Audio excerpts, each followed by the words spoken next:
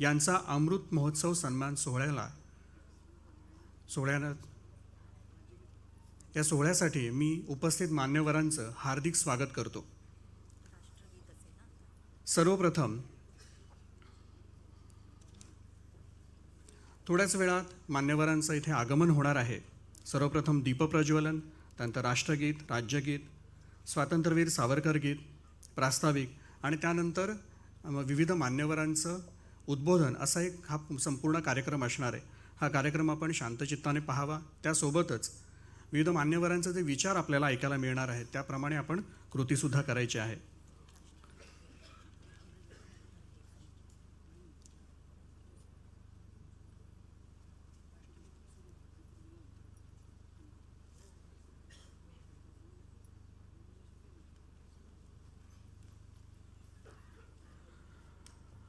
कार्यक्रमाचा प्रारंभ आपण राष्ट्रगीतानं करणार आहोत.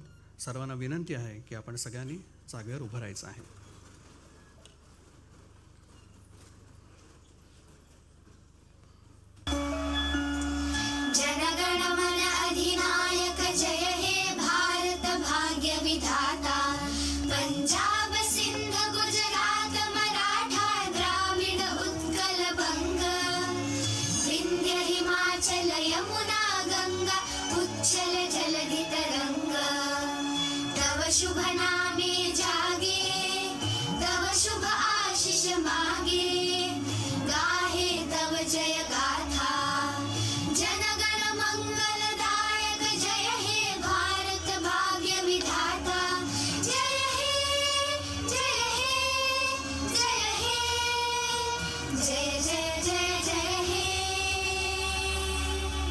भारत माता की। वंदे। सर्वांना विनंती आहे की उभं राहायचं आहे तसंच आता राज्यगीत होईल.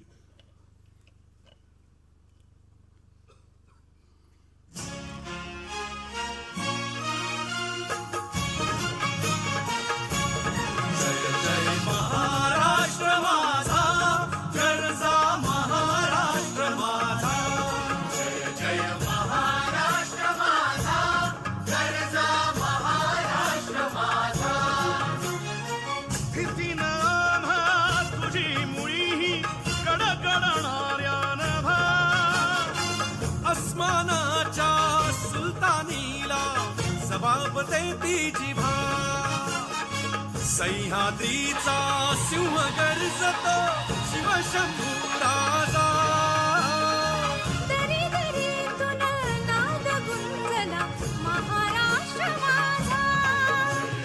महाराष्ट्र माझा गरजा महाराष्ट्र माझा. काळ्या छातीवरी कोरली अभिमानाची लेणी.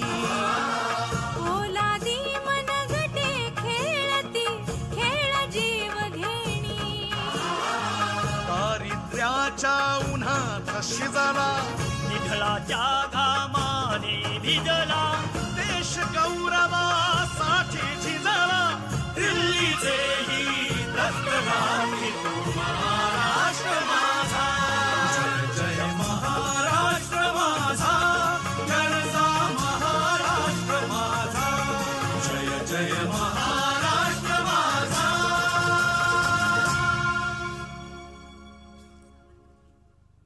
सर्वांना विनंती आहे की त्यांनी स्थानापन्न व्हावं.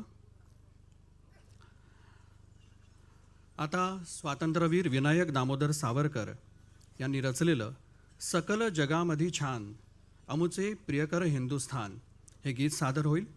गीत सादर करत आहेत स्वातंत्र्यवीर सावरकर राष्ट्रीय स्मारक कला प्रबोधिनी आणि कलांगणमधील मुले निया धुरू मृणाल जवंजाळ स्वरा पाटील वेदांत यादव आणि स्मयन आंबेकर. संगीत दिलं आहे. वर्षा- भावे यांनी.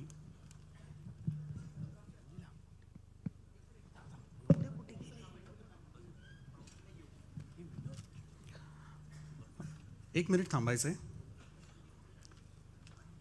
मुलांनो एक मिनिट थांबायचं आहे पाहुणे येत आहेत त्यानंतर आपण गीत सुरू करू.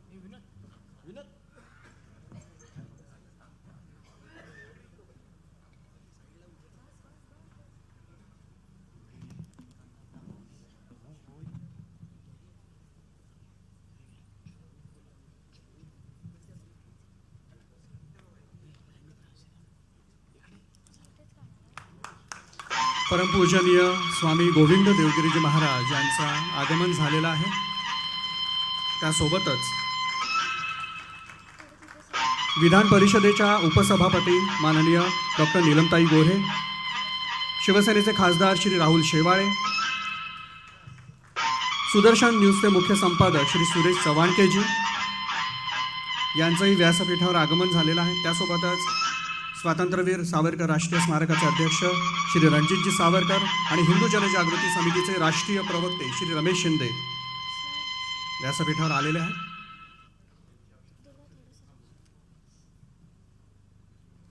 मी मान्यवरांना विनंती करतो की त्यांनी स्थानापन्न व्हावं.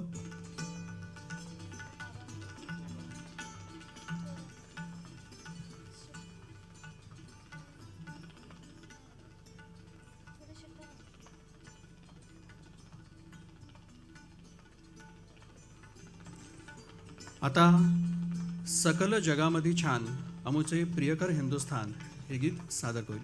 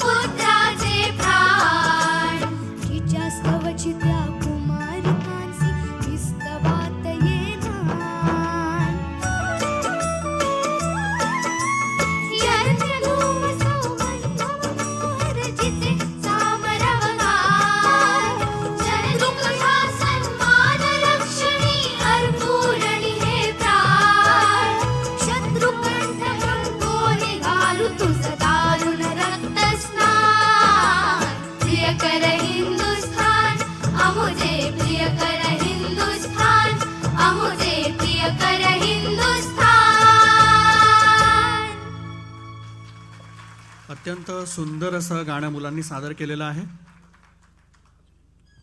आता आपण पुढच्या कार्यक्रमाकडे वळूया. आता दीपप्रज्वलन होईल. मी परमपूज्य स्वामी गोविंद देवगिरीजी महाराज आणि मान्यवरांना विनंती करतो की त्यांनी दीपप्रज्वलन करावं.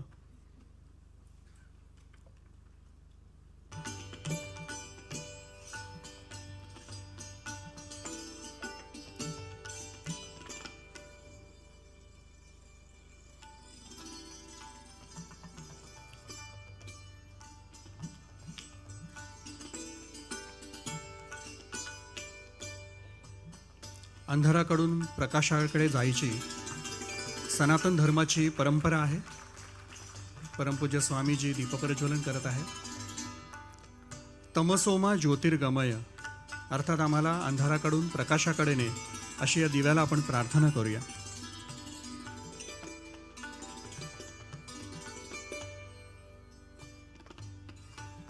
डॉक्टर नीलमताई गोरे सुदर्शन न्यूजचे श्री सुरेश चव्हाणकेजी दीपप्रज्वलन करत आहे.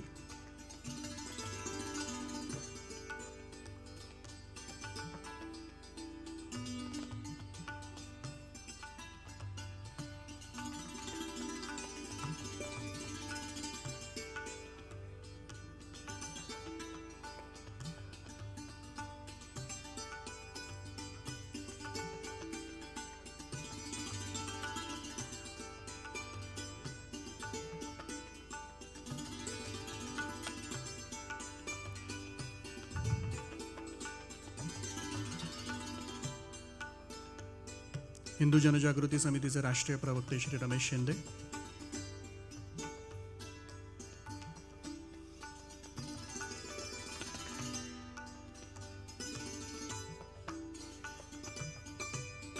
अत्यंत भावपूर्ण वातावरणात दीपप्रज्वलन संपन्न झालेलं आहे. मी मान्यवरांना विनंती करतो की त्यांनी स्थानापन्न व्हावं.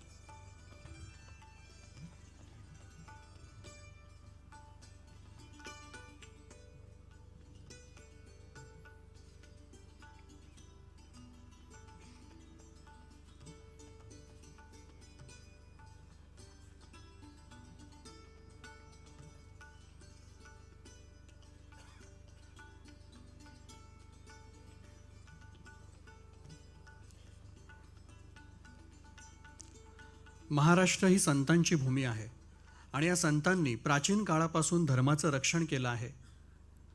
आणि असेच धर्मरक्षक असलेले संत जेव्हा आपल्या साक्षात समोर येतात ती आपल्या सगळ्यांसाठी अत्यंत भाग्याची गोष्ट असते आनंदाची पर्वणी असते.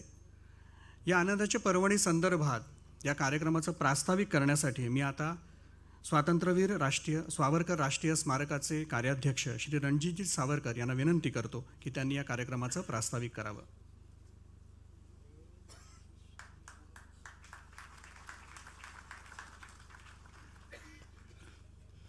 आदरणीय स्वामीजी आणि मान्यवर उपस्थित बंधू भगिनींनो आज आदरणीय स्वामी गोविंददेव गिरीजी महाराज यांचं पंच्याहत्तराव्या वर्षानिमित्त आपण त्यांचं आपण काय स्वागत करणार? म्हणजे कधीकधी सूर्याला अर्घ्य द्यायला आपली ती लायकी आहे का? पण शेवटी आपण ते द्यायलाच पाहिजे कारण आपलं ते कर्तव्य आहे. स्वामीजींबद्दल प्रास्ताविकात खरं तर काय बोलायचा खूप मोठा प्रश्न आहे मला कारण त्यांचं कर्तृत्व एवढं अफाट आहे.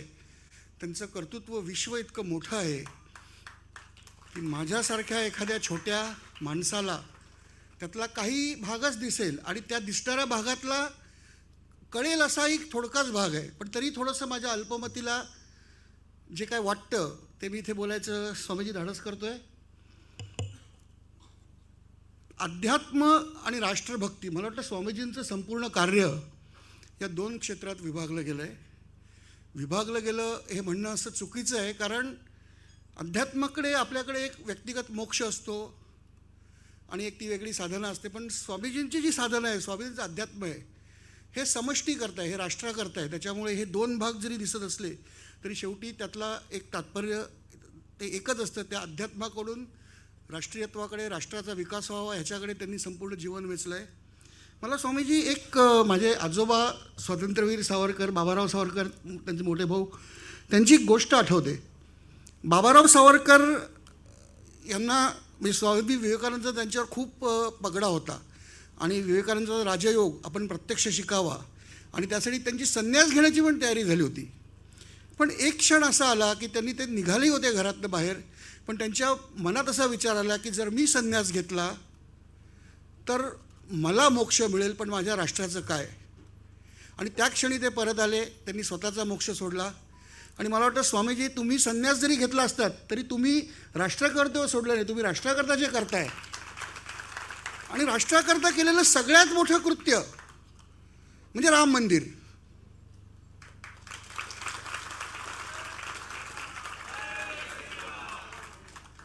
कारण राम हा आमच्या राष्ट्राचा प्राण होता. स्वातंत्र्यवीर सावरकर म्हणाले होते जेव्हा मी रामाला विसरू तेव्हा आमच्या देशाचा प्राण जाईल. आणि पाचशे वर्षापूर्वी तेच झालं. पाचशे वर्षापूर्वी अयोध्येतलं रामाचं मंदिर मोडलं गेलं. आमच्या राष्ट्रावर झालेला हा सगळ्यात मोठा आघात होता. आमच्या स्वाभिमानावर झालेला आघात होता. हा आघात इतका प्रचंड होता की आमच्यातले बहुसंख्य आपलं सत्व विसरले. मुघलांची गुलामगिरी करू लागले. आणि त्या पाचशे वर्षातच मुघलांचं सिंहासन बळकट झालेलं आहे. लक्षात ठेवा. राम जेव्हा आम्ही विसरलो तेव्हा आमचं राष्ट्र खच्ची धावलं हा आमचा इतिहास आहे. पण तू सगळेच तसे नव्हते. त्यात अनेक सैनिक लढले मुख्यत्वे अनेक संन्यासी लढले हातात शस्त्र घेऊन लढले राम जन्मभूमी करता. तो संघर्ष पाचशे वर्ष सुरू राहिला. पण त्या संघर्षाने वेळोवेळी इतरांना जे काही प्रज्वलित केलं आहे ज्या ज्योती प्रज्वलित झाल्या काही सूर्यमाला प्रज्वलित झाल्या त्यातली एक आहे छत्रपती शिवाजी महाराज. शिवाजी महाराज जेव्हा एक आपण असं म्हणतात की इन मिन तीन चार जिल्ह्यांचं आजच्या महाराष्ट्रात त्यांचं राज्य होतं पण तसं नाही आहे ते. मुळात एक हिंदू हा अभिषिक्त राजा होऊ शकतो ही कल्पनाच हिंदू मनाला पटत नव्हती. आपण काहीतरी पाप करतोय अशीच भावना. मी ही गुलामगिरीची जी दबाव होता या गुलामगिरीची जी दहशत होती आणि त्यांनी जे मनाचं विकृतीकरण झालं होतं आमच्या विचाराचं विकृतीकरण झालं होतं की एक हिंदू अभिषिक्त राजा होऊच शकत नाही. फार तर फार आम्ही एखाद्या मुस्लिम राजाचे मांडली घेऊ शकतो. आणि तो मुस्लिम राजा पण कुठला? तर खलिफाला आपलेच पैसे देऊन त्याच्या चरणी देऊन त्याच्याकडून एक पत्र आणायचं आणि भारतात बादशाह किंवा राजे बनायचं. अशा लोकांचे मांडविल बनण्यात आम्हाला भूषण होतं. पण जेव्हा छत्रपती शिवाजी महाराज अभिषिक्त राजे बनू इच्छित होते तेव्हा आम्हीच त्यांना विरोध केला. तेव्हा एक गागा भट्ट उठले. आणि त्यांनी सांगितले की नाही यांना अभिषिक्त राजा बनायचा अधिकार आहे. शिवाजी महाराज हे आमचे पहिले अभिषिक्त सम्राट अनेक पिढ्यांमधले आणि त्यामुळे महाराष्ट्राच्या काही हिश्श्यात असलेलं ते मराठी साम्राज्य मी साम्राज्य अशब्द मुद्दाम वापरतोय. कारण कुठल्याही वटवृक्षाचं जे मूळ असतं ना ते एखाद्या मोहरी एवढं असतं बीज. पण तो वृक्ष महान होतो. महाराजांच्या कर्तृत्वाने जी उभारी दिली हिंदुस्थानला उभारी दिली मराठी माणसाला उभारी दिली. बाजीराव पेशव्यांनी ते छोटंसं राज्य दोन तृतीयांश भारतापर्यंत पोचवलं. आणि दुर्दैव हे की निलमताई मी तुम्हाला विनंती करू इच्छितो की आमच्याच महाराष्ट्राचा हा गौरव आमच्याच महाराष्ट्रात कोणालाही माहीत नसतो. आम्ही दोन तृतीयांश भारतावर राज्य केलेलं आहे. पन्नास वर्षापेक्षा जास्त काळ दिल्ली आमच्या ताब्यात होती. बादशाच्या बेगमांना जेव्हा ते ईद करता दागिने लागायचे तेव्हा माझी पेशव्यांची त्याच्यावर सही लागायची की यांना देण्यात द्यावेत हे आमचं कर्तृत्व होतं. पण ते आम्ही विसरलो कारण आम्हाला एक सवय आहे. आम्हाला एक पराक्रम झाला की पुन्हा चार पिढ्यांनी झोपायची सवय आहे. बाजीराव पेशवे गेले मराठी साम्राज्य गेलं ब्रिटिशशाही आपल्या डोक्यावर आली. त्याच्यानंतर आपण स्वातंत्र्य मिळवलं. त्याला अठ्ठ्याहत्तर वर्ष होऊन गेलेली आहेत. रामाला ती अठ्ठ्याहत्तर वर्ष पण वाट बघावी लागली. आम्हाला वाटत होतं आमचं हक्काचं स्वातंत्र्य आलं आहे. आम्हाला राम मंदिर मिळेल ते मिळालं नाही ते अठ्ठ्याहत्तर वर्ष त्याला वाट पाहावी लागली. आणि जेव्हा राम जन्मभूमीची मोकळी झाली तेव्हा स्वामीजी तुमच्यावर जी जबाबदारी आली कोषाध्यक्षाची. जनतेने अफाट पैसा दिला पण तो सांभाळणं त्याचे हिशोब ठेवणं ते अत्यंत पारदर्शक ठेवणं हे तुम्ही इतक्या योग्य रीतीने केलं आहे आणि म्हणजे माझी माहिती आहे की तीन तीन चार चार महिने बँका पैसे घेत नव्हते इतका ओघ चालू होता. पण प्रत्येक गोष्ट अत्यंत पारदर्शक पद्धतीने करत आणि समयबद्ध पद्धतीने हे राम मंदिर तुम्ही आज उग म्हणजे जे आम्हाला दर्शन मिळालं त्या दिवशी त्याच्यात सगळ्यांचे आहेतच पण तुमचे त्याच्यात विशेष त्याच्यामध्ये योगदान आहे आणि त्याच्याबद्दल आम्ही तुमच्यापुढे नतमस्तक आहोत. तो जो क्षण होता ना तो मी दूरनं बघत होतो. तिथे एक सात आठ हजार माणसं होती. भारतातली प्रत्येक क्षेत्रातली नामवंत माणसं. यशस्वी माणसं. आणि यशस्वी माणसं असतात ती अशी असतात की ज्यांना आपल्या भावनांवर नियंत्रण ठेवता येतं. पण ज्या क्षणी ते मुखदर्शन झालं आम्हाला आणि वर्ण वायुदलाची दोन हेलिकॉप्टर्स पुष्पवर्षाव करत गेली त्या क्षणी तिथे एक डोळा नव्हता की जो कोरडा नव्हता असंख्य लोक ओक्साबोक्षी रडत होते. हे ते रामाचं सामर्थ्य आहे. तो प पाचशे वर्षाविरुद्ध राम आम्हाला परत आला हे आम्हाला याची देही याची डोळा बघता आलं. ह्याचा तो आनंद होता. परिस्थिती इतकी भारावलेली होती. की त्याच्यानंतर जेव्हा सगळे मान्यवर मंचावर आले आणि स्वामीजी तुम्ही पहिले भाषणाला उठलात. मला असं व्यक्तिगत वाटत होतं की ते इतकं पराकोटीला आपल्या भावना गेल्या आहेत की स्वामीजी काय बोलतील ते कळेल तरी का? पण नाही. स्वामीजी जे काय बोलले तो एक विजेसारखा एक फटकारा उमटून गेला मनावर. त्यांनी आम्हाला हे सांगितलं की आज आम्हाला एक राजा मिळालेला आहे जो राजधर्माचं पालन करतो आहे आणि असा राजा मिळाला तरच राष्ट्रधर्म पुढे जातो राष्ट्राचं भवितव्य पुढे येतं आणि त्यांनी शिवाजी महाराजांची आठवण दिली. श्रीशैलमला शिवाजी महाराजांनी काय पद्धतीने अनुष्ठानं केली स्वतःची शुद्धी केली एक राजा असून देवापुढे नतमस्तक होणारा आमचा शिवाजी महाराज त्याचा आदर्श आजच्या प्रधानमंत्र्यांनी ते पाळत आहेत आणि पुढेही पाळला पाहिजे हे स्वामीजींचं म्हणणं होतं. दुसऱ्या स्वामीजींनी सांगितलं की त्यांना संन्यास घ्यायची इच्छा झाली होती शिवाजी महाराजांना. पण जसं मी सांगितलं मगाशी बाबारावांचा की मी संन्यास घेतला तर मला मोक्ष मिळेल. राष्ट्राचं काय? शिवाजी महाराजांना मोक्ष सहज शक्य होता. इतकं त्यांचं कर्तृत्व होतं पण त्यांनी नाही. त्यांनी राष्ट्राकरता आपला मोक्ष बाजूला ठेवला ते परत राजनीतीत आले परत लढा सुरू ठेवला आणि राष्ट्राकरता त्यांनी पूर्ण आपलं आयुष्य अर्पण केलं. आणि मला वाटतं ही जी परंपरा आहे स्वामीजींनी एक आठवण करून दिली की अशीच माणसं आपल्याला हवी. कारण आमच्याकडे असे काही राजे झालेले आहेत. तुम्ही इकडे जे म्युरल बघितल्याने दोन बाजूला दोन म्युरल्स आहेत. त्यात सावरकरांच्या कल्पना आहेत. सो म्हणजे इकडचे जे म्युरल आहे ना त्यात आमचे जुने राजे आहेत की जे ठीक आहे आपण सद्गुण आहोत पण सद्गुणाची पण एक नशा होते. ती इतकी किती एका विकृतीत रूपांतर होतं शत्रूवर किती दया करायची? सोळा वेळेला सोडलं सतरा वेळेला मोहम्मद गोरींनी नाही सोडलं. तरी आम्ही सद्गुण करतच राहिलो. आमच्या सद्गुणांचा अतिरेक राष्ट्राच्या हानीत झाला. आमच्या राजपुरुष जेव्हा सद्गुणांच्या अतिरेकामध्ये राष्ट्रहित विसरला तेव्हा त्यात एक ब्युरल आहे त्याच्यामध्ये जनता गर्तेत सापडलेली आमची. हजारो वर्षाची गुलामगिरी आमच्या डोक्यावर आलेली आहे. आणि त्याउलट जर आमचा राजपुरुष हा राष्ट्रधर्माचं पालन करत असेल तो सबळ असेल सक्षम असेल त्याला ही जाणीव पाहिजे की धर्माला तलवारीचा आधार पाहिजे शस्त्राचा आधार पाहिजे. धर्माला शस्त्राचा आधार असेल तर धर्म पांगळा होत नाही. आणि त्या शस्त्रावर धर्माचा अंकुश हवा कारण तो अंकुश नसेल तर ते शस्त्र पाशवी होतं.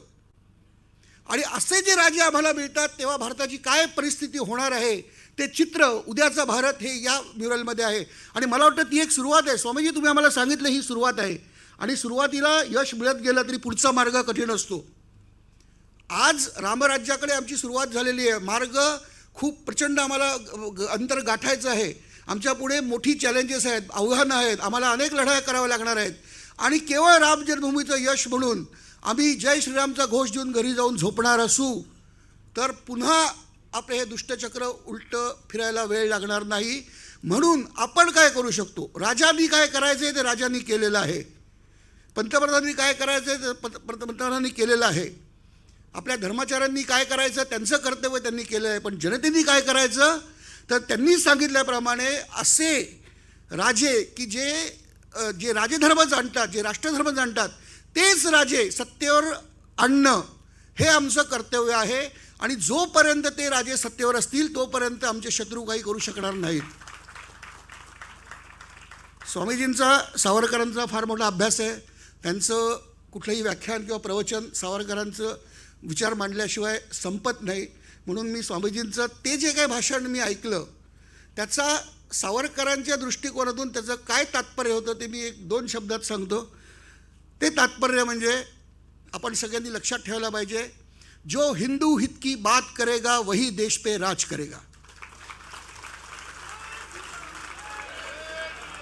बोला जो हिंदू हित की बात करेगा आणि सुदैवानी जय. सुदैवानी महाराज श्रीकृष्ण जन्मभूमीचंही काम सांभाळत आहेत. आणि माझा जो विश्वास आहे मनातला एक सांगतो तुम्हाला जर आपल्याला रामराज्य आणायचं असेल तर भगवान कृष्णाच्या नीतीचा अवलंब केल्याशिवाय ते येणार नाही. त्यामुळे माझा विश्वास आहे की तुमच्या मार्गदर्शनाखाली लवकरच ती कृष्ण जन्मभूमी मोकळी होईल आणि मग पुढच्या भारताचं जे भवितव्य त्याला कोणी रोखू शकणार नाही. जाता जाता एकच सांगतो की राम राज्याची कल्पना गुरु वशिष्ठांच्या विना करता येत नाही. आज वशिष्ठांच्याच परंपरेचे पायिक असलेले महाराज आपल्याला मार्गदर्शन करायला आहेत. त्यांचं मार्गदर्शन असंच आम्हाला मिळत राहावं ही माझी प्रभू रामचरणी विनंती.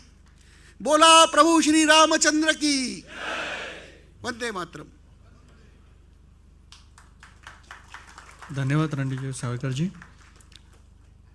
आज या कार्यक्रमासाठी उपस्थित असलेल्या सर्व मान्यवरांचं आता आपण स्वागत करणार आहोत. सर्वप्रथम परमपूज्य स्वामी गोविंद देवगिरीजी महाराज यांचं स्वागत. हिंदू जनजागृती समितीचे राष्ट्रीय प्रवक्ते श्री रमेश शिंदे आणि स्वातंत्र्यवीर सावरकर राष्ट्रीय स्मारकाचे कार्याध्यक्ष श्री रणजित सावरकरजी करतील.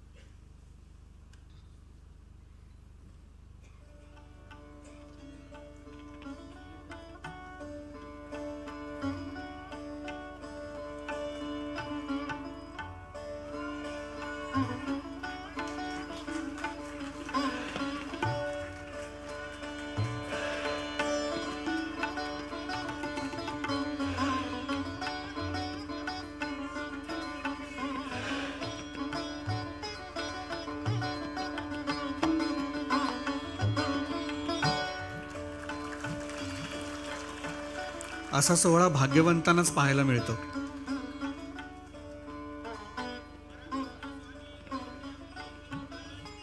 जय.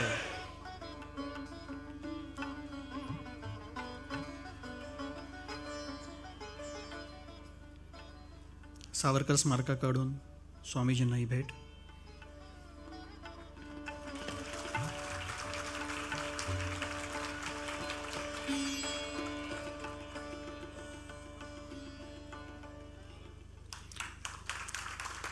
त्याचप्रमाणे विधान परिषदेच्या उपसभापती डॉक्टर नीलम गोरेताई सुद्धा महाराजांचा सत्कार करतील.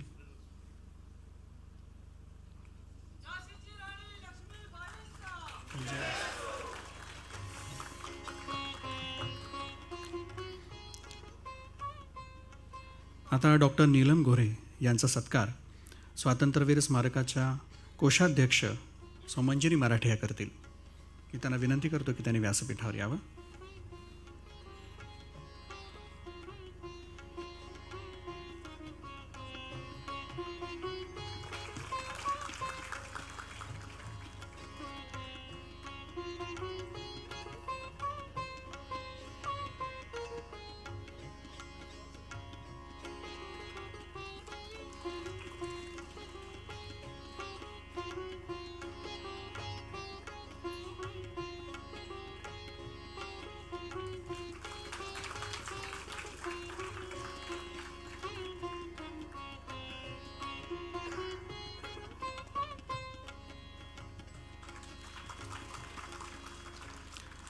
शिवसेनेचे खासदार माननीय श्री राहुलजी शेवाळे यांचा सत्कार यांचं स्वागत. हिंदू जनजागृती समितीचे मुंबई ठाणे रायगड जिल्हा समन्वयक श्री सागर चोपदार करतील.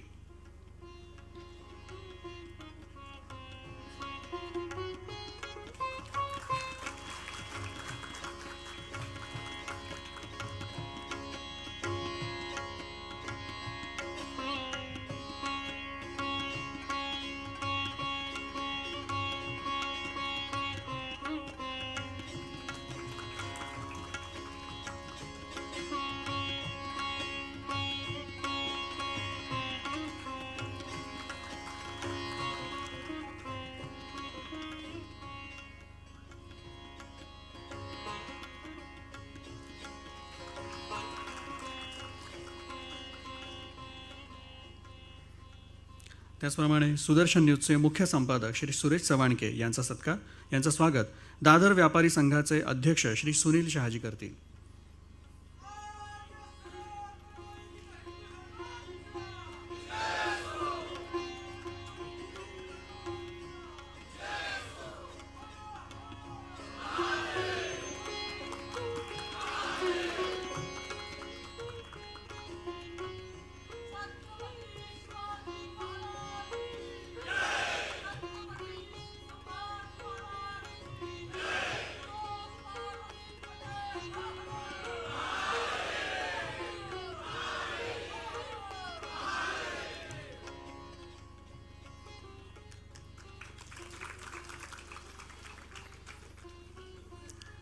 या सोहळ्याच्या निमित्ताने या सगळ्या मान्यवरांचे विचारसुद्धा आपल्याला ऐकायला मिळणार आहेत.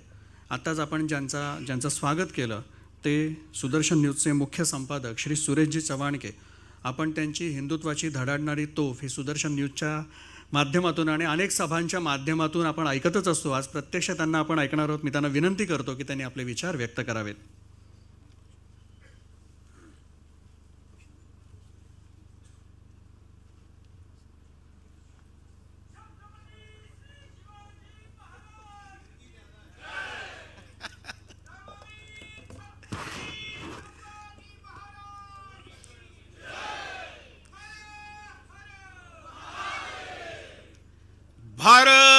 माता की। मुख्यमंत्री जी तक आवाज़ जाना चाहिए। भारत माता की। मैंने यूपी के मुख्यमंत्री को कहा था। भारत माता की। गंगा माता की। गोदावरी माता की। गायत्री माता की। मुंबा माता की। आज के आनंद की।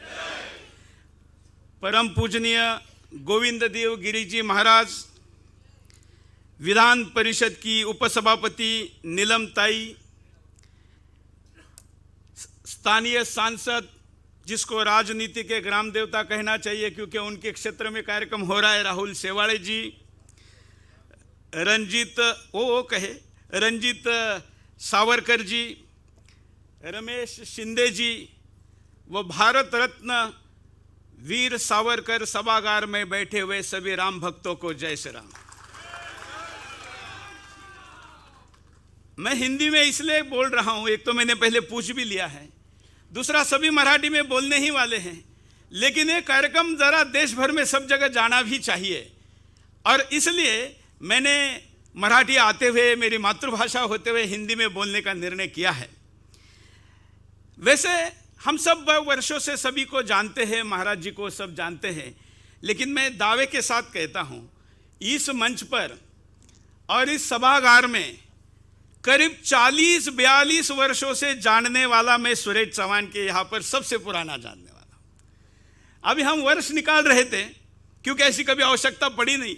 लेकिन मैं चौथी पांचवी कक्षा में था तो शिरडी के बगल में कोपरगांव स्थान है वहाँ पर संघ का हिवाड़ी शिविर चला था। और उस शिविर में हमारे गट नायक के रूप में और सह शिविर प्रमुख के रूप में और बौद्धिक देने के लिए हमारे जो गटशाह चर्चा होती थी, वो हमारा पहला परिचय था जब हम बाल संसेवक थे। उस समय में भी वो जो बोलते थे, अब तो क्या बोलते हैं, इस पर बोलने की आवश्यकता नहीं, क्योंकि प्रभु रामचंद्र जी के मंदिर के प्रांगण से बोली हुए उनके शब्द हिंदुस्तान के हर हृदय में पहुँचे हुए हैं। लेकिन उस बोलने के पीछे वो उतरता तब है जब मराठी में कहते हैं ना, या हृदयाचा त्या हृदय। ये तब उतरता है जब इस हृदय से निकलता है। तो वो हृदय में इतना पहले से है। मैंने अभी उनको पूछा कि आप स्वयंसेवक पहली बार कब बने? तो उन्होंने कहा कि जब पालने में थे तभी से स्वयंसेवक है। और आपके चाचा जी का देहांत हो गया था। और मराठीत त्याला कावळा शिवायचं म्हणतं ना? तर तो कावळा शिवत नव्हता. म्हणजे शांती होत नव्हती. तर काय करायचं? तर घरातले सगळे उभे राहिले आणि सगळ्यांनी हात छातीवर ठेवून नमस्ते सदा वत्सले संघाची प्रार्थना म्हणली कावळा शिवला. ऐसा जिनका रग रग में हिंदुत्व है रग रग में संस्कार है भारतीयता है। इस कार्यक्रम के द्वारा ज्यादा लोगों तक गई। लेकिन तब भी हम जो सुनते थे तब भी यही विचार रखे जाते थे, आज भी यही रख रहे हैं और आगे भी यही रखेंगे, हम जानते हैं।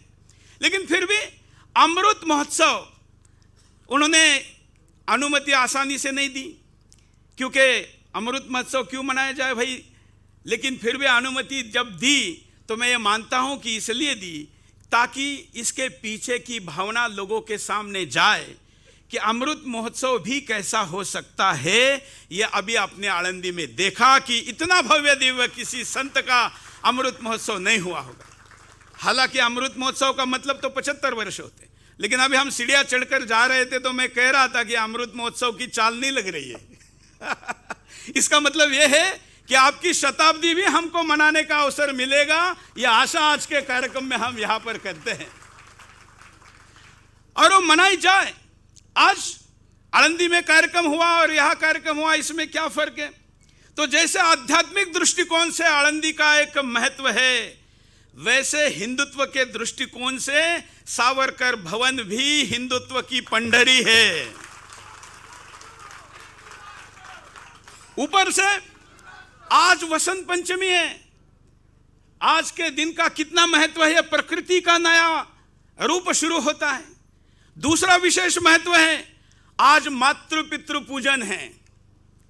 ये वैलेंटाइन डे लोगों ने जब शुरू किए तो 20 साल पहले सुदर्शन शुरू करते समय हमने एक नया काम चालू किया, क्योंकि विकल्प देना चाहिए, अपनी रेखा बड़ी खींचनी चाहिए। तो हमने कहा कि बाकी लोग ये करते हैं, हम मातृ पितृ पूजन शुरू करें। आज इस दिन में कई संत इसमें उतर गए, कई संस्थाएँ उतर गई, और करोड़ों लोग आज मातृपुत्र दिवस आज के दिन मना रहे हैं। गुरु भी पितृस्थान पर होते हैं और इसलिए आज का ये पूजा का महत्व एक विशेष है। एक और महत्व है। ये जो अमृत महोत्सव है, ये प्रभु रामचंद्र की प्राण प्रतिष्ठा करने के बाद आया है। तो 500 वर्षों के संघर्ष के बाद का आनंद उत्सव भी यही है। और एक विशेष महत्व, और वो ये है कि हमारे प्रधानमंत्री जी और आप भी स्वयं अरबस्तान में हिंदू मंदिर की प्राण प्रतिष्ठा आज हो रही है। तो आज का ये विशेष महत्व है, स्थान का विशेष महत्व है। आप 180 देशों में गीता का प्रचार करते हैं और भारत भारती नाम से मतलब केवल भगवान, भगवानक देवी देवताओं तक सीमित नहीं हमारे क्रांतिकारियों में, हमारे योद्धाओं में भी भगवान है, देवी देवता है वो नहीं होते। तो फिर आज हमारे देवी देवताओं की भी पूजा नहीं होती, इसलिए वो तो करते ही हैं। लेकिन बाबा रामदेव जी बता रहे थे कि अब छत्रपति शिवाजी महाराज जी की कथा, महाराज जी के द्वारा हम सबको सुनने को मिलेगी।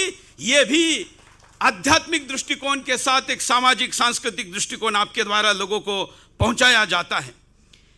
अब ये कार्यक्रम आज हो रहा है। तो क्या केवल हम आपका सम्मान करें, बात करें, आप भी लोग सुने और चले जाए। इतने छोटे से उद्देश्य के साथ ये संस्था तो कार्यक्रम निश्चित तौर पर नहीं कर रही है। खास करके सनातन जैसी संस्था जो धर्म का ज्ञान लोगों पर देने के लिए विज्ञान का आधार लेती है और उसको आज लोग स्वीकार करते हैं, वो इस कार्यक्रम में है। सावरकर स्मारक है। तो क्यों आज? क्या चाहिए? क्या हमने यहाँ से लेकर जाना है? हमारे अभिनंदन करने से क्या होने वाला है? हम तो उनका आशीर्वाद लेते हैं तो हम उनका अभिनंदन करें, इससे क्या होने वाला है? तो आज यहाँ से कोई संकल्प लेकर जाना चाहिए तो यह अमृत महोत्सव का वास्तविक हमारी गुरु दक्षिणा होगी, वास्तविक यह सम्मान होगा, वास्तविक उनके संकल्प की पूर्ति होगी, वो क्या हो सकता है? तो मुझे लगता है, हर स्वयंसेवक वैसे तो यह मानता ही है डॉक्टर हेडगेवार जी का हर स्वयंसेवक ये मानता है कि ये हिंदुस्तान हिंदू राष्ट्र था, हिंदू राष्ट्र है और हिंदू राष्ट्र रहेगा, ये घोषित हो। इसके लिए हम सब प्रयास करें। दूसरा, पचहत्तर भी मना रहे हैं। मैंने जब कहा कि सौ भी मनाएँगे, शताब्दी मनाएँगे और आप सब लोगों ने तालियाँ बजाई। लेकिन क्या आप जानते हैं, आज 25 वर्ष बाद जब हम शताब्दी मनाएँगे तो हिंदुस्तान में हिंदू अल्पसंख्यक हो चुका होगा। क्योंकि हमारा बर्थ रेट 1.3 से आसपास है। तो हम अल्पसंख्यक हो चुके होंगे 19 वर्ष में ही। लेकिन शताब्दी की मैं बात करता हूँ। और ये तो छत्रपति शिवाजी महाराज जी का राज्याभिषेक का 350वां वर्ष है। मैं ये कहता हूँ, कोई लोग मेरे से 25 वर्ष के लिए उतने सहमत नहीं होंगे, आंकड़ों को नहीं मानते होंगे।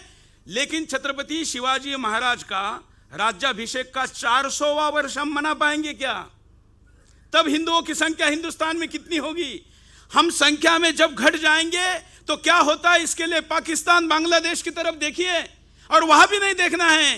तो आप कश्मीर की तरफ़ देखिए, बंगाल की तरफ़ देखिए, केरला की तरफ़ देखिए, और इतना दूर भी नहीं जाना है तो यहाँ मुमरा भिवंडी की तरफ़ देखिए, हिंदुओं का हाल क्या होता है। और इसलिए, क्या आज के दिन में हम ये संकल्प ले सकते हैं कि इस दिशा में केवल बात नहीं, कोई कार्य योजना बने। मैं ये नहीं कहता कि यही भाषण में बने। ये बनाने के लिए बड़े बड़े संगठन काम भी कर रहे हैं। लेकिन अतिरिक्त संकल्प का दिवस है। जैसे हम कहते हैं कि हम गुरु की पूजा तो प्रतिदिन करते हैं, लेकिन गुरु पूर्णिमा पर विशेष होता है। और इसलिए आज के इस प्राण प्रतिष्ठा के कार्यक्रम में, आज के इस सम्मान समारोह के कार्यक्रम में हम क्या संकल्प लेकर जाए ये आशीर्वाद भी आप दीजिए। ये हिंदू राष्ट्र और हिंदुस्तान और महाराष्ट्र, स्वामी रामदास और तुकाराम महाराज का मार्गदर्शन चाहता है, शिवाजी बनने के लिए तैयार है, ऐसा मेरा विश्वास है। और वो मार्गदर्शन मिले, और ये चार सौवा वर्ष भी हम मनाए, आपके सौवा वर्ष भी मनाए, क्योंकि ऐसा लगता है कि आज शिवाजी महाराज की जयंती मनाने में भी महाराष्ट्र में कई जगह पर समस्या आ रही है। पचास वर्ष बाद तो औरंगज़ेब की जयंती हिंदुस्तान, महाराष्ट्र में तो कम से कम शुरू हो ही जाएँगी, हिंदुस्तान में तो कई जगह अभी भी चल रही है। टीपू सुल्तान का महाराष्ट्र में कितनी जगह महिमा मंडन हो रहा है? और इसलिए हम आज, वो क्या संकल्प ले, क्या उसके लिए करे, इसके लिए भी मंथन हो, चिंतन हो, या आशा व्यक्त करता हूँ। सुदर्शन चैनल परिवार के तरफ से करोड़ों दर्शकों की तरफ से आपके चरणों में श्रद्धा सुमन अर्पित करता हूँ। जय श्री राम।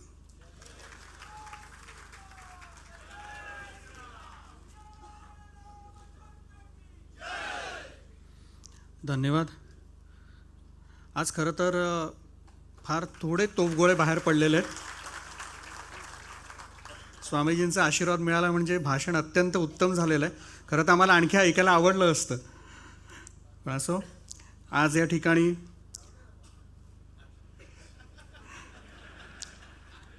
भाजपाचे आमदार व प्रवक्ता श्री अतुल भातखळकरजी इथे आलेले आहेत.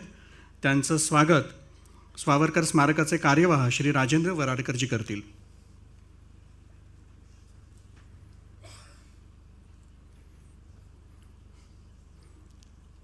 अतुल भातखळकरजी.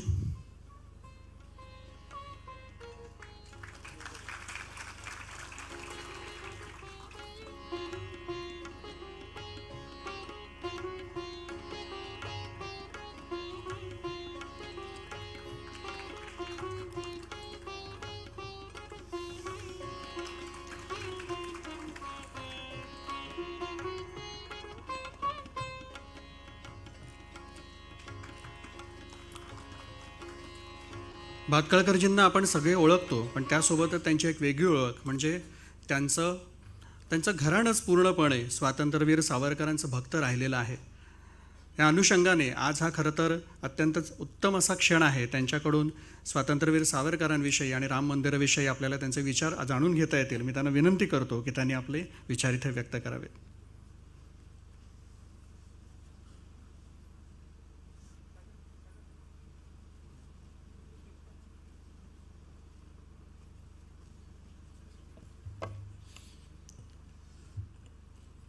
परमपूज्य स्वामी गोवनगिरी महाराजजी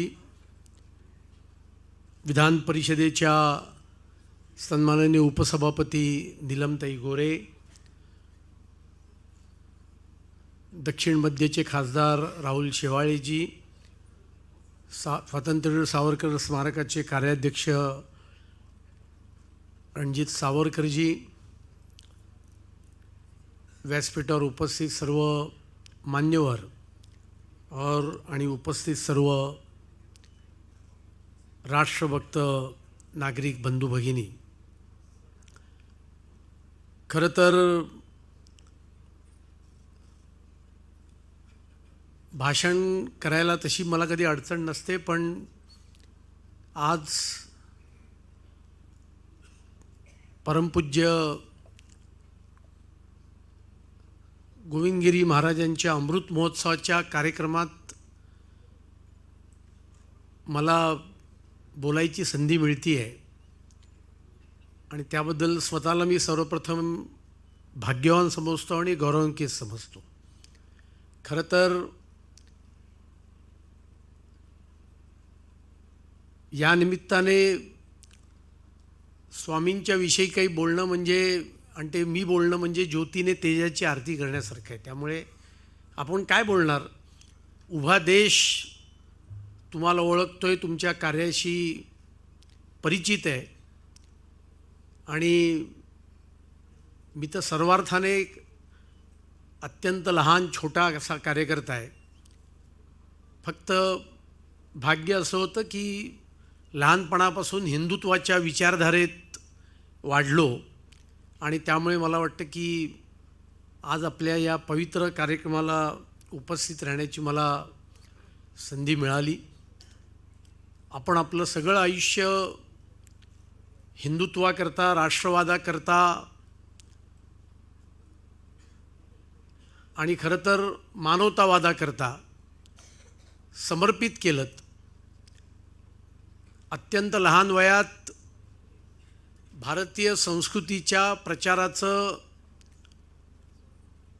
प्रसाराचं कामाला आपण प्रारंभ केलात.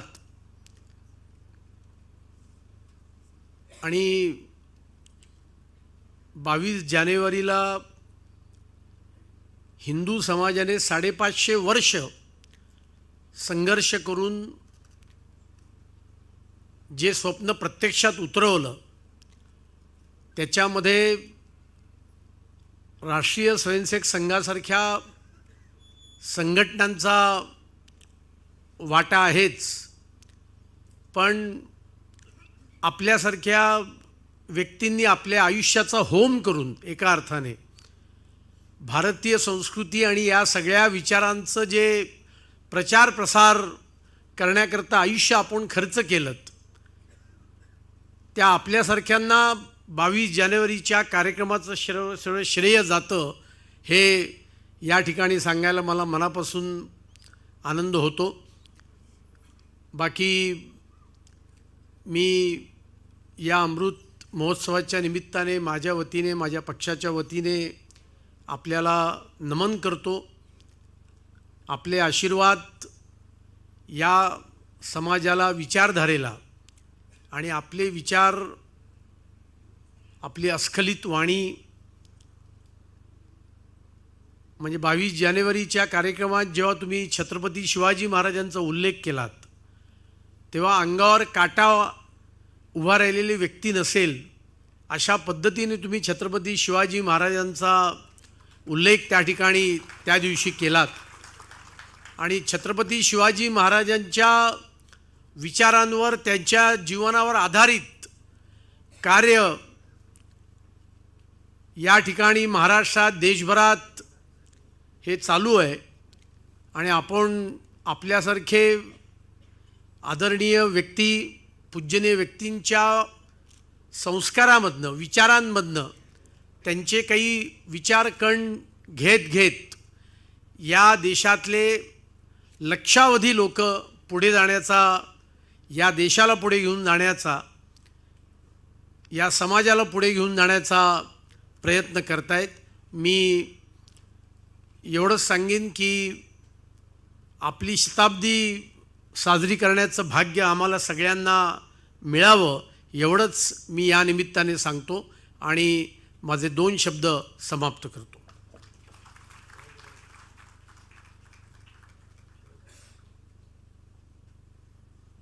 धन्यवाद भाटकरजी आता यापुढे आपले विचार व्यक्त करण्यासाठी मी शिवसेनेचे खासदार श्री राहुल शिवाजी यांना विनंती करतो अत्यंत परखडपणे आपण विचार मांडत असता आजही आमच्याकडून तीच अपेक्षा आहे.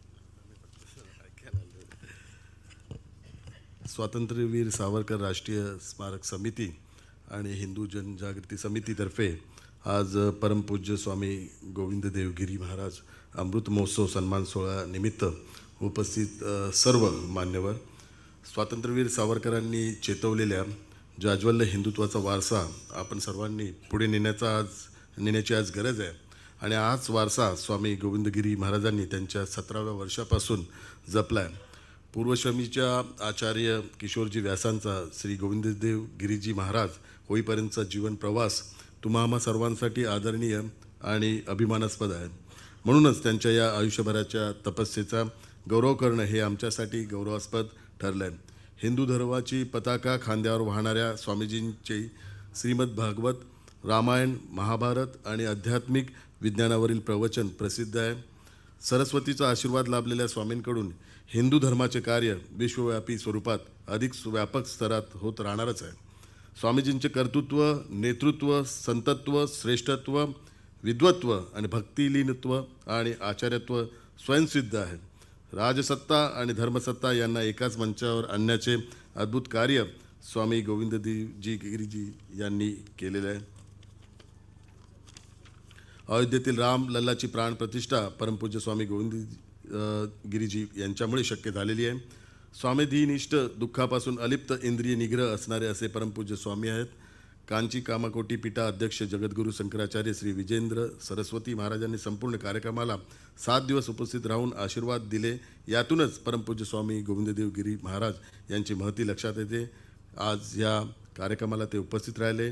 म्हणून मी परमपूज्य स्वामी गोविंददेव गिरीजी महाराज यांच्या चरणी कोटी कोटी वंदन करतो आणि मी स्वतःला भाग्यवान समजतो. यापूर्वी वक्त्यांनी सांगितलं की या स्वातंत्र्यवीर स्मारकात हा कार्यक्रम होतो आहे परंतु माझ्या खासदार म्हणून मला आज हा जर भाग्यशाली क्षण आहे की दक्षिणमध्ये लोकसभा मतदारसंघाच्या माझ्या मतदारसंघात हा कार्यक्रम होतो आहे त्यामुळे हा भाग्यशाली क्षण माझ्या द- दृष्टिकोनातून आहे. आणि मी स्वामीजींना हीच प्रार्थना करतो की आम्हाला आपण आशीर्वाद द्यावे. त्या आशीर्वादरूपी शक्तीने आम्ही राष्ट्रसेवा करू. धन्यवाद.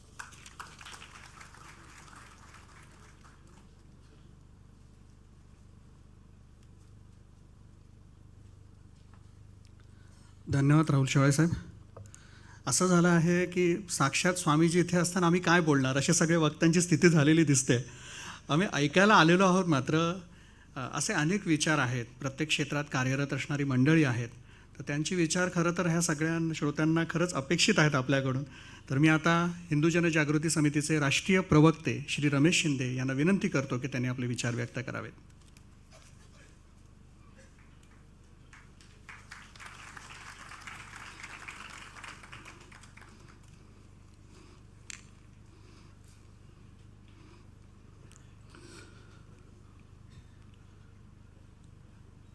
आज या ठिकाणी परमपूज्य स्वामी गोविंद देवगिरीजी महाराज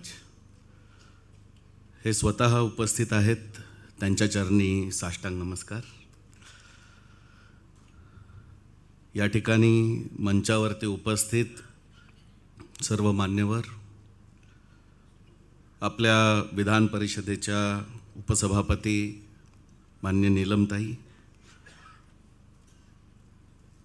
आत्ताच ज्यांनी अतिशय उत्तम असं भाषण आपल्या पुढे केले आणि म्हणजे मला असं वाटतं की जसं उदाहरण आता दिलं की ह्या ठिकाणावरून जाऊन बाजीरावांनी दिल्ली गाजवली तसं सध्या महाराष्ट्रातून दिल्ली गाजवणारे सुरेशजी चव्हाणके आणि राहुलजी शेवाळे स्वतः रणजितजी सावरकर या ठिकाणी उपस्थित आहेत.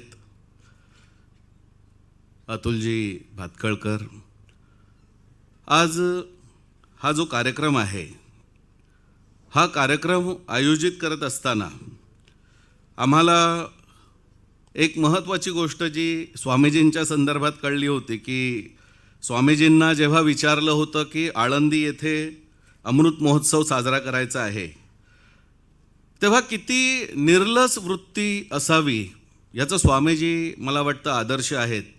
त्यांनी सांगितलं माझा अमृत महोत्सव कशाला साजरा करताय? त्यापेक्षा पंच्याहत्तर संतांचा सन्मान करूया आपण. असा विचार असणं हेच आपल्याला स्वामीजींच्या एकूण विचारधारेचं त्यांच्या संतत्वाचं लक्षण हे आपल्यासमोर विशद करतं. प्रभू श्रामाची रामललाची प्राणप्रतिष्ठा झाली. आणि ही जी प्राणप्रतिष्ठा झाली हा सोहळा मला तरी असं वाटतं की अयोध्येमध्ये ज्यांना जाण्याची संधी मिळाली त्यांनी तो अनुभवला. परंतु आपल्यापैकी एकही व्यक्ती असा नसेल की त्याने तो सोहळा तो मग मुंबईत असेल पुण्यात असेल. अगदी मी त्या काळामध्ये झारखंडवरून दिल्ली दिल्लीवरून गोवा आणि गोव्यावरून कर्नाटक ह्या चार प्रांतांमध्ये मी प्रवास केला. मला एक घर असं दिसलं नाही की ज्याच्यावरती हिंदू हिंदूंचं घर आणि भगवा ध्वज लावलेला नव्हता. त्यामुळे बावीस जानेवारीचा सोहळा हा जवळपास संपूर्ण भारताने साजरा केला. किंबहुना भारताच्या बाहेर असणाऱ्या सगळ्यांनी साजरा केला. त्यामुळे या सोहळ्यामध्ये जे काही झालं ते आपण स्वतः साध्यंत पाहिलेलं आहे. आणि या सोहळ्यामध्ये ज्या काही वैशिष्ट्यपूर्ण गोष्टी होत्या ज्या ज्यांचा उल्लेख स्वामीजींनी आता केला तर मुळात आता जसं सूत्रसंचालकांनी सांगितलं की स्वामीजींच्या पुढे बोलायचं काय असा सगळ्यात महत्त्वाचा प्रश्न असतो. परंतु आपण आजही सगळ्यात आदर्श राजा जर कोण असेल तर आपण त्याला पहिलं नाव प्रभू श्रामाचं घेतो. आदर्श राज्य कुठलं असेल तर ते रामराज्याचं उदाहरण आपण घेतो. परंतु आदर्श जर रामराज्य होतं तर केवळ प्रभुश्रामामुळे रामराज्य आदर्श होतं हे तर आहेच. परंतु रामराज्याच्या काळात एक हजार वर्षामध्ये कुठलीही तक्रार लोकांची आलेली नव्हती. आणि म्हणून रामराज्यातले प्रधानसुद्धा आदर्श होते. रामराज्यातले सेनापतीसुद्धा आदर्श होते. रामराज्यातले कोषाध्यक्षसुद्धा आदर्श होते. आणि म्हणून म्हटलं पाहिजे की रामललासाठी सुद्धा आदर्श कोषाध्यक्ष मिळालेले आहेत. आणि तेच रामराज्य पुन्हा साकार व्हायला काय वेळ लागणार नाही. ह्या दृष्टिकोनातून आपण हा महत्त्वाचा भाग लक्षात घेतला पाहिजे. आज सावरकर स्मारकामध्ये आपण हा कार्यक्रम घेतो आहोत. आणि ह्याची एक आखणी आहे एक बांधणी आहे. जसं आपण उदाहरण घेतलं की प्रभू श्रामाने अगदी राज्याभिषेक होणार अशी परिस्थिती आणि राज्याभिषेक होणार ह्या परिस्थितीमध्ये त्यांना येऊन सांगितलं जातं आहे की नाही तुमचा राज्याभिषेक होणार नाही तुम्हाला आता वनवासात जायचं आहे. प्रभू श्रामाने पित्याचं ते वचन तात्काळ स्वीकारलं. आणि ते वचन स्वीकारून त्यांनी लगेच वनवास गमनाची तयारी चालू केली. म्हणजे आत्ताच्या परिस्थितीमध्ये आपण विचार करायला पाहिजे की सध्या आपल्याकडे परिस्थिती अशी निर्माण होते की मला जर योग्य अधिकार मिळाला नाही तर मी न्यायालयात जाईन मी मोठा मुलगा आहे. परंतु अशा सगळ्या स्थितीमध्ये प्रभू श्रामाने वनवास स्वीकारला. बरं वनवास स्वीकारला ही गोष्ट ठीक आहे. आपल्या महाराष्ट्रातच नाशिक आहे नाशिकमध्येच पंचवटी आहे. आणि ह्या पंचवटीच्या ठिकाणी येऊन रावणाने सीताहरण केलं. आता साक्षात जर पाहिलं तर प्रभू श्राम हे अयोध्यापती आहेत. त्यांनी जर ठरवलं तर त्यांनी अयोध्येला ते सहज पत्र पाठवू शकले असते संदेश पाठवू शकले असते. की अयोध्येची सेना पाठवा आणि ह्या अयोध्येच्या सेन सेनेबरोबर आम्ही जाऊन सीतेची मुक्तता करू आणि तिला पुन्हा घेऊन येऊ. परंतु प्रभू श्रीरामाने अयोध्येवरून सेना मागवली नाही. प्रभू श्रीरामाने तिथूनच संघटनाचा प्रारंभ केला. आणि मग ते संघटन सुग्रीवाचं असेल जांबुवंत असेल हनुमंताचं असेल ते संघटन निर्माण करत गेले आणि त्या संघटनातून सीतेची मुक्तता केली आणि मग रामराज्य निर्माण झालं. आता ह्यात वैशिष्ट्य काय आहे? की प्रभू श्रामाला पित्याचं वचन पाळायचं होतं. कारण जर परिस्थिती अशी निर्माण झाली होती की जर त्यांनी अयोध्येतली सेना मागवली असती तर सैन्याला वेतन द्यावं लागतं. सैन्याला रसद द्यावी लागते. सैन्याला शस्त्र द्यावं लागतं. वनवासामध्ये असणाऱ्या राजाकडे कुठून येणार हे सगळं? आणि म्हणून त्यांनी सेना अशांची बनवली की वानरांची सेना. झाडावरती चढले की अन्न मिळतं आहे आणि हातात दगड उचल उचलला की शस्त्र बनलेलं आहे. आणि अशा प्रकारच्या सैन्याला घेऊन त्यांनी ह्या माध्यमातून आपलं राज्य किंवा ज्याला आपण म्हणूया की लंकेवरती विजय त्यांनी मिळवला. अर्थात लंकेवरती विजय मिळवल्यानंतर सुद्धा जेव्हा लक्ष्मणाच्या मनात विचार आला की आता सोन्याची लंका जर आपण जिंकलेली आहे तर मग अयोध्येला परत जायचं आहे का? तर त्यावेळी प्रभू श्राम हे सांगतात जननी जन्मभूमीश्च स्वर्गादपी गरीयसी. म्हणजे आपल्याला ही लंका जरी सोन्याची असली तरीसुद्धा मला ही प्रिय नाही तर मला माझी मातृभूमीच मला प्रिय आहे आणि म्हणून आपल्याकडे मातृभूमीला वंदन करण्याचा जो भाग आहे हा त्या ठिकाणावरून चालू झालेला. आता हीच गोष्ट जर आपण आज लक्षात घेतली तर ह्याचा पुढचा संदर्भ काय आहे? ज्याप्रमाणे प्रभू श्रामाने त्या ठिकाणावरून संघटन चालू केलं तशाच प्रकारचं संघटन छत्रपती शिवाजी महाराजांनी केलं आणि तशाच प्रकारचं संघटन स्वातंत्र्यवीर सावरकरांनी केलं. त्यामुळे ह्या जर गोष्टी आपण बघितल्या तर आपल्या लक्षात येईल की पूर्वीचं सहाय्य कोणाचं घेतलेलं नाही आहे मुठभर मावळ्यांनिशी शपथ घेऊन हिंदवी स्वराज्याची स्थापना करण्याची कल्पना मांडलेली आहे. आणि स्वातंत्र्यवीर सावरकरांनी देखील जी शपथ घेतली अष्टभुजा देवीच्या समोर ती स्वातंत्र्याची शपथ घेतलेली आहे. आणि म्हणून प्रभू श्रीरामाचं जीवन त्यानंतरचं छत्रपती शिवाजी महाराजांचं जीवन आणि त्यानंतर पुढे जर आपण बघितलं की स्वातंत्र्यवीर सावरकरांचं जीवन. कारण ह्यातून कुठेतरी हाच आदर्श घेतला गेलेला आहे आणि म्हणून आपण लक्षात घेतलं पाहिजे की ज्या प्रकारे छत्रपती शिवाजी महाराजांनी आग्र्याला असताना स्वतःची सुटका करून घेण्यासाठी ज्या प्रकारची नीती वापरली त्या सुटकेच्याच आदर्शातून सावरकरांनी सुद्धा फ्रान्सच्या मार्सेलिस ह्या किनाऱ्यावरती सुटका करून घेण्यासाठी मोरिया बोटीतून उडी घेतलेली आणि म्हणून ह्या सगळ्या जर गोष्टी आपण बघितल्या तर आपल्याला ह्यातून लक्षात येईल की ह्या सगळ्या गोष्टी ज्या आहेत ह्या एकामागे एक आहेत.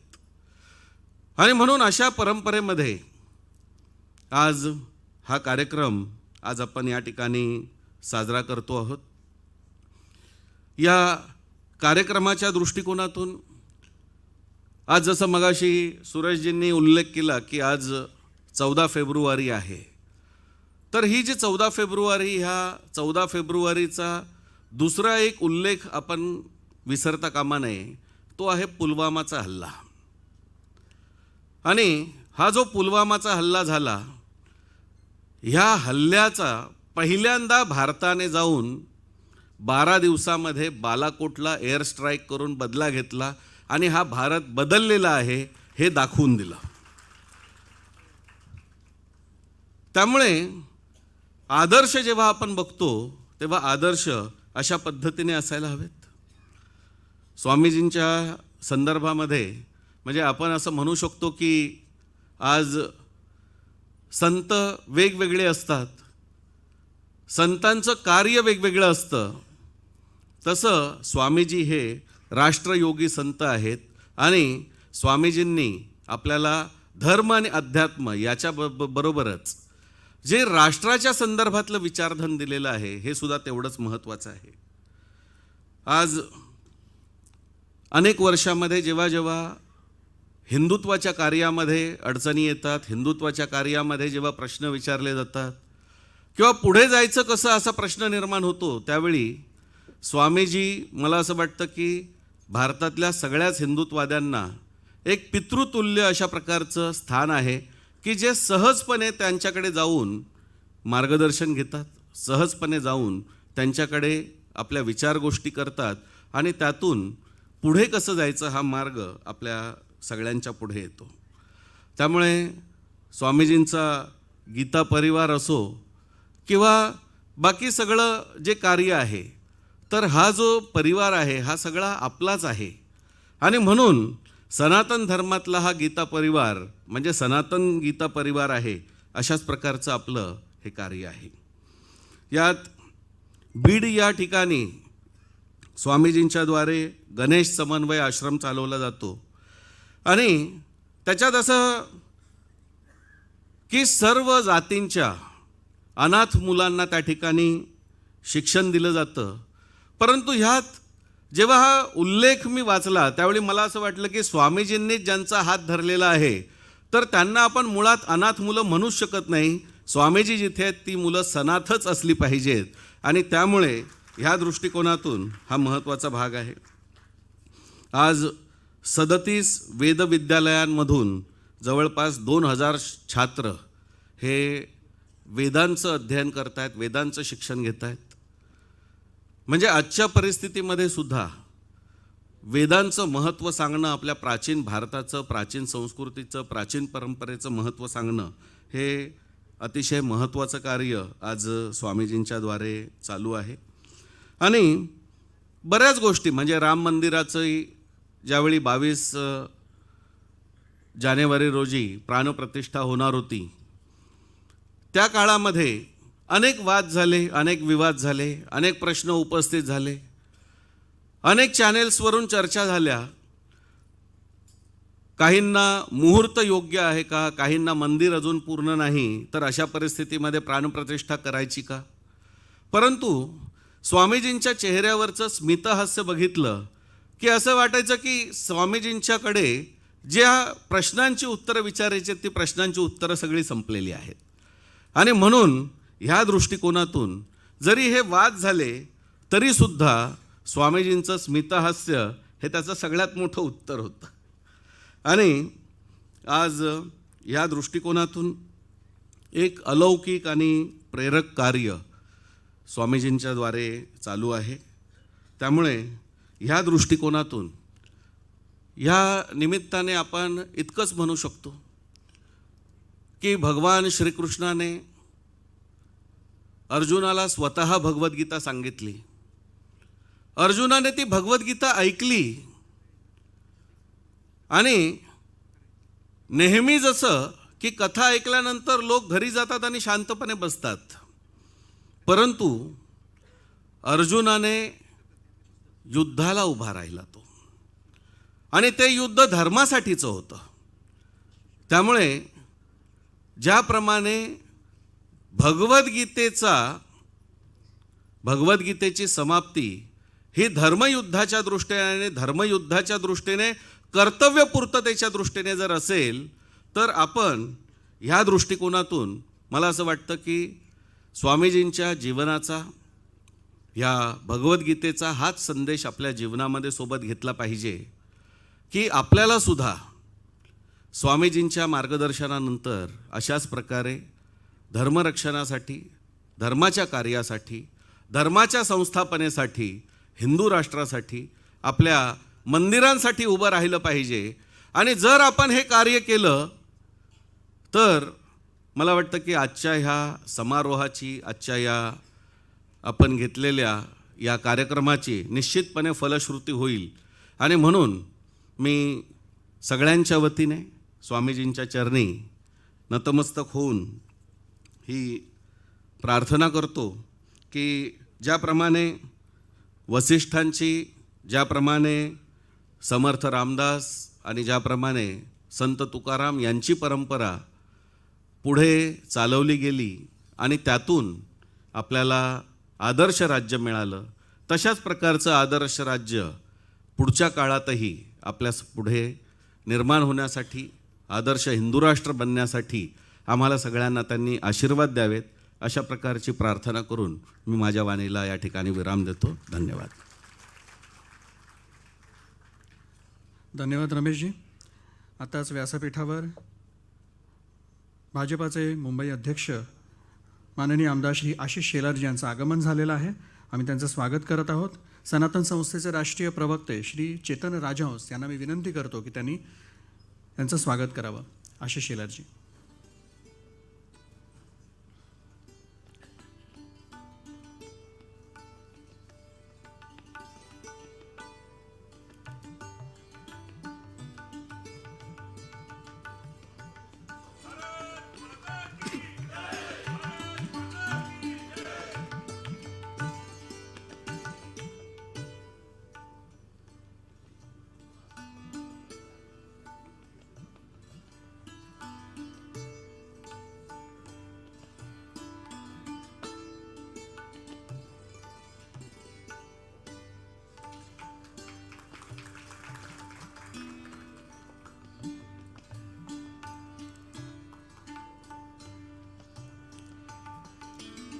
मी माननीय आशय शेलारजी यांना विनंती करतो की त्यांनी या प्रसंगी आपले विचार व्यक्त करावेत.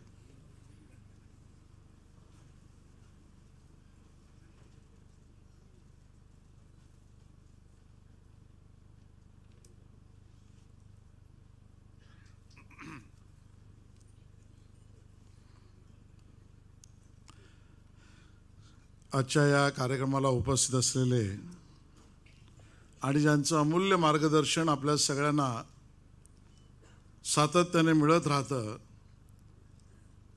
असे स्वामी गोविंद देवगिरी महाराजजी या ठिकाणी उपस्थित असलेले आमच्या विधान परिषदेच्या ज्यांना आम्ही म्हणू की नीट चालवण्याची संपूर्ण जबाबदारी ज्यांनी लिलया पेलली आहे अशा आमच्या निलमताई गोरे या विभागातील खासदार राहुल शेवाळे भारतीय जनता पक्षाचे नेते आमदार अतुल भातकळकरजी सावरकरजी उपस्थित बंधू भगिनी आणि मातांनो. खऱ्या अर्थाने आजचा हा दिवस आणि हा योगायोग हा ज्याला आपण असं म्हणू की सौभाग्यशाली आपण सगळे आहोत की अशा दिवशी आणि अशा कार्यक्रमाला उपस्थित राहण्याची आपल्याला संधी मिळाली. कारण आज वसंत पंचमी पण आहे. आपल्याकडे प्रथा परंपरेनुसार सरस्वती पूजनही आपण करत असतो. आणि अशा सरस्वती पूजनाच्या दिवशी ज्यांच्या वाणीतच सरस्वती आहे अशा स्वामी महाराजांना आपण भेटण्याचा आपल्याला योग मिळाला हा सगळ्यात मोठा योगायोग आहे. भगवद्गीता असेल रामायण असेल या सगळ्याबद्दलच्या सर्व प्रवचने केवळ महाराष्ट्रात नाही भारतात नाही तर संपूर्ण देशभर ज्यांनी प्रवचनांनी आणि निरूपणांनी समस्त विश्वातील माणसाला ज्ञानी करण्याचं व्रत स्वतः महाराजांनी घेतलं आणि ते व्रत संपूर्णतः पूर्ण होईपर्यंत कधी या ज्ञानाच्या झराला पाठ दाखवली नाही. आज त्यांचं राष्ट्रयोगी हे पुस्तक ज्यांना कोणाला वाचण्याची संधी मिळाली असेल ते नक्की सांगतील पण ज्यांना वाचण्याची संधी मिळाली नसेल त्यांनी मुद्दामून वाचावं. आणि मी यासाठी म्हणतोय कारण सरस्वती पूजन आज आपण करतो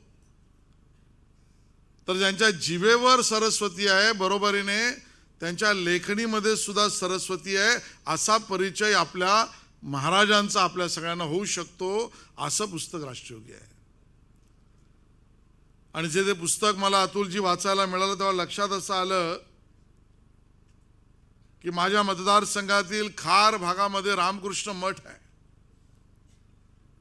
त्या रामकृष्ण मठामध्ये सुरुवातीला मतदारसंघाचा भाग असल्यामुळे स्वार्थी भावनेने जाणं झालं.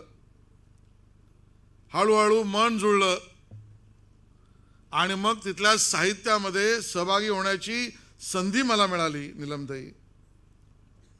आणि स्वामी विवेकानंदांची वर रामकृष्ण मठामध्ये प्रसिद्ध झालेली पुस्तकं काही मी वाचली.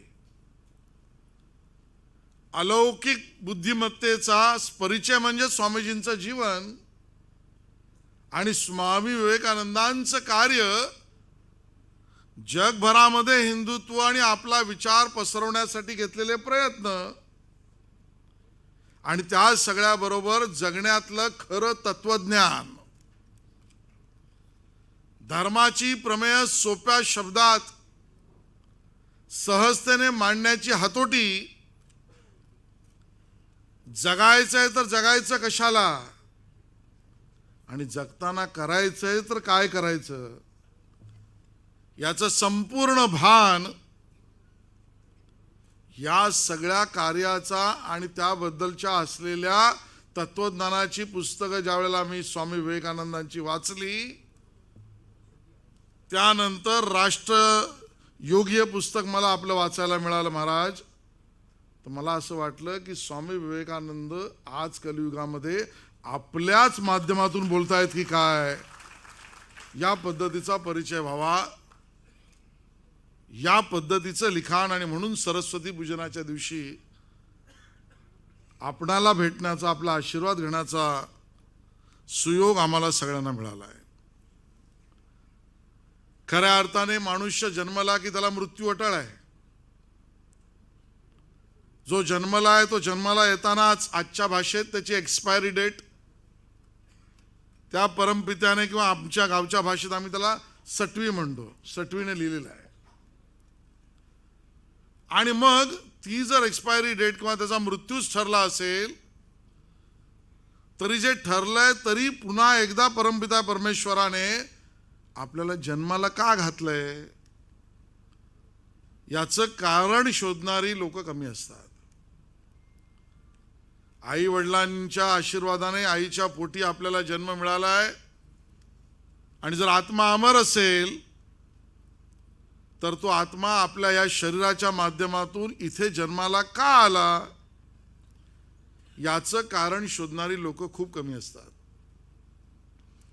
आणि जोपर्यंत हे कर्तव्य आणि जीवनाचं सार्थकता याचं कारण आपण शोधण्याचा प्रयत्न नाही केला तर मृत्यूपर्यंत जगलो. आणि पुन्हा एकदा त्या जन्ममृत्यूच्या फेरामध्ये त्या गोष्टी पूर्ण करण्यासाठी पुनर्जन्माला आलो. या फेऱ्यातून बाहेर पडायचं असेल तर त्यासाठीचा असलेला मोक्ष आणि मुक्तीचा मार्ग प्रत्येक धर्मात वेगळा मांडलाय प्रत्येक पंथामध्ये त्याचं स्वरूप वेगळं मांडलंय. त्याबद्दलचं विश्लेषण वेगवेगळं असेल तरी जन्माची सार्थकता सत्कर्माशिवाय होऊ शकत नाही. आणि जन्माची सार्थकता जर सत्कर्मात होणार असेल तर त्यासाठी सदहेतूचा जन्म होणं आवश्यक आहे. आणि सदहेतूचा जन्म आपल्या ऐहिक शरीरामध्ये व्हायचा असेल तर आत्मिक देह आणि शारीरिक देह दोन्ही एकत्र एकाग्रतेने काम करणं आवश्यक आहे. आणि त्यासाठी देहिक विकास आवश्यक आहे. आणि म्हणून त्याच्या मुळाशीच विकसित देह हा असल्याशिवाय हा मुक्तीपर्यंतचा सगळा मार्ग पूर्ण सोडा. त्याची चर्चाही आपण करू शकत नाही. आलो तसेच मृत्यू होऊन परत जाऊ. आणि मग अशी कुठली फॅक्टरी आहे? असं कुठलं शाळा आहे विद्यापीठ आहे महाविद्यापीठ आहे विद्यालय आहे? की जे या सदहेतूचं सत्कर्माचं जीवन जीवनाच्या सार्थकतेचं आवश्यक ते छोट्या आणि सहज शब्दांमध्ये समजावून सांगेल. बरं काही ठिकाणी विद्यालय महाविद्यालय विद्यापीठ निलंबित आहेतच. पण ते सांगतील प्रत्यक्षामध्ये करण्यासाठी त्या विकसित देहाच्या हाताला काही काम देतील का?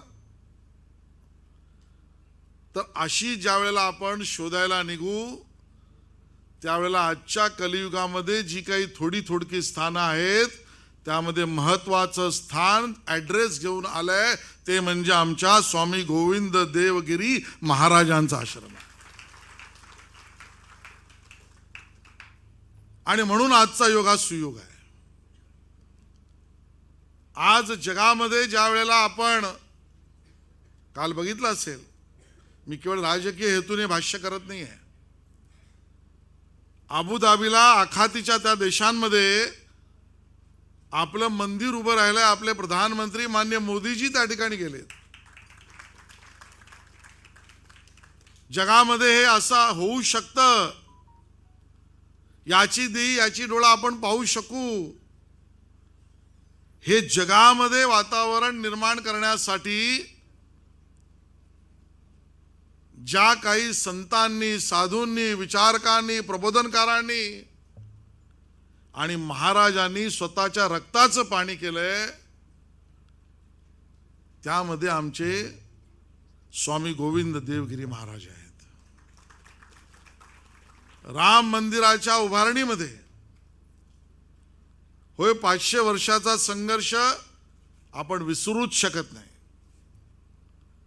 होय त्या संघर्षामध्ये बलिदान दिलेले आमची ती ती त्या काळातली पिढी त्यांचं योगदान आम्ही विसरू शकत नाही. न्यायालयातल्या लढाईमध्ये त्या ठिकाणी दिलेला साक्षी पुरावा आणि त्याची मांडणी करणारी लोक आम्ही विसरू शकत नाही. विसरणारी नाही. पण प्रत्यक्ष ज्या वेळेला आता न्यायालयिक मोहर उठल्यानंतर मंदिर उभारलं पाहिजे त्यावेळेला पडणारे प्रश्न आणि विषय हे त्यापेक्षा गंभीर मोठे आणि चिंतनशील होते. कारण अयोध्येतलं रामललाचे मंदिर ज्या पार्श्वभूमीवर ज्या संघर्षावर नंतर उभं राहत आहे ते अविरतपणे पुढची पाचशे नाही पाच हजार वर्ष त्याच प्रामाणिकतेचा त्याच सधेतूचा त्याच आध्यात्मिक ताकदेचा वसा आणि वारसा चालवणारा असलं पाहिजे ही इमारत नाही तर हे विद्यापीठ उभं करायचं असेल विचारांचं तर ते कोण करील? तर पूर्ण देशामध्ये कुठलाही संभ्रम न पाळता सरकार असो वा विरोधक असो आस्तिक असो वा नास्तिक असो या सगळ्यांनी ज्या पंधरा लोकांवरती जबाबदारी टाकली त्यामध्ये कोषाध्यक्ष म्हणून आमच्या स्वामी गोविंद देवगिरी महाराजांवर ही जबाबदारी ते दिली आहे. आणि म्हणून म्हणूनच मी म्हटलं हा सुयोग आहे एका अर्थाने देहिक विकसित अवस्था निर्माण करण्यासाठी स्वतःचं कार्य उभं करायचं आपल्या संपर्कात सहजतेने येणाऱ्या प्रत्येक व्यक्तीला केवळ भाषणांनी निरूपणांनी नाही तर प्रत्यक्ष कामाने आदर्श कसा असला पाहिजे तो दाखवायचा. आणि एवढं सगळं करताना सुद्धा साधन सुचिता आणि कुठल्याही पद्धतीची प्रस प्रसिद्धी प्राणमुक्ता ठेवून मोक्षाचा हा रस्ता आहे न सांगता सुद्धा प्रत्येकाला त्या रस्त्यावर घेऊन जायचं. इतक्या मोठ्या पद्धतीचे कार्य ज्यांनी केलं त्यांचं दर्शन आज आपल्याला होत आहे. आणि म्हणून आजच्या या सुदिनी आणि सुयोगी मी स्वामी गोविंद देवगिरी महाराजांच्या चरणी नतमस्तक होतो. आपल्या सगळ्यांबरोबर त्यांच्याकडून आपल्या जगण्याच्या आणि जीवनतेच्या सार्थकतेमधला अंश शिकण्याची संधी मिळू अशा पद्धतीची सद्भावना व्यक्त करतो. आणि त्यांचा आशीर्वाद आपल्या सगळ्यांना मिळत राहो अशी भावना व्यक्त करतो आणि थांबतो. धन्यवाद. जय हिंद. जय महाराष्ट्र. धन्यवाद आशिष शेलारजी. आजच्या या प्रसंगी आपण एक महत्त्वाच्या पुस्तकाचं प्रकाशनसुद्धा करणार आहोत. Make sure Gandhi is dead. या पुस्तकाचं लेखन केलेलं आहे स्मारकाचे कार्याध्यक्ष श्री रणजित सावरकर यांनी. गेले अनेक वर्ष एका घटनेमागचा इतिहास दडवला गेला लपवला गेला. त्यामागचं सत्य आणि तथ्य उजागर करणारं हे पुस्तक मी परमपूजनीय स्वामी गोविंद देवगिरीजी महाराज आणि मान्यवरांना विनंती करतो की त्यांनी या पुस्तकाचं प्रकाशन करावं.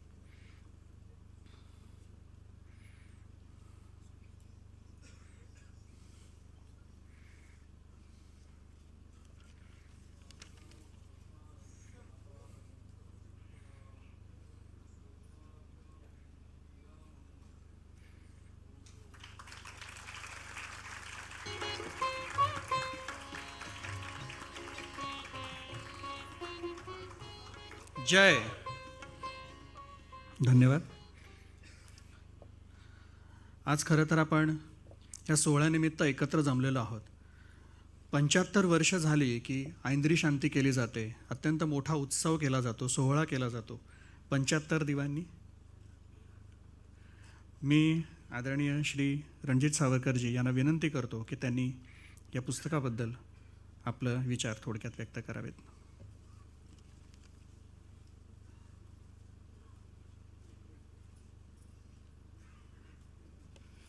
खरं तर हे पुस्तक इथे प्रकाशित मी करणार नव्हतो कारण औचित्य वेगळं होतं. पण इतिहास असा आहे की ज्या क्षणी प्रभू रामचंद्र अयोध्येत परत आले त्यानंतर हे राम हे नाव घेत एक भयंकर जे पाप दडवण्यात आलं होतं गांधी हत्येचं त्यामागील सत्य उघडकीला आलं. कारण राम परत आल्यानंतर हे जे सगळं राष्ट्रीय पाप घडलं होतं की नथुराम गोडसेंनी गांधींचा खून केला हिंदुत्ववाद्यांनी केला सावरकरांना त्यात गोवण्यात आलं हिंदू सभा संपली राष्ट्रीय सेवक संघाचे तीस ते पस्तीस हजार कार्यकर्ते हिंदू सभेचे कार्यकर्ते तुरुंगात होते.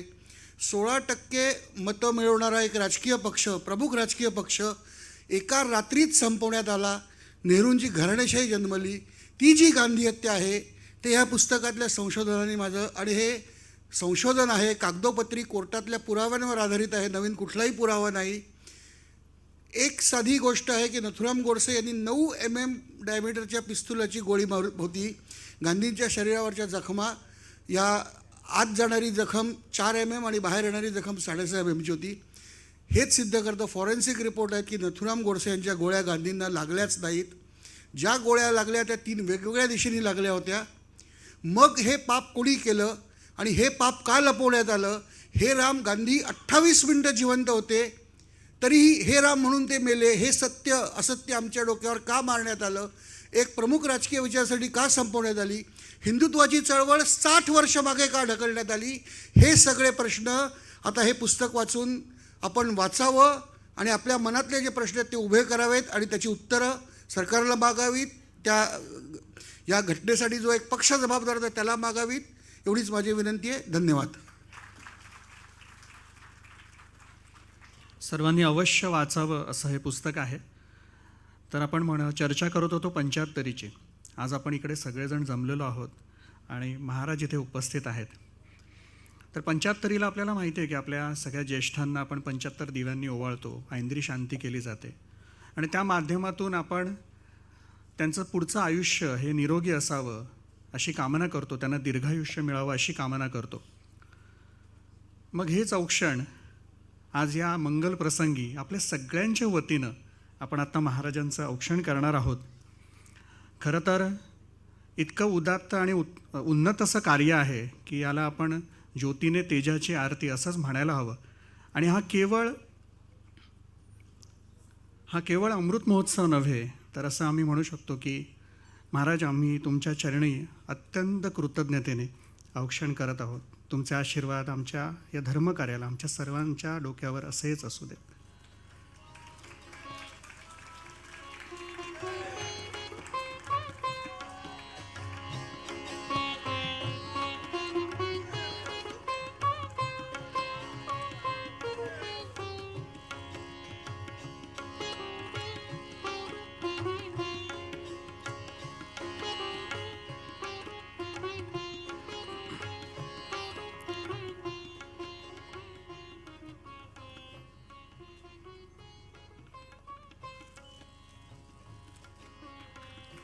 धनलक्ष्मीच्या रूपाने हा आशीर्वाद महाराजांनी दिला आहे धर्मकार्याला कधीही धनाची आवश्यकता कमी पडत नाही.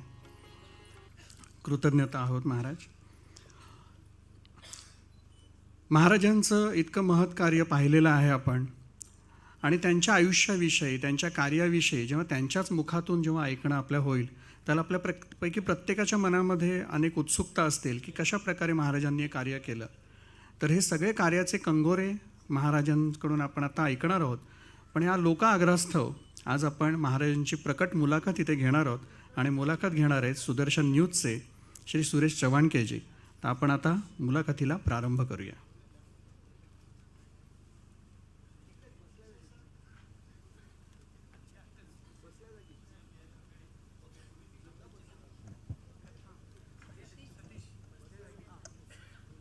आपण इथेच बसायचं आहे बसल्या जागीच मुलाखत होईल.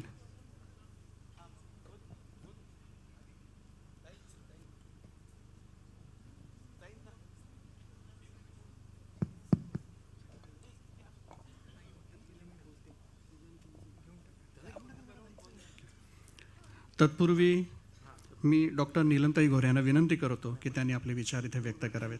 जोरदार टाळ्यांच्या गजरात आपण त्यांचं स्वागत करूया.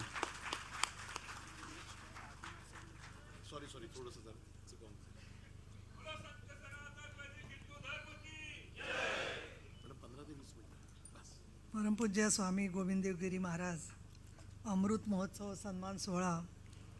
सगळ्यात प्रथम मी स्वामीजींना वंदन करते. छत्रपती शिवाजी महाराज सर्व महाराष्ट्रामधली समाज सुधारणा करणारे भारतात समाज सुधारणा करणारे सगळे मान्यवर समाजसुधारक महात्मा ज्योतिराव फुले डॉक्टर बाबासाहेब आंबेडकर स्वातंत्र्यवीर सावरकर प्रबोधनकार ठाकरे या सगळ्यांना वंदन करते. परमपूज्य स्वामी देव स्वामी गोविंददेवगिरी महाराज यांचा परिचय संपूर्ण महाराष्ट्राला आहे. आणि मोठ्या प्रमाणामध्ये आळंदीमध्ये प्रचंड असा एक पवित्र उत्सव स्वामीजींच्या पंच्याहत्तराव्या वाढदिवसाच्या निमित्ताने झाला.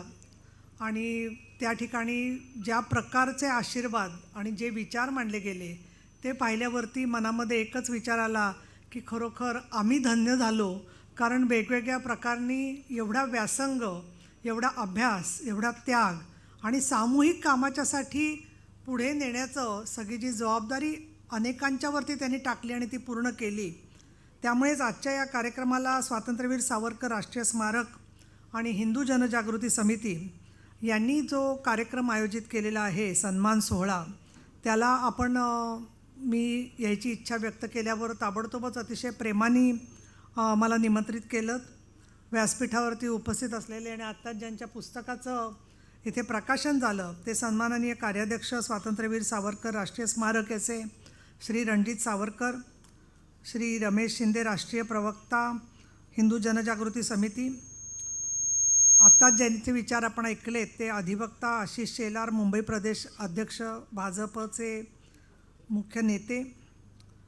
ज्यांचं आपण अतिशय अनेक वेळेला वेगवेगळ्या वाहिन्यांवरून आणि अनेक वेळेला अत्यंत संघर्षशील असे विचार ऐकतो ते सुरे सुरेश चव्हाणके मुख्य संपादक सुदर्शन न्यूज.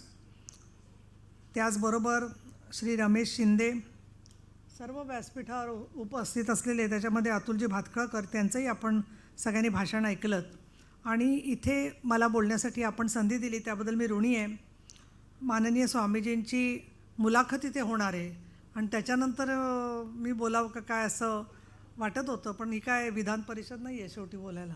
त्यामुळे तुम्ही इथे अध्यक्ष आहात सभापती आहात आणि सर्वच तुमच्या हातात आहे. म्हटल्यावर माझं एक कर्तव्य आहे की मी आधी बोललं पाहिजे म्हणून आणि त्यामुळे मी इथे माझे विचार यासमोर मांडणार आहे. आणि आशिष शेलार आणि अतुल भातकळकर हे आमचे सहकारी नेहमी विधानसभेत असतात. त्यामुळे कधीच असे माझ्यासमोर मला सापडत नाहीत. त्यामुळे मी आज त्यांच्यासमोरही बोलणार आहे. आणि विशेष म्हणजे इथे सांगायला पाहिजे की आपण सगळेजणं स्वामीजींचा सन्मान करणारे त्यांच्याबद्दल मनात अतिशय पवित्र भावना असणारे आहोत. पण आज जिथे नाही आहेत असे सुद्धा शेकडो हजारो लोक मला कल्पना आहे की ते स्वामीजींशी जोडले गेलेले आहेत. आणि अनेक वर्षांचा व्यासंग म्हणजे स्वामीजींचा जन्म एकोणीसशे एकोणपन्नासचा आणि त्यानंतर त्यांनी पांडुरंग शास्त्री आठवले यांच्या सामाजिक आणि धार्मिक विचाराच्यातून स्वाध्याय हा तत्वविचार पुढे नेला. आणि त्यात तत्त्वज्ञानाची पदवी घेतली. त्याचबरोबर वाराणसी ही आपली धार्मिक राजधानी आपण म्हणू शकतो. तिथे वेद आणि उपनिषदांचा अभ्यास केला. त्यांच्या कुटुंबाची परंपरा देखील श्रीमद भागवत परंपरा कुटुंबाची आहे. सतराव्या वर्षापासून स्वामीजी प्रवचनं देत आहेत जनतेशी संवाद साधतायत आणि खूप आदराबरोबर प्रचंड परिश्रम व्यासंग अभ्यास या सगळ्या मुद्द्यांच्या बरोबर ज्ञानेश्वरी हा त्यांनी जीवनध्येय जीवनमार्ग स्वीकारलेला आहे. विशेष मला वाटलं की त्यावेळेला माझा त्यांचा परिचय होत गेला.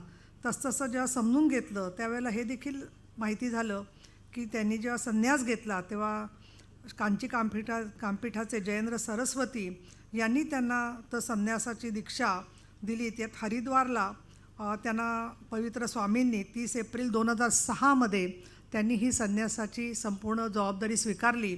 आणि पूर्वी आचार्य किशोरजी मदन गोपाल व्यास म्हणून ते जे प्रसिद्ध होते त्याच्यामधून नवीन एक मी असं म्हणेन की आध्यात्मिक गुरु व्यक्ती तीच असली तरीसुद्धा एक वेगळ्या प्रकारचं वाटचाल त्यांची जी सुरू झाली ती खरोखर विस्मयजनक आहे. आणि ज्या वेळेला अनेक मुद्द्यांवरती आता अयोध्येचा आपण सगळा उल्लेख करतो आहे परंतु अनेकांना कल्पना असेल पण मला विशेष मी भारावून गेले त्यांच्या कामामुळे तर म्हणजे कोरोना काळामध्ये कोरोना काळामध्ये प्रचंड मोठ्या प्रमाणामध्ये मृत्यूचं सावट हे प्रत्येकाच्या मनावरती होतं. आणि किती आपण जरी म्हटलं की आपण धीर आहोत आपण गंभीर आहोत आपण स्वतः बऱ्याचशा गोष्टींची काळजी घेत होतो तरीसुद्धा आपल्या ओळखीतले आपल्या नात्यातले आपले जीवलग असे ज्या ज्या वेळेला आजारी पडले आणि विशेषतः आजारी पडल्यानंतर कुटुंबियांनासुद्धा अग्नी देता आला नाही आणि अशा वेळेला स्वतःच्या मृत्यूला स्वतःला सांभाळणं मृत्यूपासून आणि त्याच वेळेला इतरांचं जीवलगांचं मृत्यूचं दुःख पुढे नेत असताना फार थोडा आधार जनतेला आणि मा सर्वसामान्य लोकांना शिल्लक होता. परंतु गीतेवरती अध्यात्मावरती आस्तिकतेची शेकडो प्रवचनं ऑनलाईन देऊन त्यांनी जवळजवळ शंभरच्या वर देशांमध्ये लोकांना जो धीर दिला. मला तर असं वाटतं की स्वामीजी आपण ही जी संजीवनी लोकांना दिली त्याच्यामधून जो आशीर्वाद मिळाले त्याच्यानंतरच या भयंकर अशा कोरोना काळानंतर श्री रामप्रभूंच्या आशीर्वादातून हे राम मंदिर उभं राहिलं त्यांचेसुद्धा आशीर्वाद आपल्या सगळ्यांच्यापर्यंत पोचले की आपण त्या सगळ्यांना धीर दिलेला आहे. त्याचबरोबर आपण जे उपक्रम चालवत आहे सर्व त्याच्यामध्ये विविध संस्था आणि हे जे काम आपलं प्रवचन कार्य चाललेलं आहे त्याचबरोबर संत श्री ज्ञानेश्वर गुरुकुल श्रीकृष्ण सेवानिधी व्यास महर्षी वेदव्यास प्रतिष्ठान यांच्या माध्यमातून आपण सर्व वेगवेगळ्या सामाजिक संस्थांची कामं करत आहात वेधशाळा चालवत आहात. आणि मी स्वतः आयुर्वेद शिकलेली आहे. एखाद्याच विश्वास बसणार नाही तुमचा परंतु आयुर्वेदाच्या मधून आम्हाला चरक संहिता सुश्रुत संहिता वाघभट संहिता ही परीक्षेला पास व्हायचं तर पाठच करायला लागायची. त्याच्यामुळे सर्व धार्मिक विचार समजून घेऊन प्रत्यक्षात आयुष्यात त्याची अनुभूती देण्याच्या दृष्टिकोनातून एक मार्ग आपण जो देत आहे त्यातूनच समाजामधली एक अतिशय सकारात्मक ऊर्जा तयार होते. आणि स्वातंत्र्यवीर सावरकर यांच्या स्मारकामध्ये हा जो कार्यक्रम होतो आहे तो अशा अर्थाने आगळा वेगळा आहे की या सगळ्याबद्दल आपण एका अर्थाने सुसंवाद संघटना आणि समाजामधलं सत्कार्य करणाऱ्या लोकांना सगळ्यांना एकत्र घेतलेलं आहे. आणि म्हणून संयोजक स्वातंत्र्यवीर रा सावरकर राष्ट्रीय स्मारक आणि हिंदू जनजागृती समिती यांचं खास करून अभिनंदन करते. स्वामीजी आपल्यासमोर बोलत असताना आपण मला आळंदीला हिंदीत बोलायला सांगितलं होतं मी तिथे हिंदीत बोलले. पण आता इथे मुंबईमध्ये मराठीत एवढ्यासाठी बोलते की मला असं सवय झाली आहे जास्त. हिंदीत पण बोलू शकते पण स्वामीजींसमोर बोलायचं म्हणजे टेन्शन येतं की इतकं सुंदर त्यांचं हिंदी आहे. त्याच्यात आपण काहीतरी बोलायचं त्याच्यामुळे मी मला असं वाटलं आपण जरा मराठीचा आधार घेतलेला चांगला. गेली वीस बावीस वर्ष विधान परिषदेत जे मी काम करते त्याच्यातून दोन तीन मुद्दे मला जे सातत्याने जाणवतात ज्याच्यात स्वामीजींचं मार्गदर्शन आणि त्यांचे सर्वच म्हणजे माननीय पंतप्रधान नरेंद्रजी मोदी आदित्यनाथजी सगळ्याच वेगवेगळ्या क्षेत्रातले लोक आणि खास करून जे नेते आहेत आपले राजकीय त्यांच्याशी चांगल्या प्रकारचा संवाद आहे त्यांचं मार्गदर्शन घेतलं जातं. परंतु ज्याला कायद्याच्यामध्ये काही मर्यादा दिसतात मला आणि त्याच्यात एक मनाला नेहमी सल असतो की बऱ्याच वेळेला आमच्याकडे अनाथाश्रमातली मुलं मुली छोटी जी त्यांचा व्यापार झालेला आहे किंवा जे बेघर आहेत ज्यांची स्मृती गेलेली आहे किंवा अगदी तान्ही असताना घरातून ती बाहेर गेलेली आहेत आणि नंतर आश्रमात वाढत आहेत. तर बऱ्याचशा ठिकाणी आश्रमांमध्ये मी हे चित्र पाहिलं. गेल्या वीस पंचवीस वर्षामध्ये मी पस्तीस वर्ष या क्षेत्रात काम करते की ज्या धर्माचा आश्रम आहे त्यांचं नाव ते त्या धर्माच्या मुलांना सगळ्यांना देऊन टाकतात. मी सभागृहातसुद्धा याच्यावरती काही वेळेला मांडलेलं आहे. की त्या मुलांना अठरा वर्षाचं झाल्यावर त्यांचा कुठला धर्म आहे हे निर्णय करण्याची संधी मिळाली पाहिजे. नाहीतर ती नावं जी येतात तीच नावं अशी येतात की ती नावं अमुक एका धर्माची असतात. आणि मग काय होतं की ती मुलं मोठी झाल्यावरती तोच संस्कार घेतात आणि मग कळत नकळत त्याचेच भाग होऊन जातात. आणि कायद्याने एवढं आपण करू शकतो की त्या मुलांना नावं देत असताना जी आहेत ती त्यांच्यावरती अमुक बरं एकाच आश्रमात वेगवेगळी तरी नावं असावीत. तसंही नाही. अमुकच एका धर्माची नावं अनेक विशेषतः अनुदानित आश्रमांच्यामध्ये मी चित्र पाहते आहे. तर त्याच्याबद्दल थोडंफार सामाजिक न्याय विभागाने आणि महिला बालकल्याण विभागाने केला आहे प्रयत्न. परंतु त्याची निगराणी किंवा देखरेख फारशी काही होत नाही. अनुदानित आश्रम जे आहेत विशिष्ट धर्मांचे त्यांच्यावरती फार काही त्यांना बोललं जात नाही आणि ती जी मुलं बाहेर देशात देतात आणि इथेसुद्धा वाढवतात त्या मुलांची नावं ही ठराविक पद्धतीचीच असतात असं आपल्याला सातत्याने चित्र दिसतं. आणि दुसरं असं की त्यांचे नातेवाईक कोण आहेत हे माहिती नसताना हे सर्व अप्रत्यक्षपणे प्रचार प्रसार अनेक ठिकाणी चाललेला आहे. आमच्या विधिमंडळात त्याच्यावरती देखील चर्चा झाली की काही वेळेला असंही होतं आहे की प्रलोभनातून धर्मांतर केलं जातं आहे आणि त्याच्यामध्ये मी स्वतः पुण्यासारख्या शहरात पाहिलं म्हणजे मला राजकारणात जायचं नाही आहे पण काही ठराविक भागांच्यामध्ये दर शनिवारी त्यांना तांदूळ आणि तेल मोफत दिलं जायला लागलं काही धार्मिक स्थळांच्यामधून आणि हिंदू धर्माचे पण खूप कार्यक्रम चालू आहेत. देवळं आहेत हजारो लोक जातात. पण दुर्दैवाची गोष्ट अशी की समाजातल्या गरीब गरीब एकल महिला तिथे दहा वर्षांनी हळूहळू तिथे त्यांनीसुद्धा स्वतःचं अप्रत्यक्ष धर्मांतर केलेलं आहे असं माझ्या निदर्शनास आलं. आणि ते कायद्याने कसं आपण पकडणार? कारण ती स्वेच्छेने जाते. हळूहळू त्या ठिकाणी त्या धर्मस्थळामधून त्यांना तांदूळ डाळ मिळतो आहे आणि आपण त्यांना थांबवलं तरी ते थांबत नाहीत. प्रसंगी काही वेळेला मतदान देखील आपल्याला करतील पण त्यांची धार्मिक श्रद्धा जी आहे ती अप्रत्यक्षपणे शेकडो नव्हे हजारो नव्हे लाखो लोकांची बदलत चाललेली हे मी चित्र बघते. आणि मग तिथे जर का संघर्ष झाला केवळ मारामारीने किंवा संघर्षातून ते होईल की नाही मला शंका वाटते. त्याच्यासाठी पर्यायी कार्यक्रम म्हणून आपण कशा प्रकारने त्या लोकांना अशा वाहवत जाणाऱ्या लोकांना किंवा दिशाभूल होणाऱ्या लोकांना आपण कशा पद्धतीने आधार आज देतोय त्याच्या त्याला अजून एक आपल्या नेहमीच्या परिघाबाहेरचं व्यापक रूप दिलं क गेलं पाहिजे असं मला या ठिकाणी खास करून सांगावंसं वाटतं. दुसरा माझा मुद्दा आहे अर्थात मा माननीय स्वामीजींनी उल्लेख केला मगाशी बोलत असताना समान नागरी कायद्याच्या संदर्भामध्ये. आणि स सन्माननीय पंतप्रधान नरेंद्रजी मोदी यांनी फार मोठी जी पावलं उचलली त्याच्यामध्ये तीनशे सत्तराव्या कलमाच्या संदर्भात त्यांनी भूमिका घेतली निर्णय घेतला प्रत्यक्ष त्याची अंमलबजावणी केली. राम मंदिराचं तर कुणाला वाटत नव्हतं की अशा पद्धतीने कुठलाही परत मोठा संघर्ष न करता झाला शंभर दीड वर्ष संघर्ष चालू होता. पण त्या संघर्षाच्या नंतर ज्या प्रकारनी दोन हजार सालानंतर त्याला कलाटणी देत देत दोन हजार चौदा नंतर अगदी योग्य त्या पद्धतीने सरकारने स्वतःची बाजू मांडली आणि त्याच्यात अयोध्येमध्ये रामांचं मंदिर प्रत्यक्षात उभं राहिलं हे सुद्धा जे आहे ते मला असं वाटतं की नक्कीच नरेंद्रजी मोदी योगी आदित्यनाथ स्वतः स्वामीजींसारखे थोर नेते आणि अनेक यामध्ये स्वतःला वाहून घेतलेले व्यक्ती नेते त्यांच्यामुळे जरूर साध्य झालेलं आहे. आणि अर्थातच येथे हिंदू हृदय सम्राट बाळासाहेब ठाकरे यांचा मी उल्लेख करीन की त्यांच्या हिंदुत्वामध्ये आक्रमक हिंदुत्वामधून या मुद्द्याच्या वरती त्यांची भूमिका अत्यंत स्पष्ट होती. आता पुढचा प्रश्न येतो तो म्हणजे समान नागरी कायद्याच्या संदर्भामध्ये.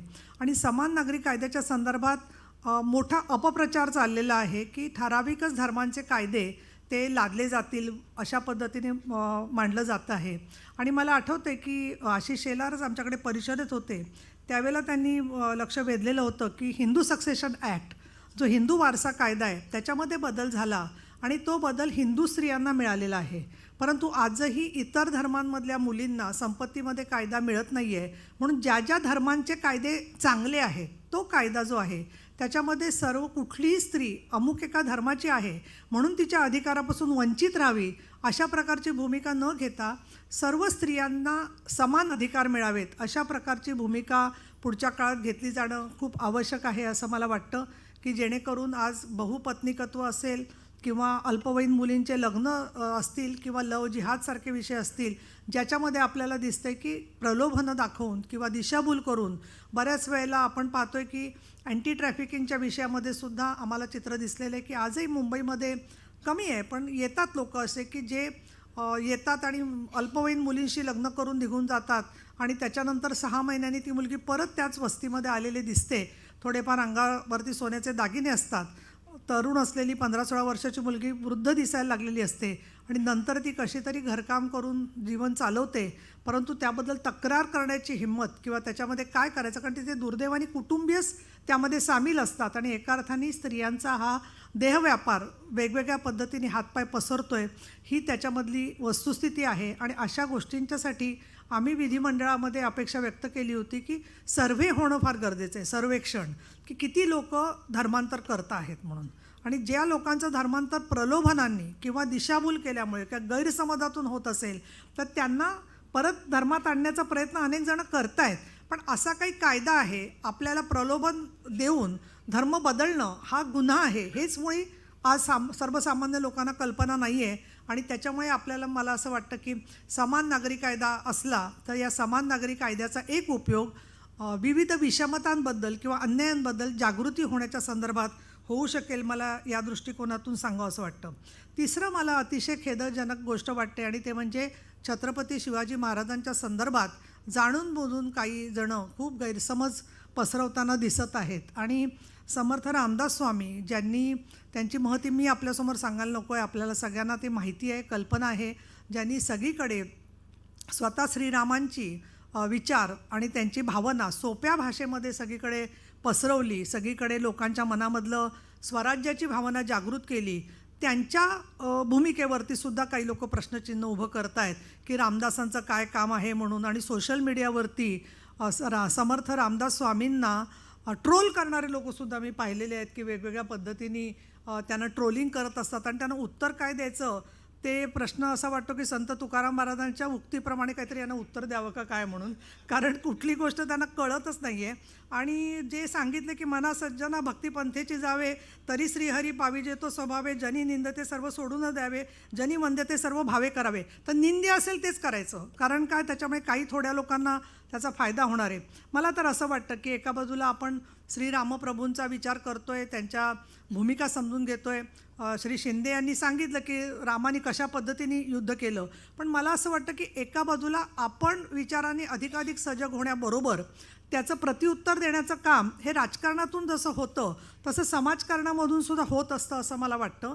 आणि या मुद्द्यांवरती आचार्य जे काम करतायत सगळं त्या कामाचा प्रचार प्रसार करणं हे त्याचं उत्तर आहे असं मला वाटतं.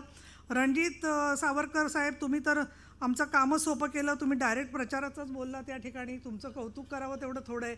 परंतु मला असं वाटतं की हा पण जी भूमिका असते त्या भूमिकेच्यामध्ये ठराविक एक समाज आहे की जो आपल्या विचारांनी जोडला गेलेला असतो. पण ब फार मोठ्या प्रमाणामध्ये गैरसमज पसरवणाऱ्या सुद्धा शक्ती या ठिकाणी काम करतायत. आणि प्रचंड मोठ्या प्रमाणामध्ये दिशाभूल करून बुद्धिभेद करण्याचं काम सातत्याने लोक करत आहेत आणि म्हणून त्या बुद्धिभेदाला आपल्याला उत्तर द्यायचं असेल तर या सगळ्याच्या संदर्भामध्ये पहिलं तर ठरवायला पाहिजे उत्तर द्यायचं का द्यायचं नाही? दुसरं आपल्याला विचार करायला पाहिजे की उत्तर द्यायचं तर काय शब्दात द्यायचं? कुणाच्याही जातीवरती किंवा व्यक्तीवरती बोलून त्याचा काहीच उपयोग नाही आहे कारण त्यांना उलट अजून चेव येतो की आमच्याबद्दल कसं अजून वाईट बोलताय म्हणून आणि अजून आपण चिडून चिडून बोलायला लागतं. आणि म्हणून खरं त्याचं उत्तर जे आहे ते मलाही असं वाटतं की लोकसभेच्या निवडणुका जवळ येणार आहेत. निवडणुकांच्यामधून लोकसभा आणि विधानसभेच्या त्याला आपण अप्रत्यक्ष नव्हे प्रत्यक्षात उत्तर देण्यासाठी म्हणून निष्क्रियता जी आहे ती सोडली पाहिजे. दुसरं कोणी जर का बुकिंग केली असतील परदेशी जायची सुट्टीची खूप जाहिराती असतात. केसरी टूर्स विना वर्ल्ड अमकं डमकं तमकं ते एप्रिलमधल्या जे दौरे आहेत ते रद्द करा पहिली गोष्ट जी सुट्ट्या ज्या आहेत त्या. कारण काय होतं की बरेच लोक सगळ्यांचं प्लॅनिंग झालेलं असतं. कधी लागणार शेवटची फेज हे सगळे आम्हाला सारखे विचारतात म्हणजे नंतर त्यांना जाता येईल. तर मला तर असं वाटतं की असं करत करतच पूर्वी सरांचा पराभव झाला होता. प्रत्येकाला असं वाटलं आमच्या शिवाजी पार्क दादर भागातल्या लोकांना की काय सर निवडून येणारच आहेत आणि नंतर काय झालं आपण पाहिलं. त्याच्यामुळे आपलं मत महत्त्वाचं आहे. कुठेही एप्रिल महिन्यामध्ये मुलांकडे किंवा मुलींकडे किंवा नातेवाईकांकडे जायची आवश्यकता नाही. इथेच थांबायचं आहे हे आपण जर का पाळलं तर मला असं वाटतं की स्वामीजींना नमस्कार करण्यामध्ये अर्थ आहे. हा जरी संदेश सगळीकडे पोचला आत्ता आणि आधीच व्यवस्थित वेळेवरती टूरची बुकिंग जर का बदलली तर मी असं म्हणतं की निदान दहा हजार बुकिंग बदलली गेली तर आपल्या या सगळ्या नमस्काराला अर्थ आहे असं म्हणता येईल. एवढं मी या ठिकाणी नम्रपणाने सांगते. आणि आपण मला इथे बोलावलं आणि स्वामीजींसमोर परत दुसऱ्यांदा भाषण करण्याची संधी मिळाली. म्हणजे माझं आयुष्य आता पुढचं खूप चांगलं जाणार आहे अशी मला खात्री वाटायला लागली आहे. कारण एवढा सुंदर आशीर्वाद स्वामीजींचा मिळालेला आहे. आणि राम श्री रामप्रभूंनीच मला योग्य मार्गावर आणलेलं आहे असं मला नक्कीच वाटतं. धन्यवाद. जय महाराष्ट्र. धन्यवाद नीलमताई.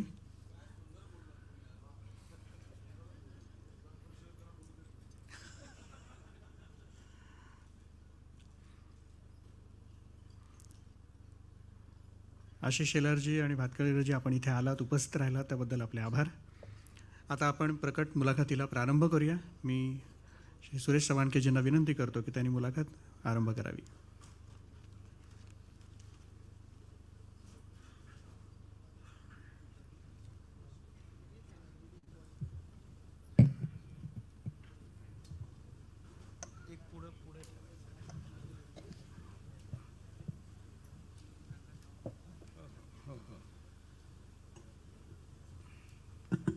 ठीक आहे आपोआप आवाज भरपूर.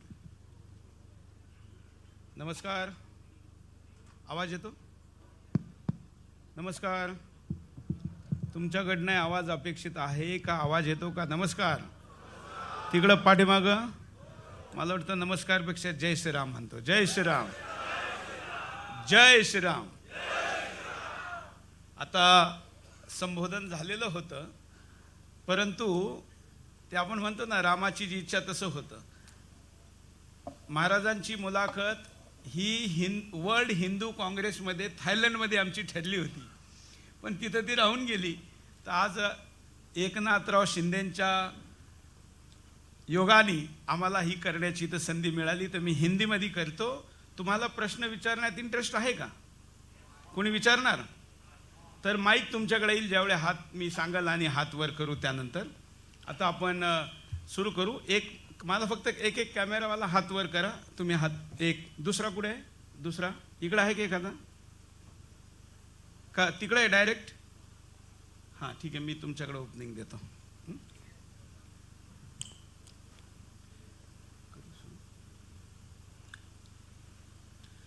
नमस्कार मैं हूं सुरेश चौहान के और सुदर्शन चैनल पर आप देख रहे एक विशेष मुलाकात।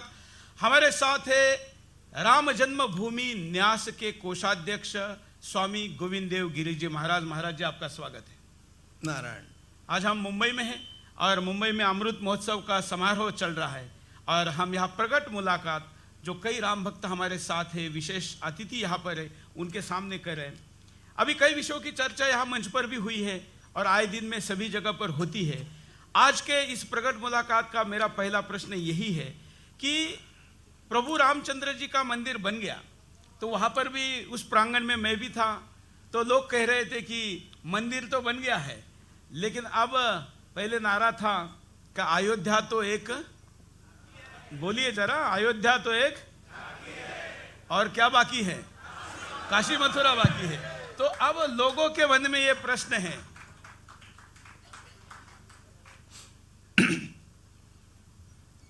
अयोध्या जी का मंदिर पूर्ण हुआ। यह भारत के इतिहास का एक वलन बिंदु रहा है टर्निंग पॉइंट रहा है।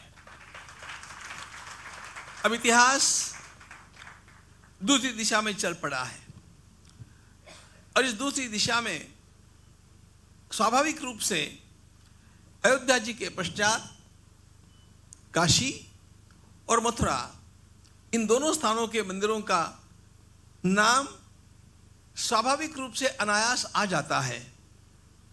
और ये अभी नहीं।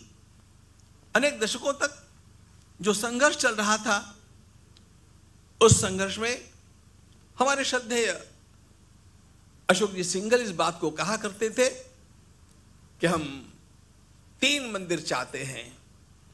अयोध्या का, काशी का और मथुरा के भगवान श्री कृष्ण की जन्मभूमि का।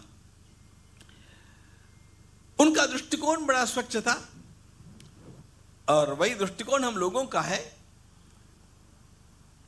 सबसे मूल बात यह ध्यान में लेनी चाहिए, जब कोई भी इस प्रकार के प्रश्न पूछता है और थोड़ी छेड़छाड़ भी करना चाहता है और कोई इस प्रकार की बातों का विरोध करता है और उस पर आपत्ति जताता है, इन सब का दृष्टिकोण यह होता है यह समाज के दो वर्गों का संघर्ष है। लोगों ने इसे दुर्दैव से हिंदू मुस्लिम संघर्ष मान लिया, जो हमारे मन में कभी भी नहीं था। हमारा मन स्वच्छ है, हम एक बात अवश्य चाहते हैं। किस राष्ट्र के ऊपर आक्रमण करने वाले आक्रांताओं के द्वारा किए गए अत्याचारों की हर निशानी समाप्त कर दी जानी चाहिए? बिल्कुल। और कोई भी राष्ट्र प्रेमी व्यक्ति यही चाहेगा, ये बाबर आदि आक्रांता बाहर से आए थे और उन्होंने इस देश पर अत्याचार करते हुए यहाँ के मंदिरों का विध्वंस किया। और एक बात ध्यान रखना यह विध्वंस भी पूरा नहीं किया। उस पर कुछ चीज़ें ऐसी छोड़ दी जिसको देख करके हिंदू समाज का हृदय जलता रहे जलता रहे और वे इस प्रकार का अनुभव कर सके कि हम हतबल हैं। हम कुछ नहीं कर सकते। हमारे देश का इतिहास मानो पराभव का इतिहास हो गया था। नहीं, हम भविष्य में विजय का इतिहास लिखना चाहते हैं। और इसीलिए अयोध्या जी की प्राण प्रतिष्ठा, यह हमारे स्वाभिमान की प्रतिष्ठा थी, अस्मिता की प्रतिष्ठा थी हमारे पराक्रम की भी प्रतिष्ठा थी। ये देश विजय की ओर आगे बढ़ना चाहता है। और इस दृष्टि से जो वास्तव में राष्ट्र प्रेमी लोग हैं, उन्हें यह समझना चाहिए, इसमें हिंदू भी है, इसमें मुस्लिम भाई बहन भी है। ध्यान रखना, कभी भी भारत का विचार करते समय हिंदू और अहिंदू ऐसा विचार मत करना। सारे भारतीय जो भारतीय संस्कृति से प्रेम करते हैं, मैं उनका आदर करता हूँ। और मैं दूर की बात नहीं कहता हूँ, मैं मेरे गाँव की बात कहता हूँ। हमारे गाँव में, मैं नगर ज़िले के बेलापुर गाँव का हूँ, और आप जाकर के देख सकते हैं, कितनी सहज और स्वाभाविक एकात्मता से हमारा हिंदू और मुस्लिम समाज वहाँ पर रहता है। दो बातें मैं आपको बतलाना चाहता हूँ। समर्पण के कालखंड में जब मैं प्रवास कर रहा था, मेरे गाँव के समीप से मुझे निकलना था, गाँव में नहीं जाना था। लेकिन हमारे गाँव के भाई बहनों ने आकर के मुझे रोका। रोकने वालों में मुस्लिम भाई भी थे और फिर गाँव में मुझे ज़बरदस्ती से ले गए। केवल डेढ़ दो घंटे के लिए मैं गया। उसमें भी वे मुझे मस्जिद में ले गए। मस्जिद के एकदम अंदर ले गए और वहाँ पर मेरा बड़ा सम्मान किया। जय श्री राम के नारे लगाए और मुझे इक्यावन हज़ार रुपए दक्षिणा के रूप में समर्पण के लिए भेंट किए। और ये उलाना दिया कि ये तो हमें अभी दो घंटे पहले पता चला कि आप इधर से जा रहे हैं। पहले पता चलता तो हम अधिक सेवा करने वाले थे। और इतना ही नहीं राम मंदिर में कोषाध्यक्ष के रूप में सेवा करने का दायित्व तो मुझे मिला है। और मैं वहाँ से जुड़ा हुआ हूँ। यह बात मेरे गाँव के लोगों को अच्छी तरह पता है, उनको उसमें आनंद है। दिनांक 21 और 22 दोनों दिन हमारे गाँव में एक भी जीव की हत्या नहीं हुई। किसी भी प्रकार के कसाई खाने चले नहीं। सब लोगों ने शपथ ली कि दो दिनों तक यह गाँव पूरा का पूरा हिंदू विचारधारा के अनुसार काम करेगा। कसाई खाने बंद। हिंसा बंद। और यह अखबारों में आया। इसी मुंबई में, समर्पण के काल में, मैं उस समय के मुख्यमंत्री माननीय फडणवीस जी के पास उनसे समर्पण लेकर के मैं एक सभा में आया। 400 से अधिक लोग यहाँ पर बैठे थे। और वे सारे पश्चिम महाराष्ट्र के आए मुसलमान भाई बहन थे। सारे हिंदुत्व के नारे लगा रहे थे, राम जी का जय जयकार कर रहे थे। और मुझे तो दो भाइयों ने आकर के ये कहा कि महाराज, मंदिर बनाने का काम इतना कठिन थोड़ी है, आप नक्शे दे दो, हम लोग मंदिर बना करके आपको सौंप देते हैं। हम मंदिर बना करके आपको सौंपते हैं। और उनके उस बोलने में मुझे दिखावटीपना नहीं लगा। मैं आपको एक बात और बतलाना चाहता हूँ। मैं ये बतलाना चाहता हूँ, इसलिए कि मैं सबकी बुद्धि शुद्ध करना चाहता हूँ। कृपा करके इस संघर्ष को, हिंदू मुस्लिम संघर्ष का रूप मत दीजिए। हम लोगों को भविष्य में जीना है और भविष्य में जीने के लिए हम लोगों को एकात्मता को साध्य करना है। मैं पिछले महीने दिल्ली में था और हमारे केरल के महामहिम राज्यपाल अरिफ खान जी वहाँ पर थे। उनके हाथों एक पुस्तक का प्रकाशन था, राम मंदिर, राष्ट्र मंदिर। और उस कार्यक्रम में वो बहुत ही प्रेस्टिजियस प्रोग्राम था। उसमें 80 प्रतिशत हमारे मुस्लिम भाई थे। राम मंदिर, राष्ट्र मंदिर, इस विषय पर बोलने के लिए वे सभी और सुनने के लिए वे सभी वहाँ पर थे। और सभी के सभी भगवान श्री राम का जयघोष कर रहे थे। देश बदल रहा है, इसका अर्थ ध्यान रखना मित्रों ये मानसिकता भी मूलतः बदल रही है और ऐसे असंख्य लोग मैं आसपास देखता हूँ, जिन लोगों को ध्यान में आता है ये मंदिर दे देने चाहिए, हम लोगों को साथ में रहना है, हमारा समाज एक जीव होकर के रहे। तो मूल बात, ये तीन मंदिर तो हमें चाहिए। हिंदू समाज इनका आकांक्षी है। अशोक जी सिंघल इस प्रकार की भाषा का प्रयोग नहीं करते थे, लेकिन मैं अपने ढंग से इस भाषा का प्रयोग करता हूँ। मैं प्रार्थना करता हूँ हमारे मुस्लिम भाई बहनों को समाज को कि वे इन तीन मंदिरों को दे दे। हम बाकी बातों को भूल जाएँगे लेकिन तीन मंदिर हमारे वेदना के विषय है इसलिए इन मंदिरों को हम प्राप्त करना चाहेंगे। आपने पूछा राम मंदिर के पश्चात क्या? राम मंदिर के पश्चात अपने आप काशी मथुरा बाकी है अब वह भी बाकी नहीं रहेगा। वह निश्चित रूप से हम लोगों में आकर के उसमें से उसमें से काशी में तो पूजा भी पुनः शुरू हो गई है। लेकिन इतिहास जब हम देखते हैं तो पांडवों ने पाँच गाँव मांगे थे। तो पाँच गाँव मांगने पर उनको कहा गया कि पाँच गाँव तो छोड़ो, सुई की नोक पर एक जितनी भूमि आती है, उतनी भी हम नहीं देंगे। और महाभारत हुआ। तो ये तो दोहराया जाता है जब ये भी मांग पूरी नहीं होती है। आज इसीलिए तो हमारे दिनकर जी ने कहा था, याचना नहीं अब रण होगा संग्राम महाभीषण होगा। ऐसा हुआ और अयोध्या का पक्ष सुलझा उसके पश्चात शांति की वार्ता भी हुई और न्यायालय ने बड़ा अच्छा काम किया। तो कभी कभी कुछ लोगों को शांत करने के लिए इस प्रकार का भी उपाय करना पड़ता है तो करना पड़ेगा। तो इतिहास में ऐसा कभी कुछ उपाय हुआ है क्या? तो मैं कुछ उदाहरण यहाँ पर देना चाहता हूँ। बहुत से लोग नहीं जानते, हमने तो क्या, न्यायालयीन प्रक्रिया से और बाकी सारे प्रक्रिया से इसको 500 वर्ष लगे, लेकिन इस गति से तो बहुत वर्ष लगेंगे। तो छत्रपति शिवाजी महाराज जी ने क्या कहा था, क्या किया था? कुछ उदाहरण, जैसे बहुत से लोगों को ये पता नहीं है कि उन दिनों में जो मस्जिदों, मंदिरों को तोड़कर मस्जिदें बनाई गई, उनको शिवाजी महाराज जी ने भी तोड़कर पुनः वहाँ पर मंदिर बनाया था। लेकिन शिवाजी महाराज जी के सेकुलर रूप को लोगों के सामने रखने का षड्यंत्र करने वाले लोगों ने ये सत्य आपको नहीं बताया। तो मैं कुछ बताना चाहता हूँ। समकालीन और विश्वसनीय छत्रपति शिवाजी महाराज जी के आदेश पर लिखे गए जो कुछ अभिलेख है, उसके अनुसार, जिसका नाम है शिव भारत, अठारहवा अध्याय, श्लोक बावन और चौवन।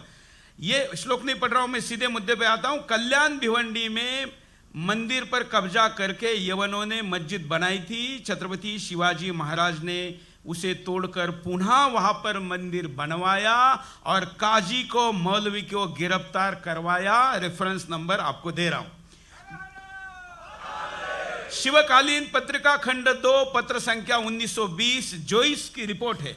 उसके अना- अनुसार छत्रपति शिवाजी महाराज ने जिंजी साम्राज्य पर विजय प्राप्त करने के बाद भारत में बढ़ती मुस्लिम शक्ति का फ़ायदा उठाने वाले लोगों को सबक सिखाने के लिए वहाँ पर मंदिर तोड़कर बनाई गई मस्जिद को पुनः तोड़कर मंदिर बनाया।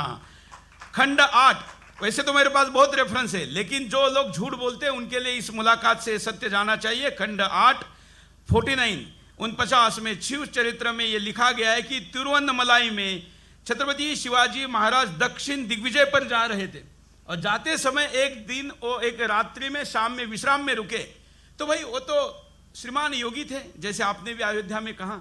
तो उन्होंने कहा कि यहाँ हम जहाँ रुके, यहाँ कोई आध्यात्मिक अनुभूति हो रही है वाइब्रेशन है कुछ, ज़रूर यहाँ कोई ना कोई आध्यात्मिक स्थान होगा। स्थानीय लोगों को बुलाया गया तो उन्होंने कहा कि हाँ यहाँ पर एक बड़ा महादेव मंदिर था। महाराज जी ने अपनी यात्रा प्रोस्पॉन्ड की। और वहाँ पर तुरंत बैठक करके कहा कि वो मस्जिद हटाई जाएगी, वहाँ पर मंदिर बनेगा। उस मंदिर के लिए कितना निधि चाहिए उसको एलोकेट किया। वहाँ पर पूजा करने परिवारों के लिए वहाँ पर 100 एकड़ ज़मीन दे दी। ये तिरुआनंद मलाई का भी उदाहरण हमारे सामने है। तो जो शिवाजी महाराज जी ने किया, हम उन्हें वही करेंगे। तो जो पाँच मांगने पर नहीं देते, तब महाभारत होता है। अब कुछ और भी प्रश्न हैं। जैसे महारा, महाराष्ट्र हमेशा ही, जिसको हम गीत की भाषा में कहते हैं कि हिमालय के मदद के लिए सह्याद्री हमेशा जाता है, दौड़ता है, आगे जाता है। इतिहास में ये रहा कि अटक से कटक तब जब सब कुछ आतताइयों का शासन था तो यहाँ से वीर निकले और वहाँ गए और अटक से कटक तब भगवा लगाया। ब्रिटिशों के समय में भी क्रांति का बड़ा मोमेंट इस भूमि से हुआ। लेकिन पिछले कुछ समय से हम देख रहे हैं कि यहाँ पर नशा का कारोबार बहुत बड़े पैमाने पर चल रहा है। और मैं फैक्ट्स फिगर के साथ बोलता हूँ कि जो नशा सौ रुपए में बगल के राज्य में मिलती है, महाराष्ट्र में लत लगाने के लिए पच्चीस परसेंट सस्ती दी जा रही है ताकि महाराष्ट्र का शेर नशेड़ी हो जाए। ये नशा वाला शेर आखिर कैसे राष्ट्र बचाएगा? इसके लिए क्या किया जाना चाहिए? बहुत सावधान होने की यह बात है। महाराष्ट्र की बारी तो अब आई है। लेकिन पूरा पंजाब इस नशे की लत के माध्यम से एकदम पुरुषार्थहीन कर देने का प्रयास हुआ। देखो ये दोनों भी पंजाब और महाराष्ट्र ये भारत माता के खड्ग हैं। ये भारत माता की शमशेर हैं। और इसलिए यदि तलवार को ही ढीला कर दिया गया या तलवार में ही जंग लग गया तो फिर कौन कैसे लड़ेगा? और इसीलिए पंजाब के युवकों को जंग लगा दी गई। दो प्रकार की जंग वहाँ पर लगी है। एक तो व्यसनों की जंग। वहाँ पर इतनी सारी व्यसनाधीनता बढ़ गई और उस व्यसनाधीनता के अधीन युवकों को करके उनका धर्मांतरण भी कराया जा रहा है। आप लोगों को पता होना चाहिए एशिया का सबसे बड़ा चर्च पंजाब में बन रहा है। पंजाब में बन रहा है। ये क्या चला है? ये कैसे हो सकता है? जहाँ पर हिंदुत्व की रक्षा के लिए इन शिखों को निर्माण किया गया और ये कहा गया गुरु गोविंद सिंह जी महाराज ने ये कहा कि सवा लाख से एक लड़ाऊ तो भाई गोविंद सिंह नाम कहा हूँ तो सवा लाख से एक लड़ाने, लड़ने जैसा शेर इन नशाओं, इन नशों के कारण कैसे निर्माण हो सकता है? तो ये सारे ड्रग्स ये नशेले, नशीले पदार्थ, इनके आधीन युवकों को करने के पश्चात वो अत्यंत पराधीन हो जाता है और इन नशे के पदार्थों के माध्यम से ही उसको हतबल करके उसका धर्मांतरण भी किया जाता है। इसके लिए सावधान होने की बात है। समाज को भी सावधान होना चाहिए, शासन को भी सावधान होना चाहिए, और सब लोगों को सावधानी के साथ इसका सामना करना चाहिए। इसके विरोध में आवाज़ उठाई जानी चाहिए, और घर घर में गाँव गाँव में इसके लिए योजनाएँ बननी चाहिए। किसी भी हालत में ये नशा बढ़ता न जाए, ये देखना चाहिए। नहीं तो पहले ही देखो महाराष्ट्र का जो पुरुषार्थ पहले था हम यहाँ पर सुन रहे थे अभी कि दो तृतीयांश भारत के ऊपर मराठों ने राज्य किया इतना बलशाली यह मराठा रक्त आज उसकी क्या स्थिति है? आप अपने को बड़ा ही बड़ा बड़ा कहते रहिएगा देश की राजनीति में आपको कोई पूछता नहीं है ये महाराष्ट्र की दयनीय अवस्था कुछ कारणों से हुई है। और उसमें से मुख्य कारण पहला यह है कि हमने अपने को जातियों में बांट लिया। हमने ब्राह्मण ब्राह्मणेतर इस प्रकार के विवाद निर्माण कर दिए। इन सारे विवादों को जब गाड़ करके एक असंध महाराष्ट्र रहेगा, तब ध्यान रखना, महाराष्ट्र पुनः उस तेज से दीप्तिमान बनेगा मराठा। इस राष्ट्र का संरक्षण करता है। सेनापति बापट जी ने कितने सुंदर शब्दों में कहा, मुझे वो अत्यंत प्रिय शब्द है। महाराष्ट्र मेले, तरी राष्ट्र मेले. महाराष्ट्र मेले, तरी राष्ट्र मेले. मराठ्या विना राष्ट्र गाडा न चाले. खरा वीर, वैरी पराधीनतेचा महाराष्ट्र आधार या भारताचा. महाराष्ट्र आधार या भारताचा. लेकिन ये आधार पक्का होना चाहिए, उसको पक्का रखने के लिए ये सारी आपस की जो लड़ाइयाँ हैं, इनको समाप्त कर देना चाहिए. इन ड्रग से, इन नशा करने के पदार्थों से दूर रहना चाहिए और अपने आप अपने भीतर निरंतर स्फुरणशील छत्रपति शिवाजी महाराज को याद करते रहना चाहिए। छत्रपति शिवाजी महाराज को स्मरण करते रहेंगे और पूरी शिवनीति का आलंबन कर, पूरी शिवनीति मैं इसलिए बोल रहा हूँ, अभी हमारे माननीय सुरेश जी ने जो बातें कही, वो अपने इतिहास में पढ़ी, वो इतिहास हम लोगों से छिपाया गया। क्योंकि सत्तर वर्षों तक इस देश के ऊपर जिन लोगों ने राज्य किया उन लोगों ने सर्वदा हिंदुत्व की अस्मिता जागृत करने वाले सारे बातों को छिपाने का प्रयास किया।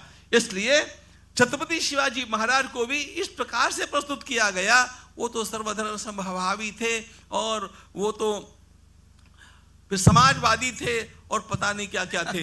वे हिंदू राष्ट्र के संस्थापक थे। इस बात को क्यों भुलाया जाता है? Chhatrapati Shivaji Maharaj in his original form हम लोगों के सामने आने चाहिए। और उस छत्रपति शिवाजी महाराज का स्मरण करते हुए जब यहाँ का युवक इस ड्रग्स से मुक्त रहेगा और बल की आराधना करेगा और जातियों को भुला करके और केवल राष्ट्र का चिंतन करेगा तो अपने आप पुनः यह महाराष्ट्र भी राष्ट्र के ऊपर राज करेगा, ऐसा मेरा विश्वास। क्योंकि बहुत ज़रूरी मुद्दा है और इसलिए इसमें एक एक्सटेंडेड प्रश्न लेता हूँ। आप लोग जानते हैं कि जो हुआ पंजाब में, जो अभी बताया, इसका परिणाम ये रहा कि वहाँ पर जो धर्म के प्रति प्रतिबद्धता थी, मैं कट्टरता नहीं कहता हूँ, कर्मठता थी, वो विलुप्त हो गई और इस समय वहाँ पर धर्मांतरण का इतना ज़्यादा आतंकवाद हो गया है कि सिखों में सबसे कट्टर माना जाता है नीली पग वाला, उसको अमृत चखने वाला कहते हैं। वो अमृत चखने वाला भी ईसाई बन रहा है। और इस वक्त सबसे ज़्यादा गति से अगर धर्मांतरण कहीं हो रहा है तो पंजाब में हो रहा है क्योंकि नशा ने अस्मिता विवेक सब कुछ छीन लिया है। और वही महाराष्ट्र में हो रहा है। तो महाराष्ट्र में भी बड़े पैमाने पर वो इसके बाद का साथ साथ में धर्मांतरण का भी खेल चल रहा है। तो धर्मांतरण के विरुद्ध भी काम करना आवश्यक है। बिल्कुल होना ही चाहिए। अब क्योंकि छत्रपति शिवाजी महाराज वो राजा है जिन्होंने घर वापसी शुरू कराई। जो निम्बाड़कर जया जया जी निम्बाड़कर ना? शायद मेरे से पहला नाम बजाजी। बजाजी निम्बाड़कर तो उन्होंने अपने घर से शुरू किया। तो घर वापसी नेताजी पालकर। हाँ मतलब ये सारे उदाहरण है। तो अगर महाराष्ट्र में ये भी धर्म कार्य है, ये भी लोगों को समझाना पड़ेगा और सत्ता को भी समझाना पड़ेगा कि शिवाजी महाराज और संभाजी महाराज के मंत्रिमंडल में ये विभाग था, जो अष्टप्रधान व्यवस्था थी, उसमें घर वापसी का विभाग की व्यवस्था थी। कई लोगों को उसके लिए अलग अलग बजट दिया जाता था, काम किया जाता था। आज भी वो पुनः करने की आवश्यकता है यह सर्वोत्तम कार्य है जिसकी आज हम लोगों को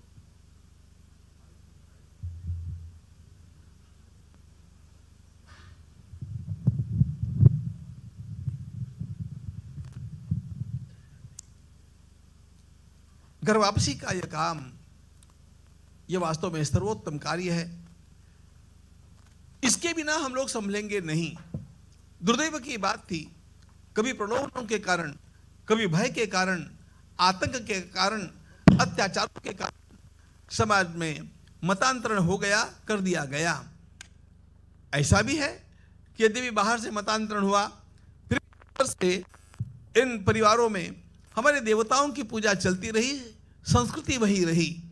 और इसलिए अनेक लोग हैं जो चाहते हैं कि हम पुनः घर वापसी करके अपने धर्म में आ जाए और इस प्रकार की घर वापसी का काम जो भी कोई करता है, वह अभिनंदनीय कार्य करता है।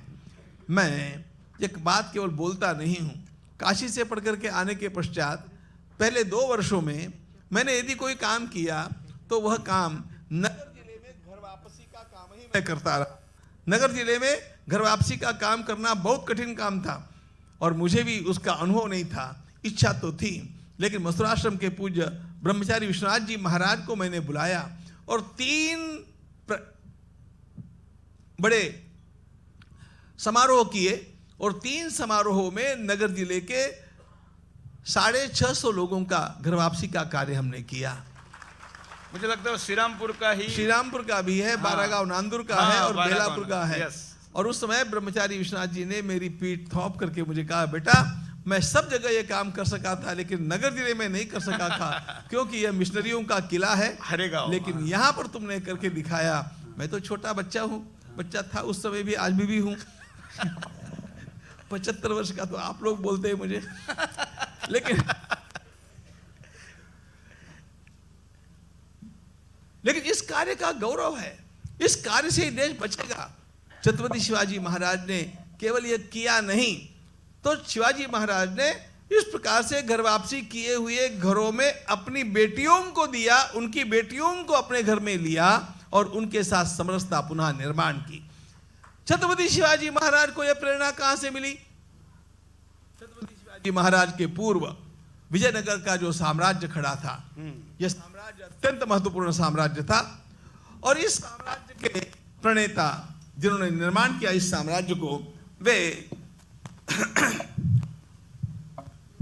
हरिहर और बुक्क ये दोनों भाई धर्मांतरित कर दिए गए थे। लेकिन जो बाद में शंकराचार्य के पीठ पर बैठे श्रृंगेरी के वे पूज्य विद्यारण्य स्वामी महाराज उन्होंने स्वयं इस हरिहर और बुक्क इन दोनों की घर वापसी की, घर वापसी करके, शुद्धिकरण करके इनको पुनः सिंहासन पर बैठाया और घर वापसी का सबसे महान उदाहरण हम लोगों के सामने प्रस्तुत किया। और उसी के कारण विजयनगर का साम्राज्य इतना बड़ा निर्माण हुआ। हम लोगों के सामने छत्रपति शिवाजी महाराज का नाम है। छत्रपति शिवाजी महाराज के सामने विजयनगर का साम्राज्य था। यह प्रेरणा का प्रवाह है। ये सारे बिंदु हम लोगों को पता होना चाहिए। और इसमें बहुत बड़ा योगदान हमारी धार्मिक परंपरा ने दिया है। विद्यारण्य स्वामी महाराज ने उनको पुनः घर वापसी करके, शुद्ध करके ले लिया। हमारे यहाँ पर प्रायश्चित का विधान किस लिए है? अरे, पापी का, महापापी का भी प्रायश्चित होता है और वो पुनः अपनी शुद्धता को प्राप्त करता है। तो जिसके ऊपर प्रलोभन के द्वारा अथवा भय के द्वारा ऐसा प्रभाव हो गया हो उसे पुनः अपने धर्म में स्वीकार करना यह आज का सबसे बड़ा पुण्य है। भारत माता आपका बहुत बहुत आभार व्यक्त करेगी यदि आप दो चार लोगों को भी घर वापसी करके पुनः अपने धर्म में ले आए।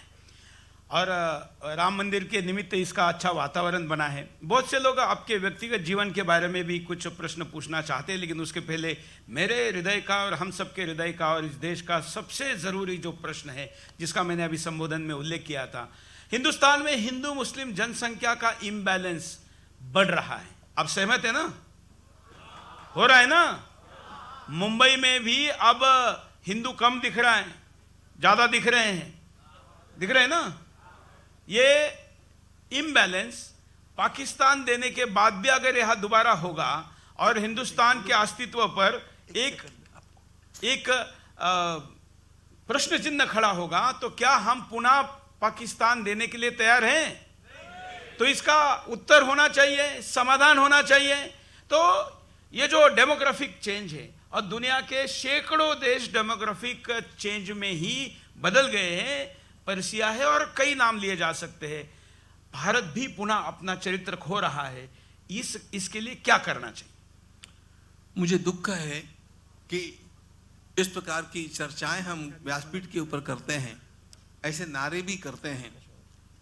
लेकिन ये बात केवल नारों की बात नहीं है ये जीवन में उतारने की बात है। हम लोग केवल गर्जना करते हैं और अन्य लोग गर्जना न करते हुए बिल्कुल साइलेंटली अपना काम करते हुए संख्या की वृद्धि कर रहे हैं। हम क्या कर रहे हैं इसको सोचो। इसमें गलती औरों की नहीं है। इसमें गलती हमारे समाज की है। जरा मराठीत विचारू का तुमच्या सगळ्यांना? आपल्या घरात आपण किती पोरांना जन्म दिला? बोला. नहीं अपन अपन हाथ ऊपर करवाते हैं. कैमरामैन भी जरा दिखाना. कितने लोग हैं जिनके चार बच्चे हैं? एक भी नहीं मिलेगा आपको। चार बच्चे वाला। एक है। आप आपके चार बच्चे। हाथ हाथ नीचे कर दिया फिर। अरे है क्या चार बच्चे आपके? खड़े हो जाओ। ताली बजाओ इनके लिए। पूरे पूरे सभागार में दो लोग सिर्फ़ हैं जिनके चार बच्चे, हाथ नीचे करिए। कितने बच्चे, कितने लोग हैं जिनके तीन बच्चे हैं? तीन। एक, दो, तीन, चार, पाँच छः सात, आठ, नौ, दस, ग्यारह। सिर्फ़ ग्यारह लोग पूरे सभागार में हैं जिनके तीन बच्चे हैं। दो बच्चे हैं। कितने हैं? चलिए दो का छोड़ते। एक बच्चे वाले कितने हाथ ऊपर करिए। एक बच्चे वाले। देखिए, ज़्यादातर एक बच्चे वाले हैं। अब अगर ऐसा रहेगा तो देखिए, आपने जो पूछना था, मैं पूछवा लिया। मुझे यही कहना था कि ये चर्चाओं के विषय नहीं है। इनको जान करके, हमारे ऊपर इसका दायित्व यह सोच करके, हम लोगों को इसमें स्वयं अपने विवेक से अपना आचरण करना चाहिए। पाँच छह वर्ष पहले की बात है मित्रों।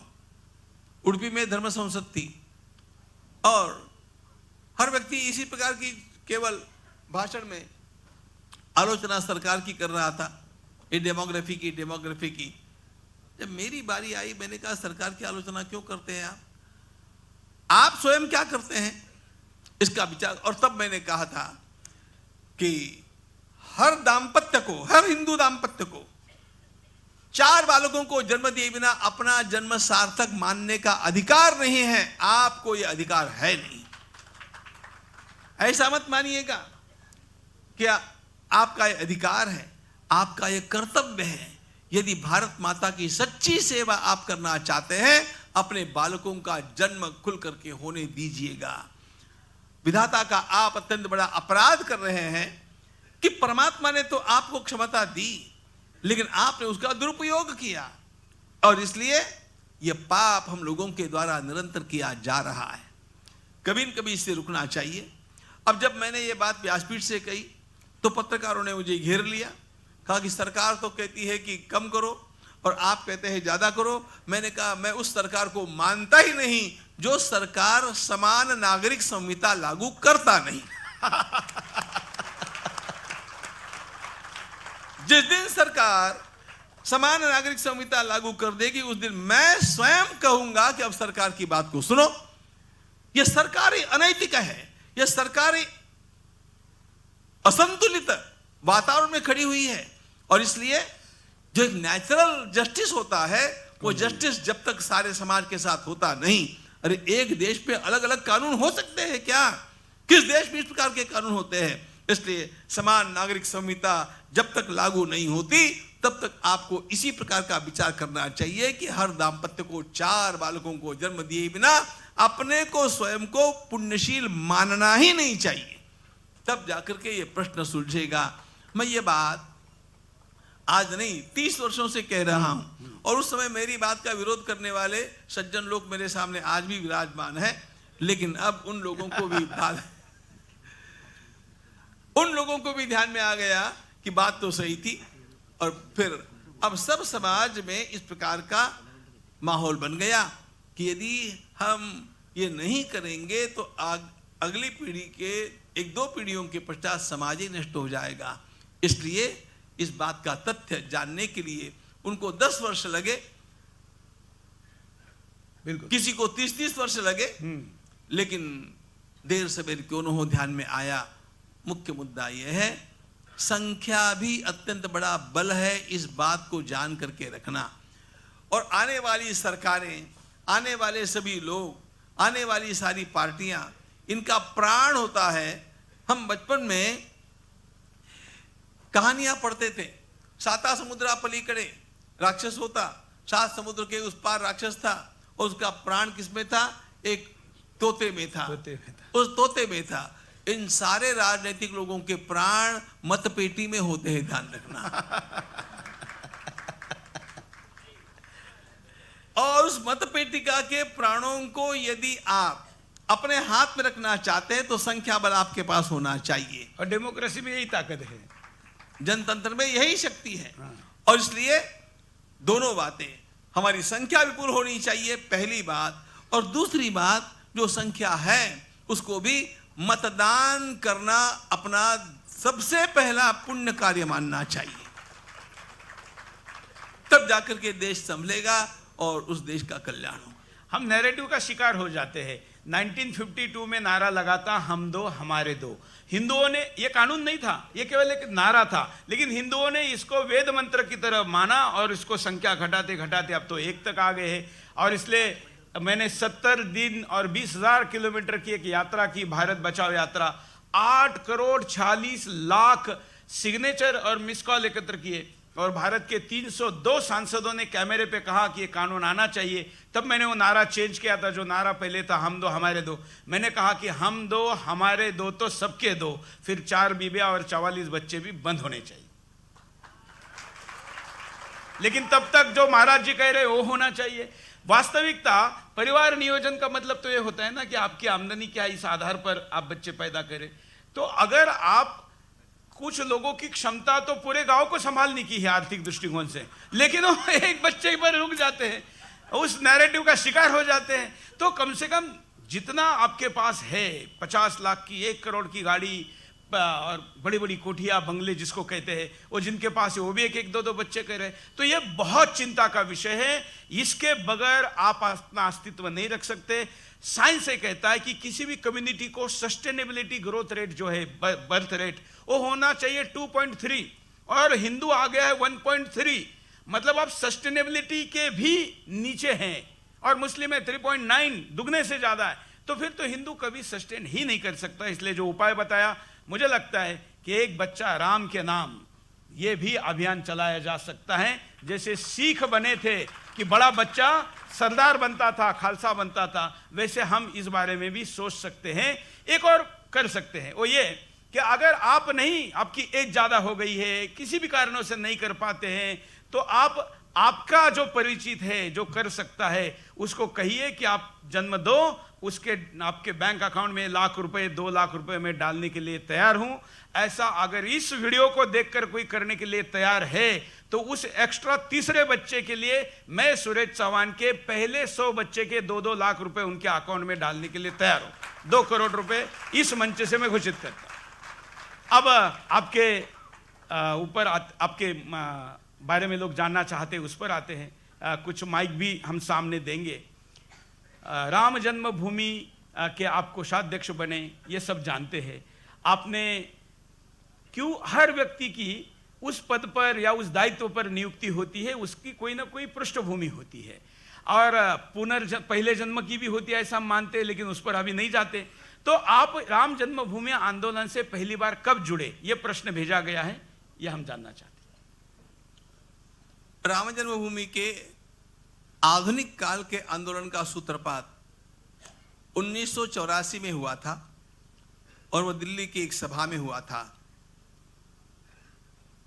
सारे के सारे संत महात्मा उसमें एकत्रित थे और उन्हें एक सूत्र में लाने का काम सद्य अशोक जी सिंघल ने किया था। मुझे भी वहाँ पर निमंत्रित किया गया था। मैं उसमें सहभागी था। और वहीं से चलने वाले सारी की सारी प्रक्रियाओं के अंतर्गत मैं समय समय पर आता रहा। जब जब जब जो काम सौंपा गया, उन कामों में रहता गया, कामों का निर्वाह करता गया। साथ साथ मेरी कथाएँ, मेरे प्रवचन, गीता परिवार, महर्षि वेदव्यास प्रतिष्ठान के कार्य, ये भी चलते रहे। और जितने भी उसमें, चाहे राम जानकी रथ यात्रा का उपक्रम हो चाहे हमारे शिला पूजन का उपक्रम हो इन सारे उपक्रमों में भी श्री राम ज्योत हो। श्री राम ज्योति हो इन सब में भी मुझे रहना ही पड़ा मैं रहता ही था। मुझे कभी ऐसा लगा नहीं था कि ये सब करते करते मुझे कभी कोषाध्यक्ष वहाँ पर बनना पड़ेगा। ये तो मैंने कभी कल्पना ही नहीं की थी। ये तो सारे भक्ति के माध्यम से किए जाने वाले हमारे कार्य थे। और अचानक मुझे एक दिन एक फ़ोन आया कि यदि आपको इस न्यास में, न्यासी के रूप में निमंत्रित किया जाता है तो आप उसको स्वीकार करेंगे? इनकार तो नहीं करेंगे?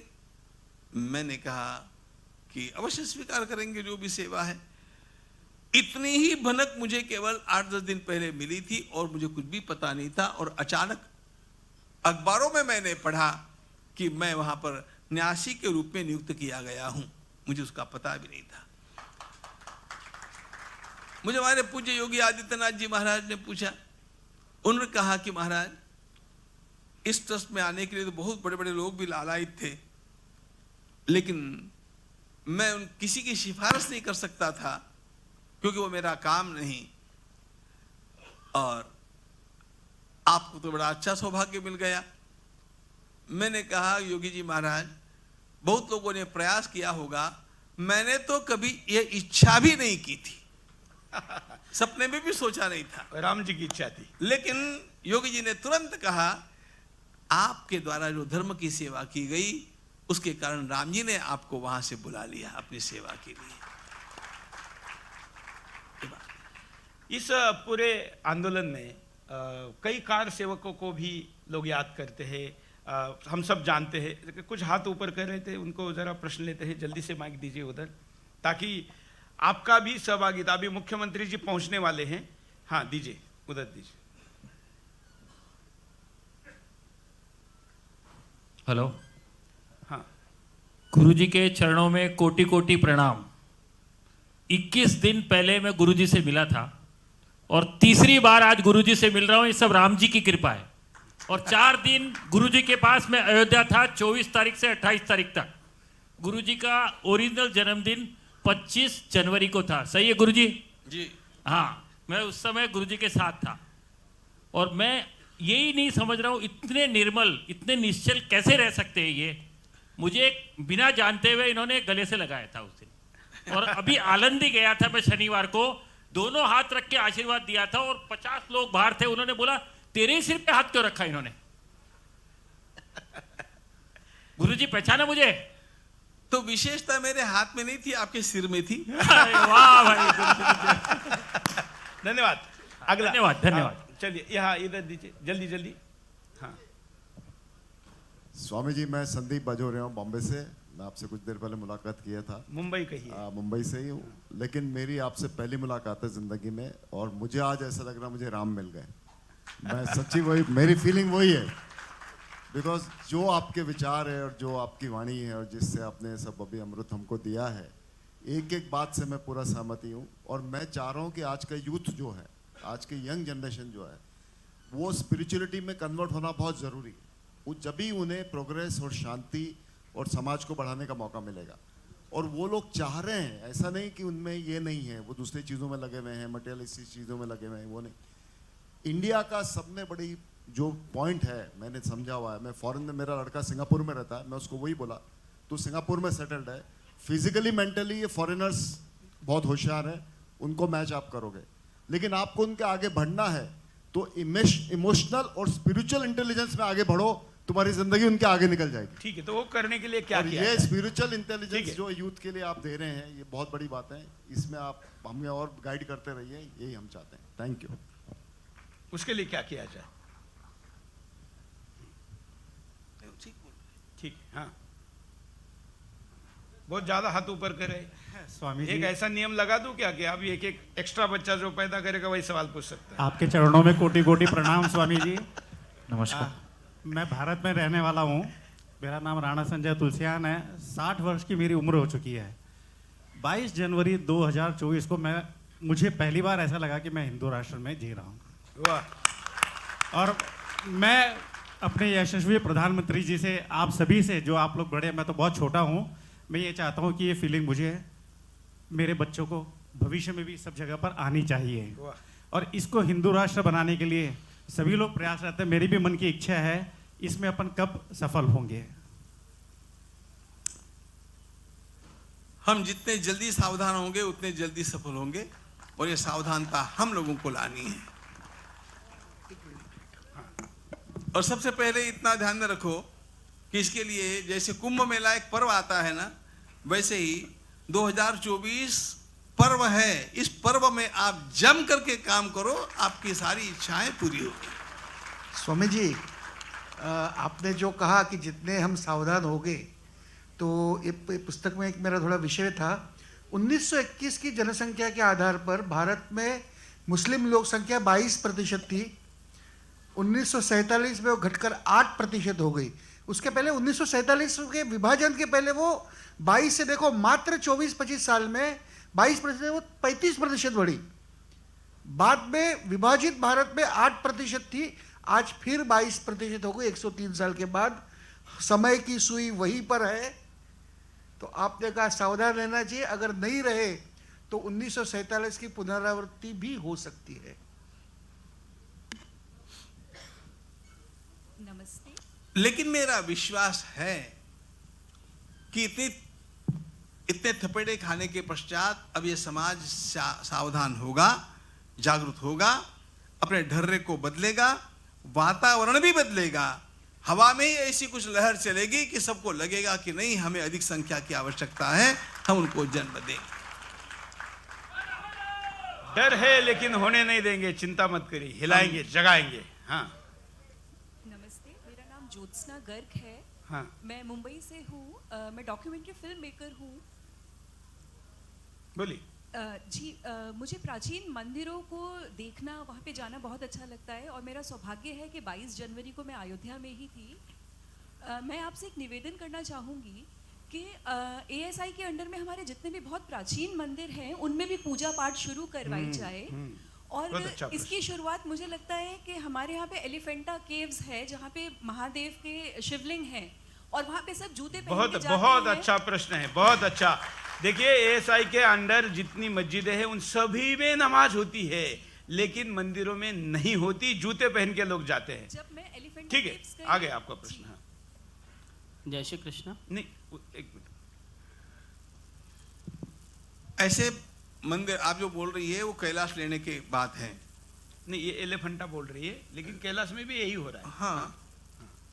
लेकिन जहाँ पर शिवलिंग है भगवान स्थापित है वहाँ पर सारे के सारे आर्कियोलॉजी के नियमों का पालन करके भी पूजा होनी चाहिए और हिंदू आचार संहिता का पालन होना चाहिए। वहाँ पर वहाँ पर आर्कियोलॉजी डिपार्टमेंट को केवल इतना ही अधिकार होना चाहिए कि मंदिर का जो निर्माण कार्य है उसमें छेड़छाड़ नहीं की जाएगी। हो बस। छेड़ मंदिर का जो स्वरूप है उसमें जरा भी बद, बदलाव नहीं आएगा। बाकी वहाँ पर जब देवता स्थापित है तो वहाँ पर आचार संहिता हिंदुत्व के अनुसार ही लगनी चाहिए। और दुर्भाग्य तो इतना है कि वहाँ पे लोग जूते चप्पलें लेके ठीक है ठीक है। अगला प्रश्न। हाँ। आप ऐसे प्रश्न पूछा करो चुप रहना नहीं रोज बोलते जाना बोलते बोलते आप उस उस स्थान से कितना दूर रहती है? वो जो एलिफेंटा केवजे वहाँ पर आप दोबारा कब जा सकती है? ही तो कब जा सकती है आप? कल भी जा सकते हैं। तो आपके साथ हमारी टीम आएगी पूजा को रोकेंगे तो वहाँ से आंदोलन शुरू कर देंगे। अभी से। कल सुबह से शुरुआत।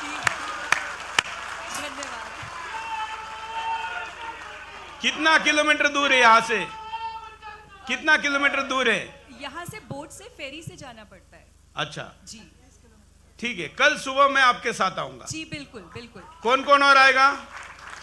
क्योंकि ऐसे कामों में देरी करने का कोई कारण नहीं है। आज मुझे दिल्ली जाना था मैं कैंसिल करता हूँ। कल आपके साथ आऊँगा। जो जो हमारे साथ आना चाहते कहाँ से निकलती फेरी? Gateway of India gate of India से निकलती कितने बजे जाना है? तय। टाइम तय करिए आप लोग। नौ बजे? ठीक है दस बजे? दस बजे जी। दस बजे गेट ऑफ़ इंडिया पर आप लोग पहुंचिए वहाँ पर एक भगवा झंडा लेकर हमारी टीम रहेगी मैं भी रहूँगा आप रहेंगे हम सवा दस बजे तक वेट करेंगे उसके बाद चले जाएँगे कल पूजा करेंगे फ़ोटो दुनिया को दिखाएँगे ये इंटरव्यू लाइव चल रहा है आज यहाँ पर कहा गया संकल्प पूरा चलिए अगला प्रश्न। बहुत बहुत धन्यवाद। उसमें क्यों देरी करी? जय। जय श्री कृष्ण, जय श्री कृष्ण, जय श्री राम। मेरा नाम प्रशांत शर्मा है। मैं स्वामी जी से दीक्षार्थी हूँ और गीता परिवार से जुड़ा हूँ। आप सभी को एक पैम्फलेट दिया गया है। सभी के हाथ में अभी तक पहुँच गया होगा। यह भगवत गीता ऑनलाइन पढ़ाते हैं हम लोग और स्वामी जी के अंडर में यह एक संस्था है। तो आप सभी इससे जुड़ें और शुद्ध पठन संस्कृत में आपको ये करीब करीब आठ महीने में पूरी भगवत गीता आप सीख जाएँगे। पहले दो अध्याय तो आप बीस दिन में ही सीख जाएँगे बारहवा और पंद्रहवा अध्याय। तो सभी से अनुरोध है कि ये जो पैम्फलेट दिया गया इसे प्लीज़ फेंकिए नहीं ये बहुत ज़रूरी है। आप इससे भगवत गीता आ- से सबको दे दिया दे दिया? जी बिल्कुल दे दिया। सबको मिल गया? हमको भी दे दीजिए ना ऊपर। हेलो नमस्कार सर हाँ। मेरा नाम प्राची घाग है. मैं मुलुंड से आई हूँ. अठारह साल से बिल्डर ने फंसाया हुआ है. बीस बाईस लोग मर गए लेकिन न्याय नहीं मिल रहा है. मैं सब जगह भाग रही है. क्योंकि एक सोसाइटी में यूनिटी नहीं होती है तो मेरा बेचारा राम लल्ला को इसीलिए 500 साल गए. लेकिन 18 साल के बाद मेरा भाई इधर बैठा है और इसने तो इसके लिए एलएलबी किया। मैं सब जगह जा रही है। अगर कुछ मदद कर सके आज मैं एकनाथ शिंदे जी को मिलने को आई थी और मैं अपने गोविंद गिरी महाराज का आशीर्वाद लेने आई थी। वो मुझे आशीर्वाद दे। मेरे साथ जितने भी लोग 145 लोग घर से बाहर है और एक एजुकेटेड माँ और बेटी पागलों के मैदान में रह रही है। तो आप मेरी मदद कीजिए सर।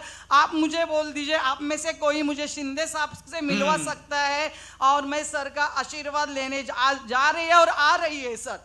मुझे अभी अभी उनको नमस्कार करना है, है सर। है, है। अभी नमस्कार करना है। मैं बहुत हैरान हूँ ये बाईपास हुआ है। दो महीना हो गया है मेरे हस्बैंड का बाईपास हुआ है और मैं घूम रही हूँ। और बहुत हैरान हूँ सर। सब जगह पावस कर सर सब जगह। मतलब मुझे नहीं नहीं नहीं इधर- ठीक है दर्शन मुझे सर का नमस्कार करना है बस आशीर्वाद लेना है सर।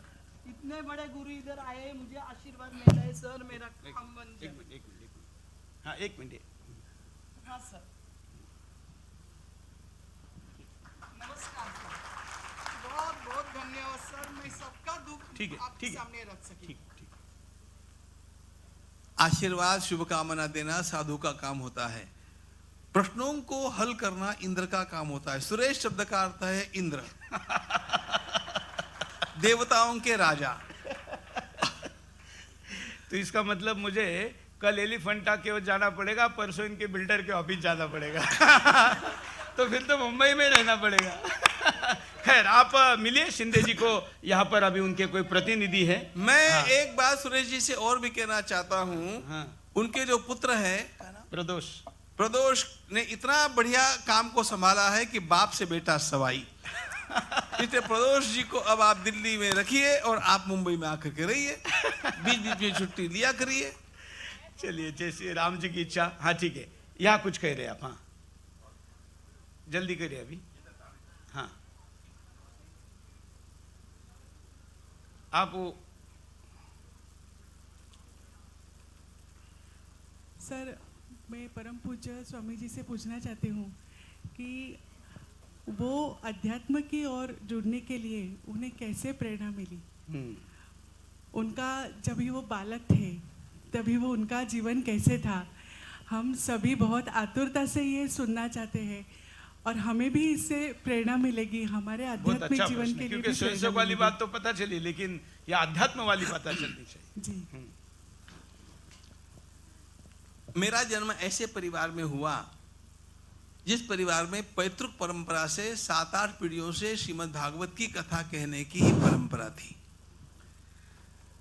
और हमारे पूर्वज राजस्थान से पैदल चल करके महाराष्ट्र में आए पौने 200 वर्ष पूर्व और वे अपने मस्तक पर केवल भागवत की पोथी लेकर के वहाँ से चले थे।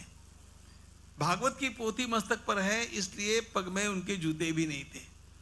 और ऐसे चल करके वे महाराष्ट्र में आए। मेरी मात, माता की ओर से परंपरा भी चार पाँच पीढ़ियों से श्रीमद् भागवत कहने की थी और श्रीमद् भागवत यह हमारे वेदादिक समस्त ग्रंथों का सार कहा गया है। बचपन से वही सुना, बचपन से हमारे पिताजी ने एक नियम हम लोगों को लगा दिया था कि सायंकाल में पहाड़े बोलना मतलब पहाड़े राम रक्षा बोलना और समर्थ रामदास स्वामी के दास बोध के दो समास पढ़ना।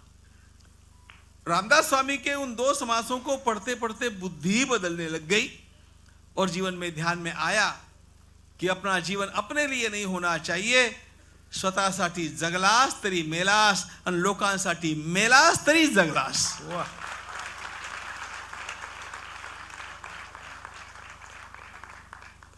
तो एक और घर में ये मिलने वाले सारे के सारे आध्यात्मिक संस्कार थे। हमारे पिताजी पूर्ण सनातनी वृत्ति के थे। मैं आपको बतला दूँ, वे उत्तम वैदिक थे। जीवन के अंतिम पड़ाव में उन्होंने 108 वेद पारायण करने का निश्चय किया। उसमें से छ 106 वेद पारायण स्वयं पूर्ण भी किए। दो पारायण रह गए और वे भगवान को प्रिय हो गए।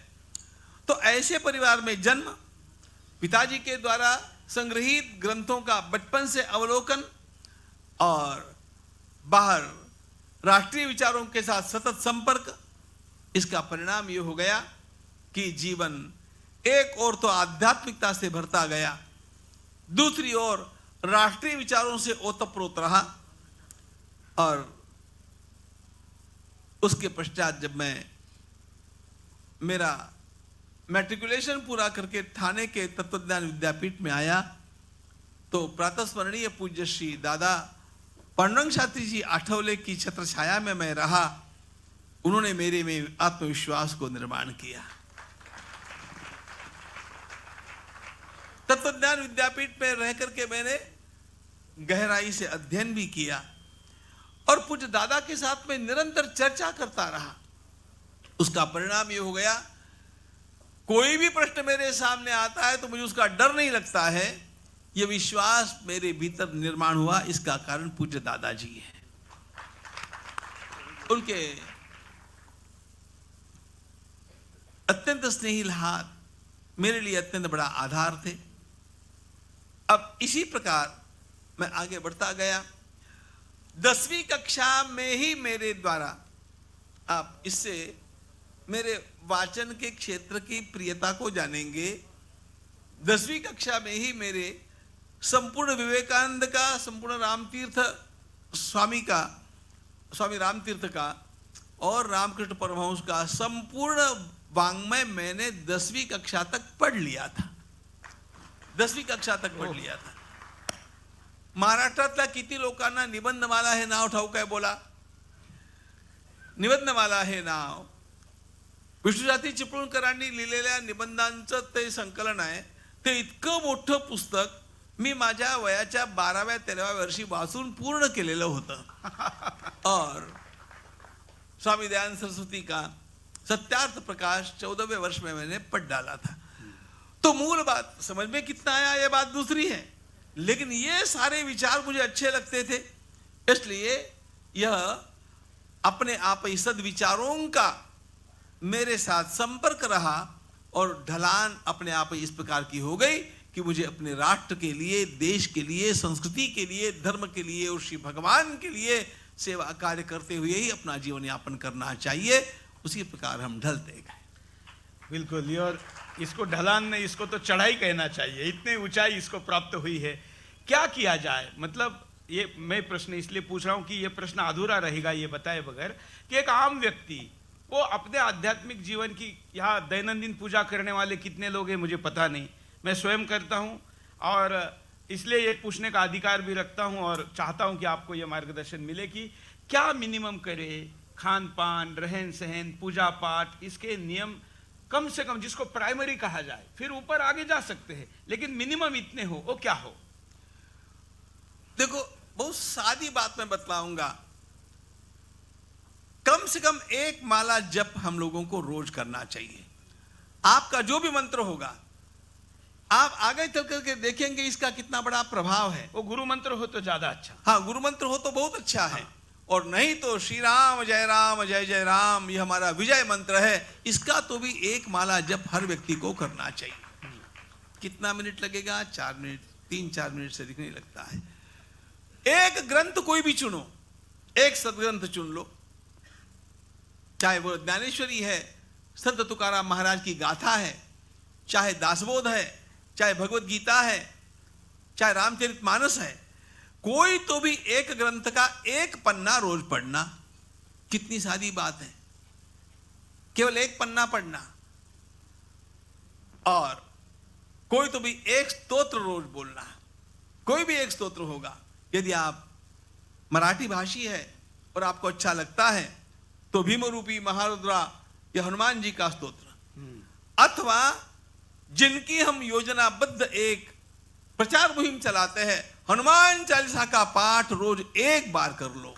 एक हनुमान चालीसा, एक सदग्रंथ का वाचन और एक माला का जप, ये कुल मिलाकर के आपको 15-20 मिनट से अधिक समय लगेगा। नहीं 15 मिनट में ये सब कुछ हो सकता है। ये 15 मिनट आपके जीवन में क्रांतिकारी बनेंगे। ध्यान रखना, आपको अपने आप उस चढ़ान के ऊपर ले जाएँगे, जहाँ से आपको ये लगेगा कि मैं सफलता की ओर जा रहा हूँ, मेरा जीवन सामान्य जीवन नहीं है, मैं सार्थक जीवन जी करके रहूँगा, ये सब कुछ आपको प्राप्त होगा। भगवत गीता में एक बात लिखी है, स्वल्पमप्यस्य धर्मस्य त्रायते महतो भयात। धर्म का आचरण थोड़ा थोड़ा करो, लेकिन रोज करो, बड़ा, बड़े से बड़ा भय आपका नष्ट हो जाएगा। रोज किया जाने वाला 10-15 मिनट का यह धर्माचरण आपके जीवन में क्रांति लाएगा और आपको उन्नति के शिखर की ओर ले जाएगा। और कोई भी दिव्य साधन, दिव्यता प्राप्त करनी है, कोई आपका दिव्य लक्ष्य है तो उसका साधन भी दिव्य होना चाहिए। उपवास भी कम से कम महाराष्ट्र में रह रहे, आषाढ़ी, कार्तिकी कर सकते हैं। ये मैंने मिनिमम कहा हाँ, है। मिनिमम हाँ, मिनिमम मैं भी मिनिमम ही जोड़ हाँ, इसको और क्योंकि एक उपवास कम से कम लेके जाए तो अच्छा रहेगा। बहुत अच्छा, मैं प्रदोष का व्रत करता हूँ महीने में दो बार आता है। तो ये कर सकते हैं हाँ। गुरु जी के चरणों में प्रणाम। मेरा नाम आ रहा है आवाज़ आ रहा है। मेरा नाम डॉक्टर ओम प्रकाश जगनानी है। मुझे ये लगता है कि हमारी बेसिक कमज़ोरी एजुकेशन में है आज हमको ज्योग्राफी केमिस्ट्री मैथमेटिक्स सब पढ़ाया जाता है लेकिन सनातन धर्म के बारे में कोई भी शिक्षा नहीं दी जाती। आज मुसलमान अपने बच्चे को पढ़ाई के अलावा मदरसे में भेजता है। इसीलिए जितनी कॉन्वेंट स्कूल है उनके साथ चर्च लगी हुई है। लेकिन हमारे जो पुराने गुरुकुल थे वो सब गायब हो गए और हिंदू धर्म अभी है। कैसे बच्चों को आप उम्मीद करेंगे कि वो हिंदू धर्म के बारे में कुछ जानकारी रखें? जब उनको शिक्षा ही नहीं दी जाएगी तो उत्तर कैसे देते हैं उत्तर देते हैं हमारी संविधान हमारे संविधान के भीतर 35 ए इस प्रकार का एक नियम है। और यह नियम ज़बरदस्ती डाला गया जिसके तहत सभी के सभी अल्पसंख्यकों को अपना धर्म स्कूलों में पढ़ाने के लिए छूट है। हिंदुओं को यह छूट नहीं है। हिंदू पुस्तक स्कूल में नहीं पढ़ाई जा सकती ये नियम है। और ध्यान रखना अब आप मैं आपको संविधान का इतिहास बतलाता हूँ। यह नियम जब नेहरू जी ने लाना चाहा तब सरदार वल्लभ भाई पटेल ने कहा कि बिल्कुल मैं नहीं आने दूँगा। बाबा साहब ने भी विरोध बाबा साहब भारत रत्न बाबा साहब आम्बेडकर जी ने भी कहा कि यह नहीं आना चाहिए। लेकिन दुर्दैव की बात यह थी उस समय तो उसमें आया नहीं लेकिन तीन चार महीनों के पश्चात सरदार वल्लभ भाई पटेल की मृत्यु हो गई निधन हो गया। और धीरे से नेहरू जी ने उसको उसमें जोड़ दिया। ध्यान रखना अर्ज़ के अनुसार ये पढ़ाया नहीं जा सकता है। इसीलिए मैं कहता हूँ कॉमन सिविल कोड यही इन सारी बातों की मुख्य दवा है। बिल्कुल। सबके लिए एक कानून होना चाहिए। तो धारा 30 में धारा हेलो। 30 अ जोड़ दिया था जिसका ये परिणाम रहा? हाँ। मी- अभी जल्दी जल्दी करिए अभी मुख्यमंत्री जी पहुंच रहे हैं। साहेब मी स- मुख्यमंत्री येण्याच्या अगोदर तीन प्रश्न फक्त विचारतो तुम्हाला. मी सुधीर आंबोडे ठाण्यावरनं बोलतोय. माझे तीन प्रश्न असे आहेत की तुम्ही म्हणाले की तीन चार लोक जन्माला घाला. आपल्या म्हणजे हिंदी हिंदू हिंदी में बात करिए पूरा सबको समझ में साहब। हिंदी आमचं म्हणजे जरा लोकांना थोड़ा लाइव में जा रहा है, तो। ऐसा है कि हाँ आपने एक, लोगों को सवाल किया कि आप लोगों तीन या चार लोगों बच्चे जन्म जन्म उनका जन्म के एक करो आप. लेकिन सवाल ऐसा है कि चौथा तीसरा आज हम उसको हम पाल सकते हैं बोल सकते हैं कि नहीं ये ये मैं छोटे छोटे लोगों की बात कर रहा हूँ हमारे इसमें। फिर आप बोलेंगे कि अरे मुसलमान तो आठ आठ जन्म डालते हैं तो भी वो उनको जीने का जो है तरीका वो उनको अ, समझ में आ गया वो जी लेते हैं। लेकिन इसके लिए मेरा प्रश्न ऐसा है कि अ, जो मुसलमान जो है प्रबोधन हमारा भी होना चाहिए, प्रबोधन उनका भी होना चाहिए। अगर एकात्म का भाव है तो जैसे स्वामी जी ने बोला स्वामी जी मैं आपको इधर से साष्टांग नमस्कार करके बोल रहा हूँ कि एकात्मकता भाव लाने का तो प्रबोधन दोनों तरफ़ से होना चाहिए। तो प्रबोधन होने के लिए एक व्यासपीठ में सब धर्मगुरु आ सकते हैं क्या? इसके ऊपर हम चर्चा मंथन कर सकते हैं क्या? क्योंकि ये प्रबोधन नीचे तक जाना बहुत ज़रूरी है। और इसके लिए राजकीय पाठपढ़ तो होना ही चाहिए चाहिए। जो आज सर्वोच्च दैवी नेता अपने इधर बैठा है ऊपर जिसके लिए मैं तो नतमस्तक हूँ। लेकिन फिर भी ये प्रश्न मेरा है कि हम इससे कैसे आगे जा सकते हैं? क्योंकि खाली दो लाख देख दो लाख देखे समझ- समझ समझने वाला नहीं। हाँ एक एक प्रश्न। दूसरा बहुत छोड़ दीजिए इसके लिए वास्तव में प्रयास किए जा रहे हैं और इसके लिए राष्ट्रीय मुस्लिम मंच भी तैयार हुआ है वो इस प्रकार का काम कर रहा है। एक दुसरा महत्त्वाचा प्रश्न आहे. तुम्ही मगाशी आपले मी थोडंसं मराठीत बोलतो साहेब. मगाशी आपण एक प्रश्न उपस्थित केला होता. की आपण अयोध्याबद्दल बोलतोय फक्त पण आपण काशीबद्दल म्हणजे काशीच्या ज्ञानवापीबद्दल बोलतोय. प्रत्यक्ष ज्या आपल्या प्रधानमंत्रींनी म्हणजे आपले मोदीजी जे आहेत यांनी फार मोठे कार्य केलेलं आहे की ज्या काशीवेश्वराचं काशी मंदिर जे आहे तिथे दोनशे बिल्डिंग तोडून दोनशे बिल्डिंगा मी तिथे होतो. प्रत्यक्ष मी त्याचा साक्षीदार आहे. दोनशे बिल्डिंग दोन हजार अठराला मी गेलो होतो. त्यावेळेस मी म्हटलं होतं की दोनशे ह्या दोनशे बिल्डिंग जर प्रधानमंत्री तोडू शकले तर आपला सनातन धर्म जगभरात पसरायला सुरुवात होईल. त्याचा उल्लेख प्रत्येक ठिकाणी व्हायला पाहिजे तो होत नाहीये. दोनशे लोकांना आज केला आणि तिसरं मूल्य शिक्षण जे पंच्याण्णव नंतर आपल्या शाळांमधून काढलं ते मूल्य शिक्षण मी आज इथे गुरेताई पण निलमताई पण आहेत यांना पण सांगू इच्छितो. हे मूल्य शिक्षण परत लागू करा. म्हणजे घराघरामध्ये परत सनातन धर्म पसरायला सुरुवात होऊन जाईल. हे माझे तीन आपने तो उपाय भी बता दिए. हाँ. ठीक। नहीं अच्छा है। हाँ हाँ। चल रहा है। हेलो हाँ। मेरा गुरुजी से एक छोटा सा क्वेश्चन है सर गुरुजी मैं एक संस्था हम चलाते हैं अखिल भारतीय अग्रवाल सम्मेलन में जिसमें हम बच्चों का परिचय कराते हैं। लड़के और लड़कियाँ आते हैं और हम उनका परिचय कराते हैं। और बहुत से बच्चे जिनके पेरेंट्स कहते हैं कि पत्री नहीं मिली। तो जन्म पत्री मिलानी चाहिए कि नहीं मिलानी चाहिए? ये आप मुझे बताइए तो मैं बता सकती हूँ उनको कि ये हमारे गुरुजी ने बताया है कि ये ज़रूरी है कि नहीं है। 18 साल से नीचे हो तो मिलानी चाहिए इसके ऊपर हो तो मिलाने की आवश्यकता नहीं है। कुंडली छोड़ो मंडली देखो। और अ, और और, और एक जो, एक जोड़ दूँ? हाँ? ये है कि अगर कहीं पर भी ऐसी व्यवस्था है और आपका विश्वास है कि होनी ही चाहिए कुंडली मिलनी चाहिए नहीं मिलती तो महाराष्ट्र में नगर डिस्ट्रिक्ट में कोपरगांव नाम का स्थान है जहाँ पर एक शुक्राचार्य का मंदिर है। आपकी कुंडली नहीं मिल रही है किसी भी कारण से तो वहाँ होने वाली शादी में कोई दोष नहीं लगता ऐसा माना जाता है। मेरे भतीजे की भी शादी वहाँ हुई है। और गुरुजी गोत्र मिलाना चाहिए कि नहीं मिलाना चाहिए? नहीं गोत्र। ठीक है। गोत्र मिलना चाहिए। गोत्र- उसका साइंटिफिक कारण है नहीं तो फिर बच्चे फिर नहीं आ, नहीं। हाँ, और मैं चाहूँगी आपका ये एक थोड़ा सा रिकॉर्डिंग में कर, कर लूँगी। ठीक है ठीक है। मिल जाएगा आपको। सुदर्शन दिखिए थोड़ी देर में। हाँ। नमस्कार जी। गुरु। नमस्कार सर। गुरु नमस्कार। हाँ। मैं ऋषिकेश कदम बोल रहा हूँ सर। यहाँ से। कहाँ से बोल रहे हैं? यहाँ यहाँ सर। हाँ थैंक यू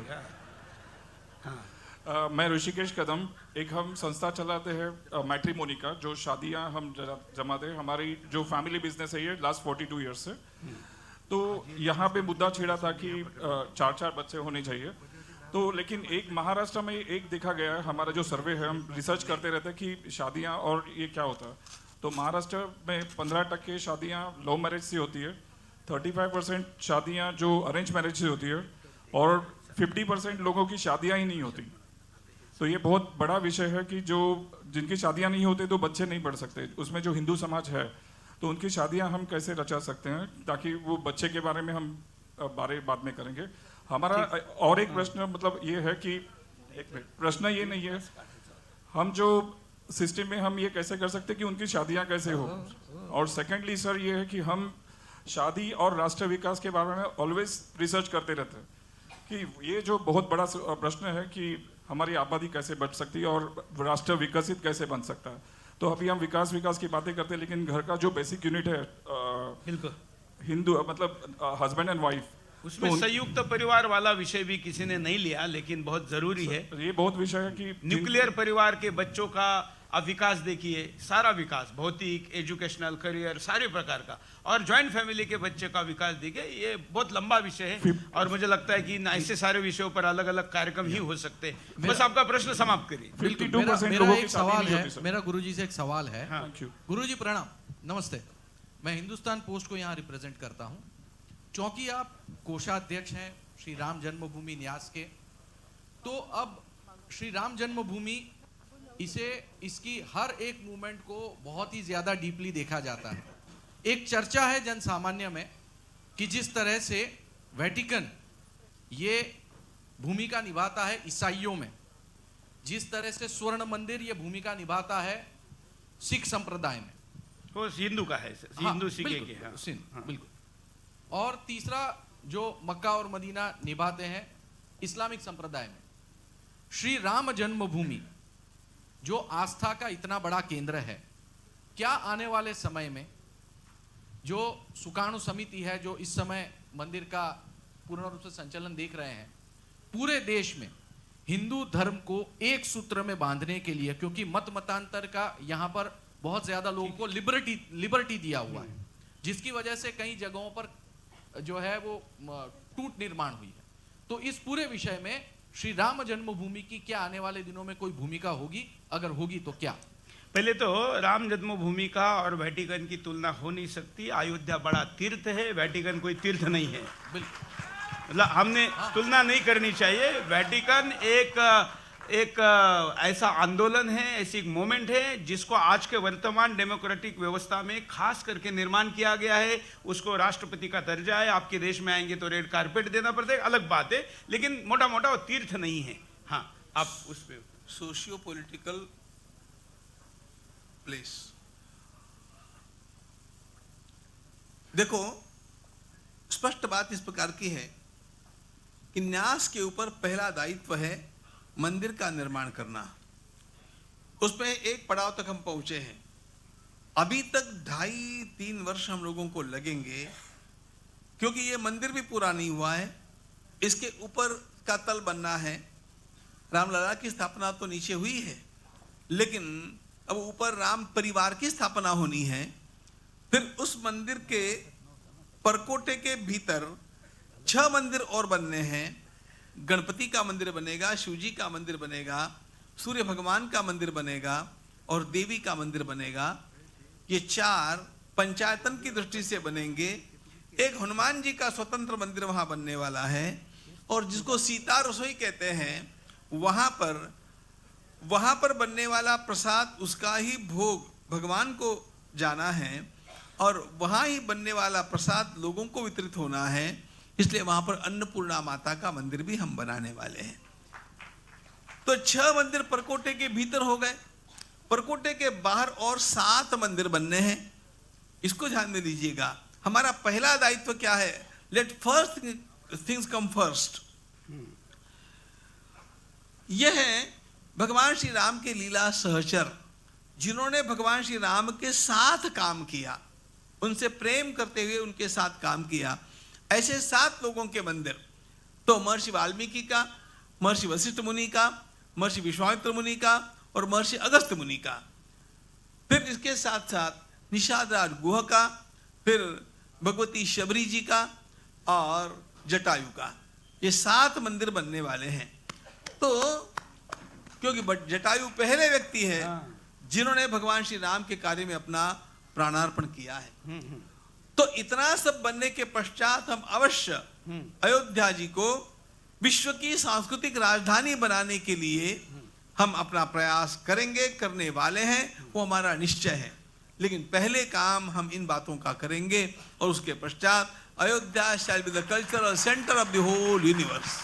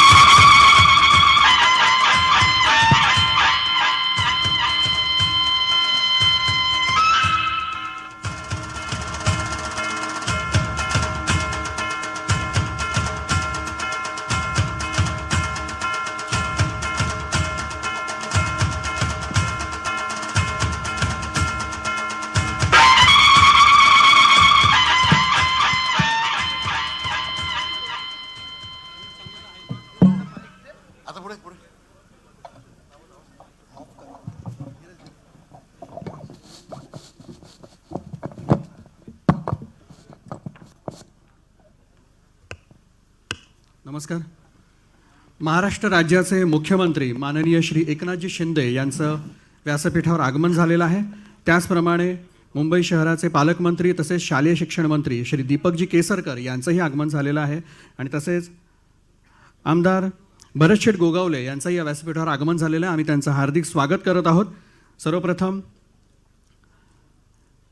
मी श्री रणजित सावरकर आणि श्री रमेश शिंदे यांना विनंती करतो की त्यांनी माननीय मुख्यमंत्र्यांचा सत्कार करावा.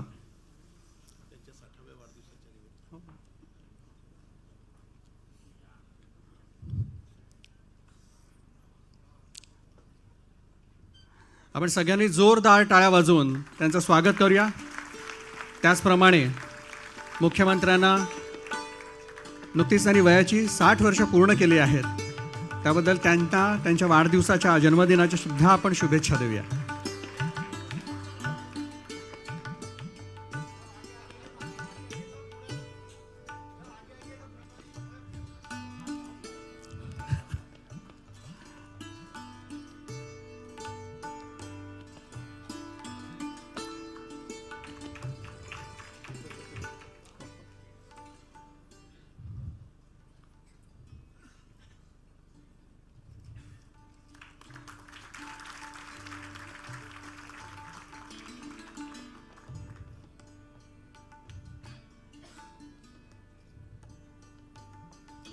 आजच प्रकाशन झालेलं पुस्तक. त्याचप्रमाणे हिंदू जनजागृती समितीकडून विविध ग्रंथांची भेट श्री रमेश शिंदे माननीय मुख्यमंत्र्यांना देत आहेत.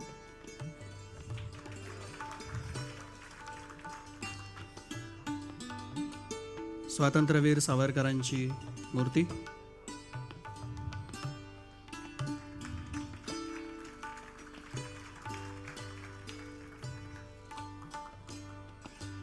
आणि प्रभू श्री रामचंद्रांची प्रतिमा मानाने मुख्यमंत्र्यांना दिली जात आहे.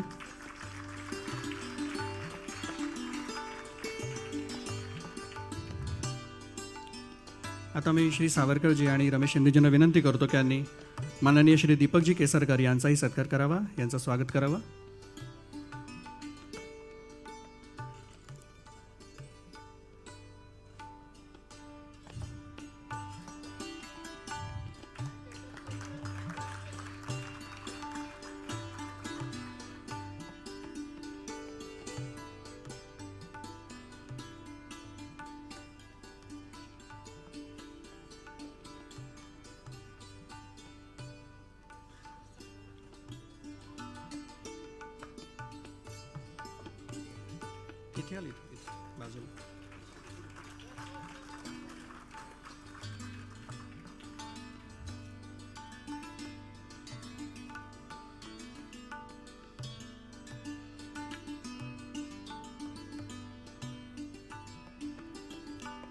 जनजागृती समितीकडून विविध ग्रंथांची भेट.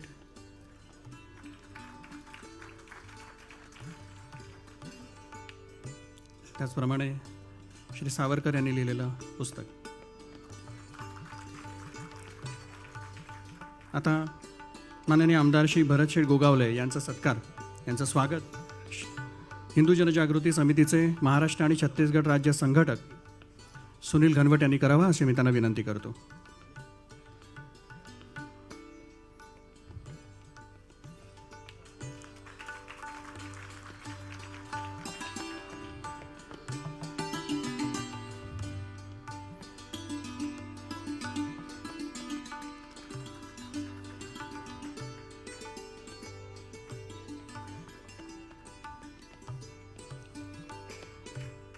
स्वातंत्र्यवीर सावरकरांची प्रतिमा.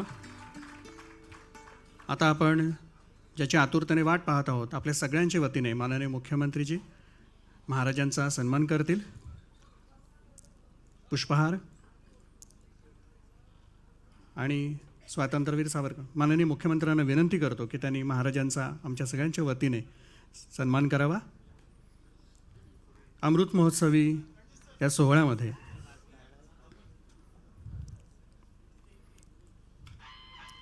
आपल्या सगळ्यांच्या वतीने आपण सगळ्यांनी आपल्या स्थानावर उभं राहावं. पुष्पहार.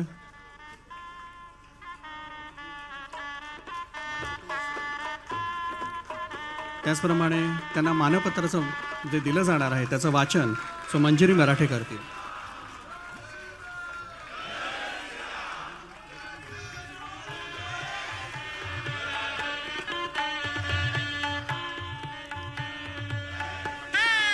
परमपूजनीय स्वामी श्री गोविंददेव गिरीजी महाराज. युगप्रवर्तक व्यक्तिमत्वांच्या मांदियाळीत अतुलनीय संतत्व म्हणून ज्यांचा गौरव करणं हे सौभाग्यशाली आहे अशा वेद धर्म संस्कृती समाज आणि राष्ट्राच्या परमोत्कर्षासाठी जीवन समर्पित केलेले परमपूजनीय स्वामी श्री गोविंददेव गिरीजी महाराजांप्रती शब्दही तोकडे याची विनम्र जाण आहे. गुणाः पूजास्थानम गुणिषु न च लिंगम न च वयः या सुभाषिताप्रमाणे. अवघ्या पंधराव्या वर्षी भगवद्गीतेवरील प्रवचन तर सतराव्या वर्षी श्रीमद भागवत कथारंभ संतश्रेष्ठ माऊलींचा वारसा जपत लौकिक शिक्षणातील आचार्य पदवी घेऊन अलौकिक कार्यानं ते आचार्यपद सार्थताम गतमिती असंच वाटतं स्वज्ञान तेज तसंच वाणीची दिव्यता विश्वभरात हिंदू धर्मप्रसारात सहाय्यक ठरली आणि जन्माला आले महर्षी वेदव्यास प्रतिष्ठान तसंच गीता परिवार. वेद संरक्षण व संस्कार साधनेचं ह मत महत् कार्य करत करत पुढे कांची कामकोटी शंकराचार्य ब्रह्मलीन पूज्य स्वामी जयेंद्र सरस्वतीजींची अनुग्रह दीक्षा स्वीकारून पुढे स्वामी श्री सत्यमित्रानंद गिरीजींकडून संन्यास दीक्षा प्राप्त केली. इथूनच सुरू झाली आपली परमपवित्र संन्यास यात्रा ज्याच्या कषाय रंगानं त्याग आणि तपाच्या पवित्र सनातन परंपरेचं रक्षण पर्व सुरू झालं. ज्ञान भक्ती आणि कर्मयोगाचा संगम असल्यानं आपण वेदशिक्षण संरक्षण राष्ट्रनिर्माण साहित्य प्रकाशनादी कार्यांसाठी संस्थांची स्थापना केली. त्यात एकोणीसशे शहाऐंशीची गीता परिवार एकोणीसशे नव्वदचं महर्षी वेदव्यास प्रतिष्ठान श्रीकृष्ण सेवानिधी संत श्री ज्ञानेश्वर गुरुकुल या सर्व माध्यमातून शेकडो शिबिरं हजारो संस्कार केंद्र अगणित ग्रंथ प्रकाशनं योग महोत्सव नीतीशिक्षा पंचाहत्तर पंच्याहत्तर कोटी सूर्यनमस्कारांसारख्या भव्य कार्यक्रमांचं आयोजन लर्न गीता माध्यमातून एकशे एक्क्याऐंशी देशातून आठ लाख गीताप्रेमींना निशुल्क गीता प्रशिक्षण तेही ऑनलाईन. इतकंच नव्हे तर महर्षी वेदव्यास प्रतिष्ठानाच्या माध्यमातून आसेतू हिमालय सदतीस वेदविद्यालयांची स्थापना आणि संचालन करीत ऐंशी अध्यापकांद्वारे जवळजवळ दोन हजार छात्र विनामूल्य वेदशिक्षण घेत आहेत. बीडमध्ये गणेश समन्वय आश्रमात सर्व जातींच्या विपन्न बालकांच्या शिक्षणाची व्यवस्था करून आपल्या हृदयातील सर्व समभाव व वात्सल्य भावाचं दर्शन झालेलं आहेच आपल्या हातून श्री रामचंद्रांनी आणखी एक महत्कार्य घडवून आणलं. ते म्हणजे अयोध्येतील श्रीराम जन्मभूमी तीर्थक्षेत्र न्यासाची आपण निर्वहित करीत असलेली कोषाध्यक्षपदाची धुरा. सारं भारतवर्ष आपल्या या कार्यासाठी नतमस्तक आहेच. आपण श्रीकृष्ण जन्मभूमी न्यास मथुरा इथेही उपाध्यक्ष आहात. त्यामुळे लवकरच हेही स्वप्न पूर्ण होईल असा समस्त भारतवासियांना विश्वास वाटतो. परमपूजनीय आचार्य आपणाविषयीची प्रशस्ती म्हणजे प्रत्यक्ष परमेश्वराच्या अंशाची आरती आहे. आपलं कर्तृत्व नेतृत्व संतत्व श्रेष्ठत्व विद्वत्व भक्तिलीनत्व आणि आचार्यत्वही स्वयंसिद्ध आहे. परमेश्वरी आशीर्वादासह आपण या भारतभूमीत अवतरलात ज्यामुळे अनेक अलौकिक कार्य सफल दृग्गोचर होत आहेत. आपल्या प्रेरक कार्यासमोर नतमस्तक होत आपल्या अमृत महोत्सवानिमित्त हा अमृतमय सन्मान करताना आम्ही स्वातंत्र्यवीर सावरकर राष्ट्रीय स्मारक तसंच हिंदू जनजागृती समितीचे सर्व पायी अक्षरशः अमृतकृपेत न्हावून निघत आहोत याच विनम्र भावनेनं सादर समर्पित हे मानपत्र.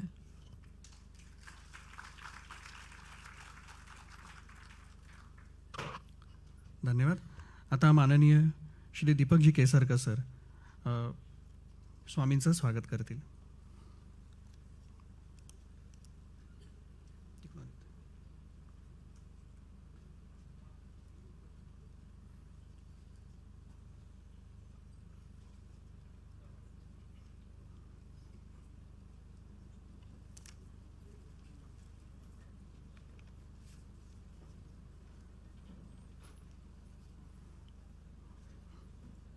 माननीय दीपकजी केसरकरजी परमपूजनीय स्वामी गोविंद देवगिरी महाराजांचा सन्मान करत आहेत.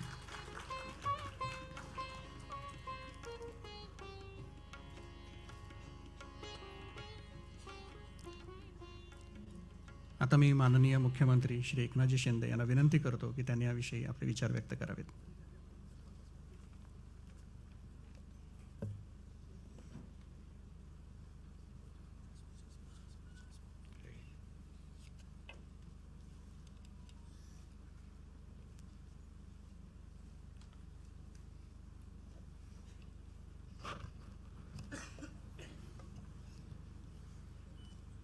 बोलो सियावर रामचंद्र की। छत्रपती शिवाजी महाराज की। आणि परमपूज्य स्वामी गोविंद देव गिरी महाराज की। आज तुमचा दिवस आहे ना?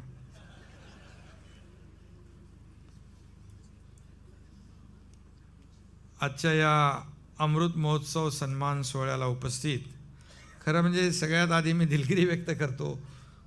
कार्यबाहुल्यामुळे आणि अनेक कार्यक्रम असल्यामुळे ते करत करत इथपर्यंत पोचलो आहे आणखी परत पुढे मीरा भाईंदरकडे जायचं आहे पण आजचा हा योगायोग आहे.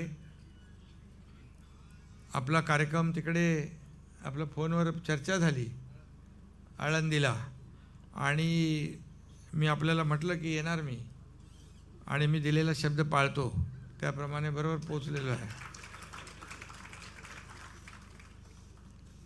आजच्या या अमृत महोत्सव सन्मान सोहळ्याला उपस्थित खुद्द परमपूज्य स्वामी गो गोविंददेवगिरी महाराजजी आमच्या विधान परिषदेच्या उपसभापती नीलमताई गोरेजी शालेय शिक्षण मंत्री दीपक केसरकरजी आमचे शिवसेनेचे मुख्य प्रतोद आमदार भरतशेठ गोगावलेजी कार्याध्यक्ष सावरकर स्मारक समितीचे रणजित सावरकरजी रमेश शिंदेजी राष्ट्रीय प्रवक्ता हिंदू जनजागृती सुरेश चव्हाणके आणि सर्व मान्यवर आणि मोठ्या संख्येने बाहेरही लोक मला भेटले. आपल्या प्रेमापोटी आलेले सर्व आपले स्नेही या सगळ्यांनाच मनापासून मी धन्यवाद देतो. खरं म्हणजे ज्यांच्या आशीर्वादाच्या छायाचित्रेत आजचा हा अमृत सोहळा संपन्न होतो आहे ते परमपूज्य गोविंददेवगिरी महाराजजी यांना मी आपल्या सगळ्यांच्या वतीने मनापासून कोटी कोटी प्रणाम करतो वंदन करतो. आणि त्यांना या कार्यक्रमाच्या निमित्तानं अमृत सोहळ्याच्या निमित्तानं शुभेच्छा देतो. खरं म्हणजे अमृत सोहळ्याच्या या आयोजनासाठी स्वातंत्र्यवीर सावरकर राष्ट्रीय स्मारक आणि हिंदू जनजागृती समिती यांच्याही सर्व कार्यकर्त्यांना मी मनापासून धन्यवाद देतो. त्यांचंही अभिनंदन करतो. कारण एका अतिशय स्तुत्य अशा कार्यक्रमाचं आयोजन आपण केलेलं आहे. खरं म्हणजे या सोहळ्यामध्ये गोविंदगिरी महाराज यांचं सन्मान होतो आहे परंतु खरं म्हणजे या सोहळ्यानिमित्तानं आपल्या सगळ्यांनाच किंबहुना आपल्या सगळ्यांवरच गोविंददेवगिरी महाराजांचा त्यांच्या आशीर्वादाचा वर्षाव होतो आहे असं म्हटलं तर वावगं ठरणार नाही. त्यामुळे आपल्यासाठी हा कार्यक्रम खूप सगळ्यांसाठीच एक आशीर्वाद रूपी आहे. आणि खरं म्हणजे इथं ज्ञानाच्या ईश्वराशी एकरूप झालेल्या साधक व्रतस्थ अशा गुरुमाऊलीच्या सहवासात आपण आहोत. आणि खरं म्हणजे प्रत्येकाच्या आयुष्यामध्ये धकाधकीच्या जीवनात प्रत्येकजण आपापल्या कामात व्यस्त असतो. आणि सगळं फास्ट आहे स्पर्धा आहे.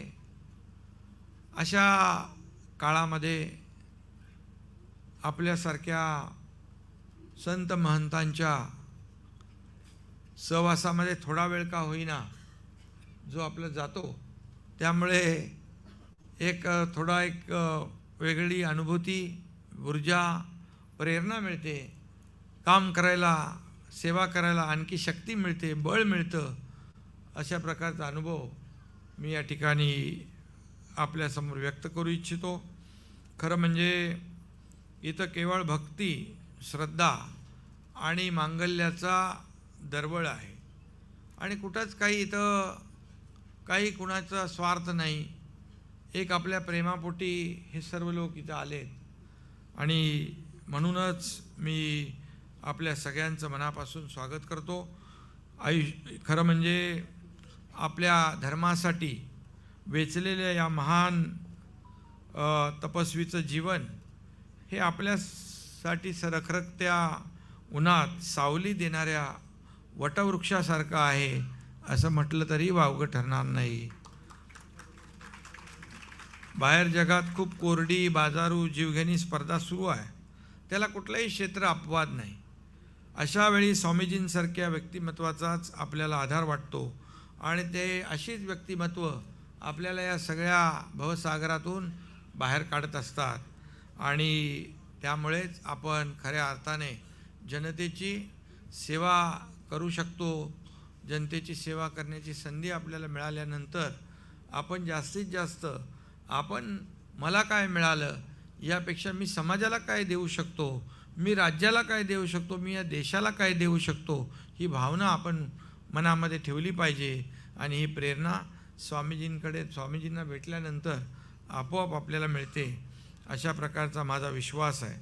आणि स्वामीजींनी वयाच्या सतराव्या वर्षापासून धर्मकार्याला सुरुवात केली.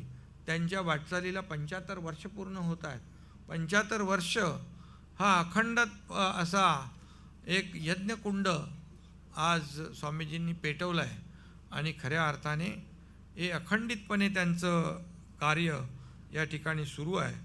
ते त्यांच्या ज्ञान प्रवचनाच्या माध्यमातून खऱ्या अर्थाने समाजाला काहीतरी देणं लागतं या भावनेमधून. समाज प्रबोधनाचं काम धर्मकार्याचं काम हे सगळं करत असतात.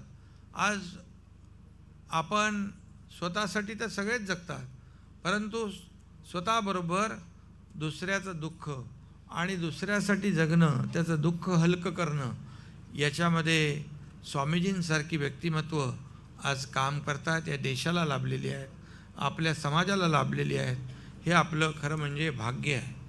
आणि म्हणून आपण सगळे भाग्यवान आहोत. आज आपण पाहिलं अयोध्येमध्ये प्रभू रामाचं मोठं भव्य दिव्य मंदिर उभं राहिलं.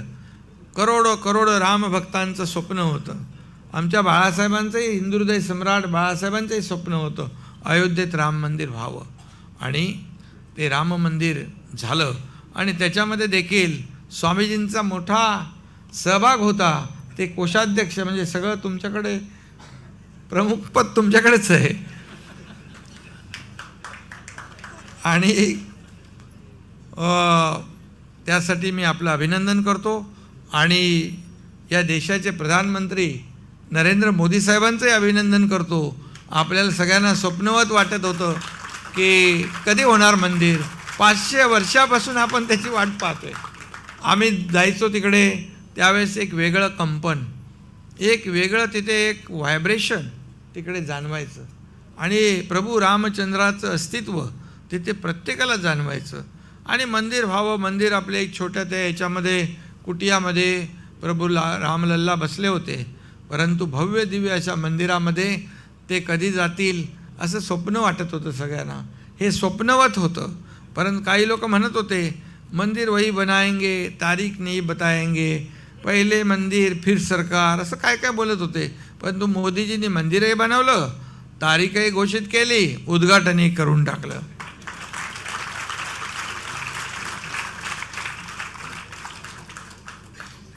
त्यामुळे खरं म्हणजे जे असं अशक्य प्राय लोकांना वाटायचं ते मोदीजी करतात. आज आपण पाहतोय की काश्मीरमधलं तीनशे सत्तर कलम कुणाला वाटलं होतं हटेल? परंतु ते अशक्यप्राय असं काम मोदीजींच्या मार्गदर्शनाखाली आपले कर्मठ गृहमंत्री अमित शहा साहेबांनी केलं. ही देखील वस्तुस्थिती आहे. आणखी काय काय करत जातील पुढे?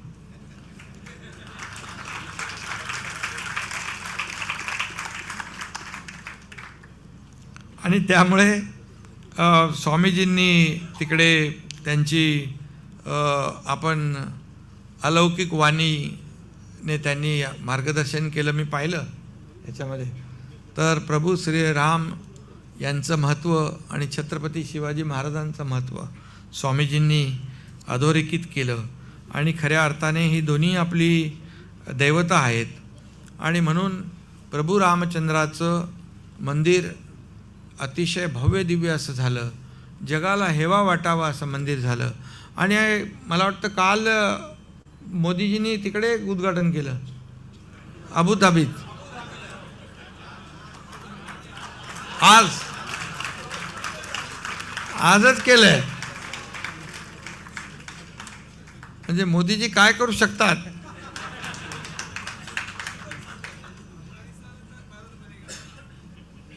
तुम्हाला म्हणजे तुम्ही भाग्यवान आहात की तिथे देखील मंदिरामध्ये आपलं मंदिर होतं आहे तिकडे. असं कधी कधी कोणाला वाटलं नव्हतं. आणि आता ही जगभरामध्ये अशीच मंदिरं उभी राहतील. सुरुवात झालेली आहे. मोदी आहे तो मुमकिन आहे. खरं आहे ते. कारण मोदीजींनी आपल्या देशाची अर्थव्यवस्था मजबूत केलीच. परंतु जगभरातल्या देशांची अर्थव्यवस्था डबघाईला आलेली असताना आपल्या देशाची अर्थव्यवस्था दहाव्यावरून पाचव्यावर आणली. आणि आता तिसऱ्यावर आणण्याचं त्यांचं संकल्प आहे. फाय ट्रिलियन डॉलर्स इकॉनॉमीचं त्यांचं स्वप्न आहे. आज देश जगभरामध्ये आपल्या देशाचं नाव सन्मानाने घेतलं जातं. मी डावोसमध्ये गेलो होतो वर्ल्ड इकॉनॉमिक फोरमला. त्यावेळेस पाहिलं की अनेक देशाचे लोक मला भेटले. पण त्या देशाच्या लोकांच्या मनामध्ये मोदीजींबद्दल खूप आदर होता. एक सन्मान होता की एक भारताची अर्थव्यवस्था भारताची प्रगती भारताचा विकास हे भारत भारत अर्थव्यवस्था आपली भा अर्थ महासत्तेकडे आपण चाललो आहे आर्थिक महासत्तेकडे. आज चांद्रयान आपलं यशस्वीपणे पहिल्यांदा यशस्वीपणे तो प्रयोग झाला. चंद्रावर आणि जिकडे कोणी पोचलं नाही. ज्या कोई नाही पोचता है वहाँ मोदी जी पोचते हैं और गोविंद गिरी महाराज भी पहुंच जाते हैं. खरं म्हणजे त्याला भाग्य लागतं. आणि त्याला धाडस पण लागतं. म्हणजे एरा गवाळ्याचं काम नाही. बरोबर ना? आम्ही पण थोडंसं धाडस दीड वर्षापूर्वी केलं होतं.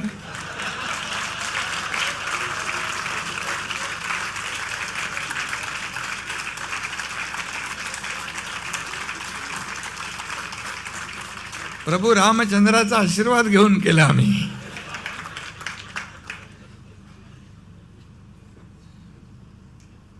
शेवटी जे या महाराष्ट्रातल्या जनतेच्या मनामध्ये जे होतं ते आम्ही केलं. आणि आज मी अभिमानाने सांगतो की आपल्या सगळ्यांच्या सदिच्छा शुभेच्छा प्रेमामुळे गोविंदगिरी महाराज जे आहेत ते मला जेव्हा जेव्हा भेटतात तेव्हा तेव्हा प्रेरणा मला मिळते आणि आपुलकीने मला भेटतात ते. आणि असे सगळे जी मोठी व्यक्तिमत्व आहेत यांना काही स्वार्थ नाही देणं माहीत आहे. काहीतरी आपण देणं लागतो समाजाला या भावनेने. अशी अनेक मोठी व्यक्तिमत्व भेटल्यानंतर समाधान होतं. आणि ते सांगतात चांगलं चाललं आहे चांगलं राज्यामध्ये काम सुरू आहे. प्रकल्प सुरू आहेत. निर्णय आपण फटाफट घेतो आहे आणि सर्वसामान्यांच्या हिताचे निर्णय घेतो आहे आज आपण मुंबईमध्ये स्वामीजी आम्ही खूप चांगलं काम करतो आहे मुंबई देखील बदलेल. मुंबई देखील आता पुढे स्वच्छ सुंदर हरित मुंबई करतो आहे गेल्या पण आठ दिवसापूर्वी देशामध्ये स्वच्छ राज्यांना पुरस्कार मिळाला. त्याच्यामध्ये आपलं महाराष्ट्र राज्य एक नंबरला आलं. आता जबाबदारी वाढली आहे. आज आम्ही प्रयत्न करतो आहे सगळंच काय एकदम होत नाही. परंतु सर्वसामान्य माणसाच्या आयुष्यामध्ये चांगले दिवस आले पाहिजे. त्यांच्या जीवनामध्ये परिवर्तन घडलं पाहिजे. शासनाच्या माध्यमातून त्यांना जे काय अपेक्षित काम आहे ते झालं पाहिजे. आणि म्हणून ते आम्ही करण्याचा प्रयत्न करतो आहे आणि त्यासाठी आपल्यासारख्या सद्गुरूंचा आशीर्वाद आम्हाला नक्कीच बळ आणि प्रेरणा देईल. आपण फार मोठं काम करताय. काय याच्यामध्ये किती सगळं म्हणजे काय काय लिहिलेलं आहे? आणि त्यामुळे ते मला बोलायला पण वेळ अपुरा पडेल. परंतु जर आप आपण या ठिकाणी आपल्या प्राचीन संस्कृतीचा आणि निष्ठांचा विसर पडू नये यासाठी खरं म्हणजे आपलं अनेक आपली मंदिरं प्राचीन आहेत. मी आता परवा रामटेकला परवाच गेलो होतो ताई आपण. रामटेक किती वर्षापूर्वीचं मंदिर? आणि तिथेही राम प्रभू रामचंद्रांचा त्यांच्या पदस्पर्शाने पावन झालेली ती भूमी. अशी अनेक प्राचीन मंदिरं आहेत. आणि म्हणून या ठिकाणी आपण जसं कुठे आता उद्या जाणार आहात तिकडे? अबुधाबीला. अबुधाबीला मंदिराचं दर्शन आणि एलिफंटाला इकडे लोक आपली जाणार आहेत.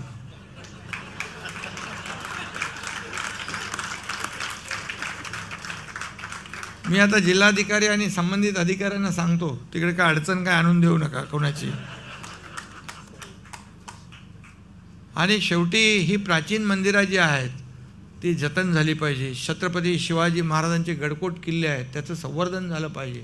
यासाठी सरकार काम करतं आहे आणि म्हणून मी गडांवर जातो तिथली परिस्थिती पाहतो. प्राचीन मंदिरं जी आहेत त्याचं जतन झालं पाहिजे त्याचं संवर्धन झालं पाहिजे. आणि या सगळ्या गोष्टी आपली संस्कृती आहे आपली परंपरा आहे. आणि त्यामुळे आपण देखील एवढं जे काही आपली संस्कृती जपण्याचं काम करत आहे छत्तीस वेधशाळा आहेत मला सांगितलं. देशभरामध्ये. जगभरामध्ये आपलं काम सुरू आहे. एकशे एक्क्याऐंशी? एकशे एक्क्याऐंशी देशामध्ये. आता विचार करा तुम्ही. आणि त्यामुळे आज आपण सगळ्या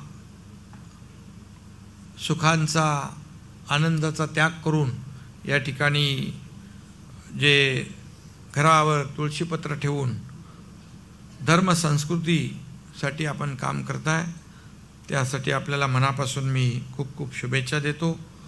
आणि मी एवढंच सांगतो की आपल्यासारखे स्वामीजी व्यक्तिमत्वांचा आपल्यासारख्या लोकांचा या समाजाला खऱ्या अर्थाने आपली गरज आहे. आणि या समाजाला चांगली लोक आहेत समाजामध्ये पण त्यांना मार्गदर्शन आवश्यक आहे. काम करणारे लोक आहेत. आणि काही सगळ्यात काय पाच बोटं सारखी नसतात. वेगवेगळ्या प्रवृत्त्या असतात. पण त्यांना सद्बुद्धी देण्यासाठी आपल्यासारखे लोक पाहिजेत. आणि मी नेहमी सांगतो कुठेही गेलो तरी बोलो आपल्या राज्याला आपल्या राज्यातला बळीराजा आपल्या राज्यातला प्रत्येक नागरिक सर्वसामान्य माणूस माता भगिनी तरुण सगळ्यांना आज आपापल्या क्षेत्रामध्ये कसं आपल्याला मदत करता येईल?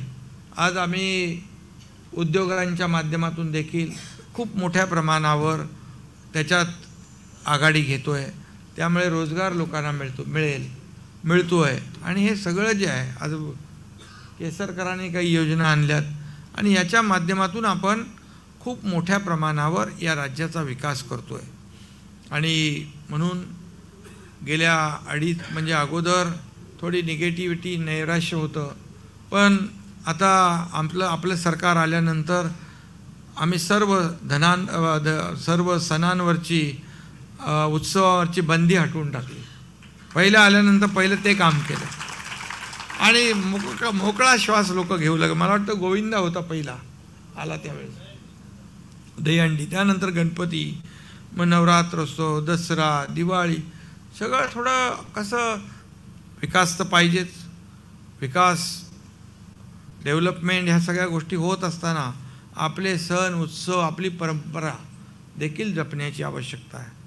आणि म्हणूनच मी एवढंच सांगतो की आज आपण इकडे आलात. मुंबईला आपलं हा आपला हा अमृत महोत्सवी कार्यक्रम करण्याची संधी मिळाली. त्याबद्दल आयोजकांना देखील मनापासून मी धन्यवाद देतो आणि आपल्यालाही मनापासून शुभेच्छा देतो.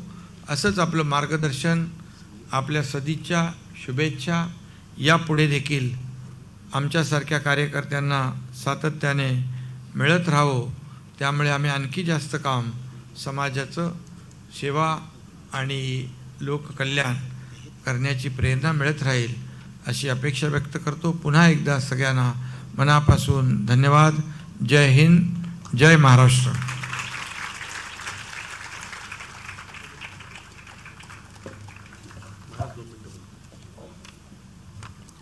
आता मी महाराजांना प्रार्थना करतो की त्यांनी माननीय मुख्यमंत्र्यांच्या या भाषणावर आपले विचार व्यक्त करावेत.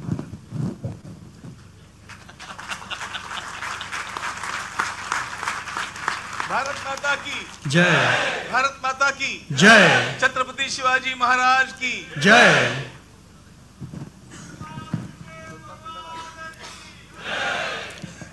कार्यक्रमाची सांगता संपूर्ण वंदे मातरम होणार आहे. तत्पूर्वी आपण एक छोटासा उद्घाटनाचा कार्यक्रम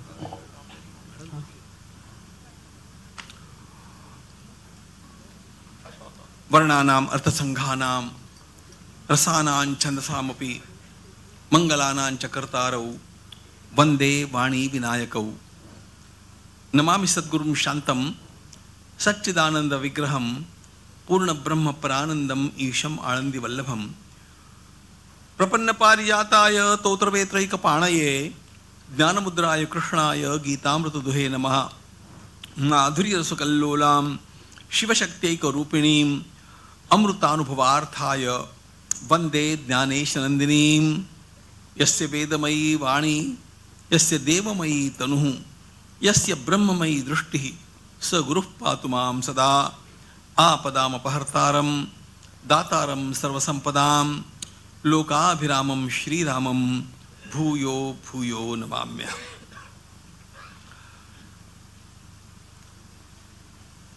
सावरकर सदनामध्ये मी आज दुसऱ्यांदा येतो आहे सर्वात पहिल्यांदा मी या ठिकाणी आलो. तो तात्यारावांचं स्वातंत्र्यवीरांचं अंतिम दर्शन घेण्याकरता आलो. आटापिटा करून आलो. मी तेव्हा तत्वज्ञान विद्यापीठामध्ये ठाण्याला शिकत होतो. अगदी नवखा होतो. मुंबईत येणं जाणं मला ठाऊक नव्हतं. आणि अचानक मी सकाळी वार्ता वाचली की स्वातंत्र्यवीर गेले. मला वाटलं माझ्या जीवनातल्या एका आराध्य दैवताचं हे अंतिम एकच दर्शन मला शक्य आहे. म्हणून मी काही मित्रांना विनवण्या करून त्यांच्यासोबत या ठिकाणी आलो. या ठिकाणी आणि मराठा मंदिरमध्ये जेथे त्यांना संघाच्या वतीनं मानवंदना दिली गेली त्या ठिकाणी मी उपस्थित होतो. कशा करता? माझ्या बालपणापासनं. ज्यांच्या वाङ्मयाचा आणि ज्या ज्या व्यक्तित्वाचा मी ध्यास घेतला त्यामध्ये आद्य पुरुष स्वामी विवेकानंदांच्या बरोबरीनं स्वातंत्र्यवीर सावरकर हे या महनीय व्यक्तिमत्वानं आम्हाला जो मंत्र दिला तो फार महत्त्वाचा आहे. स्वातंत्र्यवीरांच्या काही विचारांच्या सोबत माझे मतभेदही असतात. पण ते एका घरामध्ये आपल्याला चालतात आणि आदर ठेवूनही ते बाळगता येतात. तरी पण जेव्हा भगूरला अन्य पक्षांचं शासन असल्यामुळे केंद्रीय स्थानी स्वातंत्र्यवीरांचा पुतळा उभा करू देत नव्हते तेव्हा मी त्या ठिकाणी तीन व्याख्यानं दिली. मी तिथल्या मंडळाला म्हटलं की माझं असं लोक ऐकणार नाहीत. पण तीन व्याख्यानं मी दिली. आणि सांगितलं जगाला गवसणी घालणारा इतका महान पुरुष या भगूर शहरामध्ये जन्माला आला. आणि जर त्याला आपण योग्य स्थान दिलं नाही तर पुढल्या पिढ्या तुमच्या तोंडात शेण घालतील. दुसऱ्या दिवशी मला लोकांनी बोलावलं आणि सांगितलं तुम्हाला हवं ते स्थान घ्या आणि त्यांचा पुतळा त्या ठिकाणी उभा करा. हे सगळं मी सातत्यानं करत गेलो. बालपणापासून मला सावरकरांचं वेड होतं. त्यांचं जीवन दैदिप्यमान तर होतंच पण भविष्याच्या दृष्टीनं आपणा सर्वांना मार्गदर्शक अशा प्रकारचं तेच जीवन आहे. आणि म्हणून माझ्या विचारांची गंगा हे एकीकडे स्वातंत्र्यवीर सावरकर आणि दुसरीकडे स्वामी विवेकानंद या दोन तटांच्या मधनं वाहत गेली आणि त्यामुळे ती राम मंदिरापर्यंत पोहोचू शकली हे लक्षात ठेवा. त्या गंगोत्रीचा त्या गंगेचा मूळ उगमस्थानाचा भाग आळंदीला असला तरी तट हे दोन आहेत. आणि त्यामुळे जे जे काही माझ्याकडनं घडलं त्या सर्व क्षेत्रांच्यामधनं मला आज वसंतपंचमीच्या दिवशी सरस्वती पूजनाच्या निमित्तानं खरोखर सरस्वती पूजन म्हणजे सारस्वतांच्या विचारधारांचं पूजन. या देशाला तारणारी जर कुठली विचारधारा असेल तर ती स्वातंत्र्यवीरांची आणि छत्रपतींची विचारधारा आहे हे लक्षात ठेवा. त्याचं पूजन करण्याचा प्रयत्न मी आजीवन केला आणि आज उभ्या महाराष्ट्राला प्रतिनिधी म्हणून लाभलेले आमचे माननीय मुख्यमंत्री यांनी ज्या शुभकामना मला दिल्या ज्या शुभेच्छा मला दिल्या ते मी खरोखर स्वातंत्र्यवीरांचे आशीर्वाद आणि महाराष्ट्राचे आशीर्वाद या दृष्टीनं अत्यंत विनम्रतेनं स्वीकारतो. आणि हे स्वीकारत असताना म्हणतो की छत्रपती शिवाजी महाराज यांचं जीवन हे सर्वांच्या समोर आलं पाहिजे. गीता परिवाराचं काम एकशे एक्क्याऐंशी देशात चालतं. आत्ता आपण त्याचा उल्लेख ऐकला. हे सगळं काम जे गीता परिवाराचं चालतं त्यामध्ये सातत्यानं गीता परिवाराच्या बालसंस्कारांचं काम करणाऱ्या कार्यकर्त्यांना मी एक गोष्ट सांगत असतो की बालसंस्कार करणं म्हणजे काय करणं? त्याच्याबद्दलची माझी पुस्तकं आहेत माझ्या व्याख्यानमाला आहेत पण एका वाक्यात सांगायचं असेल की बालसंस्कार करणं म्हणजे काय करणं?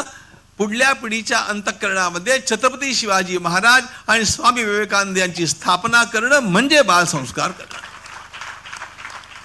छत्रपतींचं स्मरण झालं की आपोआप आपल्या कामाला उभारी येते. आपल्या जीवनाला एक वळण लागतं. एक महान राजा एक राजदर्शी आपण पाहिला ज्याचं वर्णन समर्थांनी अद्भुत पद्धतीनं केलं. त्या छत्रपतींचा आदर्श ठेवून आपल्या जीवनातली आपली पावलं पडावीत. आणि त्यांच्या आकांक्षा पूर्ण कशा करता येतील याकरता आपल्या जीवनामध्ये प्रयत्न सातत्यानं घडत राहावा. कुठलंही कार्य कुठलंही महान कार्य एका पिढीमध्ये पूर्ण होत नसतं. अनेक पिढ्या गेल्या तेव्हा गंगा मातेचं दर्शन या भूतलाला झालं. त्याप्रमाणे अनेक पिढ्यांच्या पश्चात आपण आज राम मंदिर उभं असलेलं बघतोय. पिढ्यानपिढ्या जाण्याची आता ही वेळ संपली. आता सगळं काही आपण आपल्या पिढीमध्ये बघणार आहोत. ही फार महत्वाची गोष्ट आहे. पण म्हणून या सगळ्या मागल्या पिढ्यांच्या पेक्षा आपली पिढी भाग्यवान पिढी आहे. आपलं राष्ट्र उभं राहत असताना आपण ते बघत राहूया. आणि आपण तो आनंद सोहळा आपल्या जीवनामध्ये अनुभवूया. पण त्याकरता जे लागतं ना त्याकरता जे साहस लागतं ते साहस करणारे माननीय मुख्यमंत्री आपल्याला भेटले हे आपलं सर्वांचं सद्भाग्य आहे. हे खरोखर फार मोठं सद्भाग्य आहे. कारण याचं एक साधं कारण आहे बघा व्यक्तिनिष्ठेपेक्षा तत्वनिष्ठा ही केव्हाही महत्वाची असते. व्यक्तिनिष्ठेपेक्षा तत्वनिष्ठा ही महत्वाची असते. ज्या विचारांचा वारसा घेऊन आम्ही पिढ्यानपिढ्या चालत आलो ज्या विचारांच्या वारशाच्या रक्षणाकरता लोकांनी आमच्यावरती विश्वास ठेवला त्या विचारांच्या करता जगण्यात अर्थ आहे आणि त्या विचारांना पुढे नेण्यातच जीवनाचं सार्थक्य आहे साफल्य आहे. या दृष्टिकोनाला घेऊन चालणारा एक मुख्यमंत्री या प्रदेशाला लाभला हे या प्रदेशाचे भाग्य म्हणावं लागेल. कोणी पण असं साहस करत नाही बरं का. हे येरा गवाळ्याचं काम नाही. त्याच्या त्याच्याकरता पुष्कळ पुष्कळ कॅल्क्युलेशन्स करावी लागतात जपून पावलं टाकावी लागतात आणि याच्याकरता शिवाजी महाराज मनात ठेवून वागावं लागतं. म्हणजे हे सगळं जमतं. शिवांनी हेच केलं प्रतिकूल परिस्थितीमध्ये केलं. अरे आपल्या वडिलांच्याही विचारांना विरोध करून सुद्धा केलं आणि म्हणून आपल्याला त्यांचा आदर्श हा आपल्याकरता नव्हे पिढ्यानपिढ्यांच्या करता. फार अधिक बोलण्याची ही संधी नाहीये खरोखर. पण एक गोष्ट सांगून टाकतो फक्त तुमच्या माहिती करता. मी अख्ख्या जगातल्या वाङ्मयाचा मागोवा घेतला. इतिहास बघितला वाङ्मय बघितलं आध्यात्मिक वाङ्मय बघितलं. पण महाराष्ट्रातली दोन रत्न अशा प्रकारची आहेत की तशी माणसं जगाच्या पटीवर झालीच नाहीत कुठेही. एक तर संत ज्ञानेश्वर महाराज आणि दुसरे छत्रपती शिवाजी महाराज. अवघ्या जगाच्या संपूर्ण इतिहासामध्ये अशा प्रकारची माणसं नाहीत. यांच्यापासून प्रेरणा घेऊन हा महाराष्ट्र चालेल तर हा महाराष्ट्र पुन्हा देशाचं नेतृत्व करेल लक्षात ठेवा. महाराष्ट्रानं महाराष्ट्रातच केवळ लुडबुडत राहावं यात त्याचं महाराष्ट्रीयत्व नाही आहे महाराष्ट्र हा खरोखर देशाचं नेतृत्व करणारा विभाग आहे. महाराष्ट्र मेला तरी राष्ट्र मेले महाराष्ट्र मेला तरी राष्ट्र मेले मराठ्या विना राष्ट्र गाडा चाले खरा वीर वैरी पराधीनतेचा महाराष्ट्र आधार या भारताचा. महाराष्ट्र आधार या भारताचा. अशा प्रकारची ज्याची महती त्यानं दिल्लीच्या वातावरणामध्ये आपलं एक स्थान काबीज करणं आवश्यक आहे. एक स्थान निर्माण करण्याची आवश्यकता आहे. ते होऊ शकलं असतं पण आपण आपल्यामध्ये भांडत राहिलो आणि त्यामुळे आपल्याला तिथपर्यंत पोचता आलं नाही. याचं आपण आता शिक्षण घेऊन याचा धडा घेऊन पुढली पावलं टाकली पाहिजेत. माझ्यापुरतं बोलायचं तर मी कृतज्ञ आहे. आपण सर्वांनी अत्यंत अलोट प्रेम मला दिलं मुख्यमंत्री साहेब येऊ शकले नाही आळंदीला म्हणून या ठिकाणी त्यांनी येऊन आणि मी शब्द पाळतो हे दाखवून दिलं.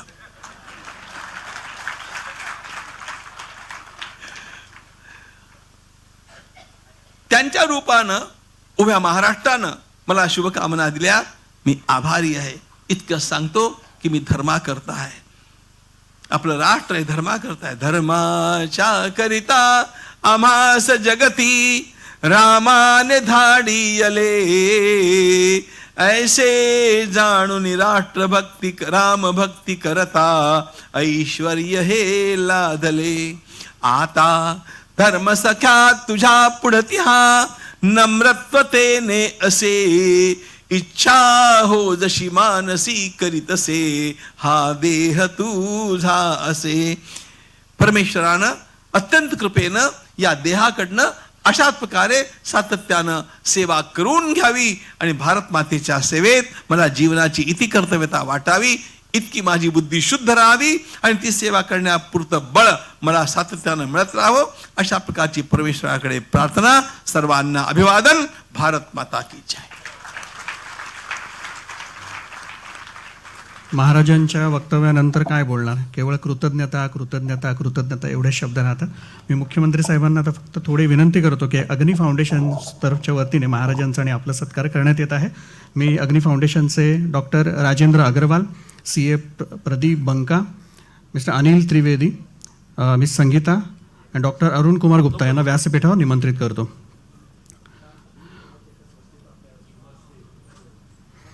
त्याचप्रमाणे अग्नी संस्थेचा लोगो वेबसाईट आणि अग्नीचं ॲप याचंही अनावरण माननीय मुख्यमंत्री आणि परमपूजनीय स्वामीजी यांच्या हस्ते होत आहे.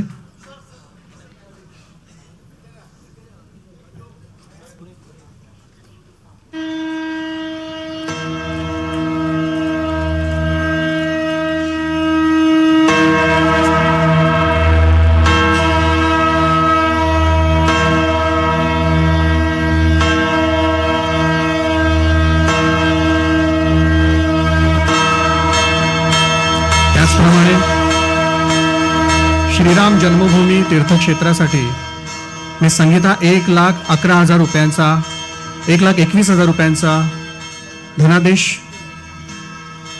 महाराजांना देत आहे. त्याचप्रमाणे मुख्यमंत्री सहायता निधीसाठी एक लाख अकरा हजार रुपयांचा धनादेश डॉक्टर अरुण कुमार गुप्ता माननीय मुख्यमंत्र्यांना देत आहेत.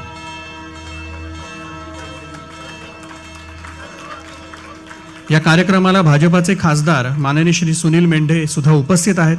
त्यांचं आम्ही स्वागत करतो.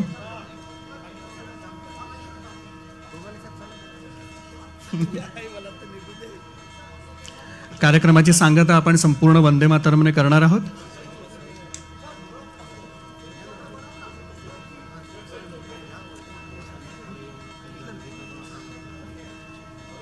कृपया व्यासपीठावर अधिक गर्दी करू नये. सुरक्षेच्या कारणास्तव?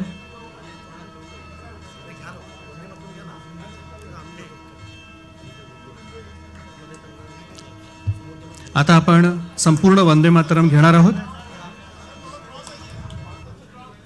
मी सौ सविता लेले. सगळ्यांनी आपण वंदे मातरमसाठी उभं राहायचं आहे.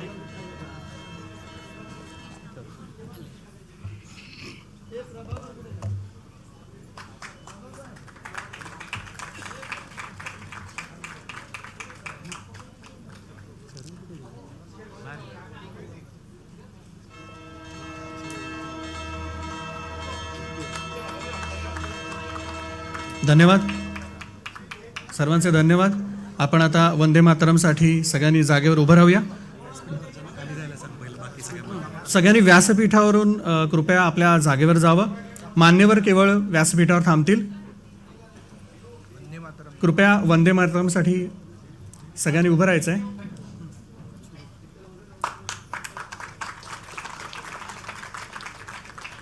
खाली खाली चला सगळ्यांनी इतरांनी खाली जायचंय मान्यवर केवळ व्यासपीठावर राहतील. कृपया लवकरात लवकर आपल्याला व्यासपीठावरून खाली जायचंय. कृपया व्यासपीठ केवळ मान्यवर व्यासपीठ पर आहे.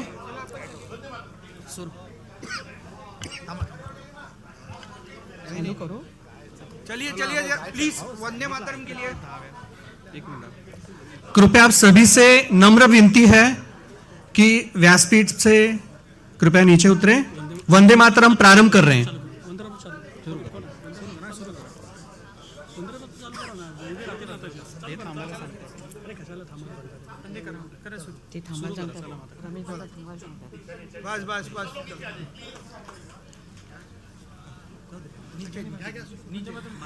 वंदे बस वंदे नीचे सुजलां सुफलां मलयजशीतलां सस्यश्यामलां मातरं वन्दे मातरं वन्दे मातरं शुभ्रज्योत्स्नां पुलकितयामिनीं फुल्लकुसुमिता द्रुमदलशोभिनीं सुहासिनीं सुमधुरभाषिणीं सुखदां वरदां मातरं वन्दे मातरं वन्दे मातरं कोटिकोटिकण्ठ कलकलनिनादकराले कोटिकोटिभुजै द्रुतखरकरवाले के बोले मात तुम्ही अबले बहुबलधारिणीं नमामि तारिणीं रिपुदलवारिणीं मातरं वन्दे मातरं वन्दे मातरं तुम्ही विद्या तुम्ही धर्म तुम्ही हृदि तुम्ही मर्म। त्वं हि प्राणा शरीरे बाहुते तुम्ही मा शक्ती। हृदये तुम्ही मा भक्ती तोमारै प्रतिमा गडिमन्दिरे मन्दिरे वन्दे मातरं वन्दे मातरं त्वं हि दुर्गा दशप्रहरणधारिणीं कमला कमलदलविहारिणीं वाणी विद्या दायिनी नमामि त्वां नमामि कमलाम् अमलाम् अतुलां सुजलां सुफलां मातरं वन्दे मातरं वन्दे मातरम् श्यामलां सरलां सुस्मितां भूषितां धरणीं भरणीं मातरं वन्दे मातरं वन्दे मातरं वन्दे मातरम् भारत माता की भारत माता की वन्दे वंदे! धन्यवाद. हा कार्यक्रम यावेळेला संपन्न झाला आहे असं आम्ही जाहीर करत आहोत. या कार्यक्रमासाठी ज्यांनी ज्यांनी आम्हाला सहकार्य केलं त्याचप्रमाणे माननीय मुख्यमंत्री त्यासोबतच मंत्रिमंडळ यांचाही आम्ही अत्यंत आभारी आहोत. जाताना आपल्यापैकी प्रत्येकाला एक क्यू आर कोड दिलेला आहे. तो क्यू आर कोड आपल्याला इथे डिस्प्ले होईल. त्या क्यू आर कोडमध्ये आपण आपला अभिप्राय नोंदवू शकता. त्याद्वारे त्याचप्रमाणे खाली उतरल्यानंतर स्वागत कक्षाकडे आपल्याला घरी घेऊन जाण्यासाठी प्रसादाची व्यवस्था करण्यात आलेली आहे. कृपया ती अवश्य घेऊन जावं. या ठिकाणी विविध राष्ट्रधर्म अध्यात्म या विषयाचे ग्रंथ प्रदर्शन आयोजित करण्यात आलेले आहे ती ग्रंथप्रदर्शनंसुद्धा या ग्रंथप्रदर्शनाचा सुद्धा आपण अवश्य लाभ घ्यावा. सुरक्षेच्या कारणास्तव आता आपण कोणीही व्यासपीठावर येऊ नये. कृपया प्रोटोकॉल पाळावा.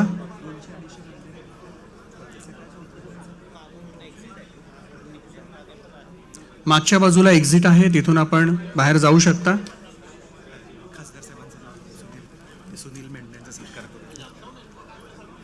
या ठिकाणी माननीय खासदार सुनीलजी मेंढे उपस्थित आहेत.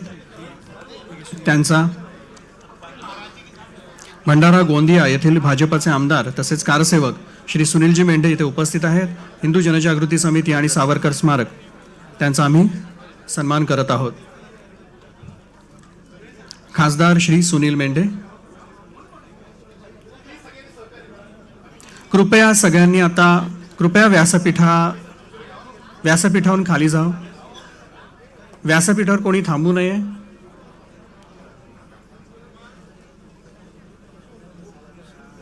सगळ्यांना विनंती आहे कृपया मुख्यमंत्र्यांना आता जायचं आहे. सर्वांना विनंती आहे कळकळीची विनंती आहे कृपया आता व्यासपीठावर कोणी येऊ नये. मुख्यमंत्र्यांना जायचं आहे. लवकरात लवकर व्यासपीठ मोकळं करावं माननीय मुख्यमंत्र्यांना निघायचं आहे. विनंती करतो आम्ही. कृपया व्यासपीठावरून व्यासपीठ मोकळं करावं. ज्यांचं व्यासपीठावरचं काम झालेलं आहे त्यांनी व्यासपीठ मोकळं करावं.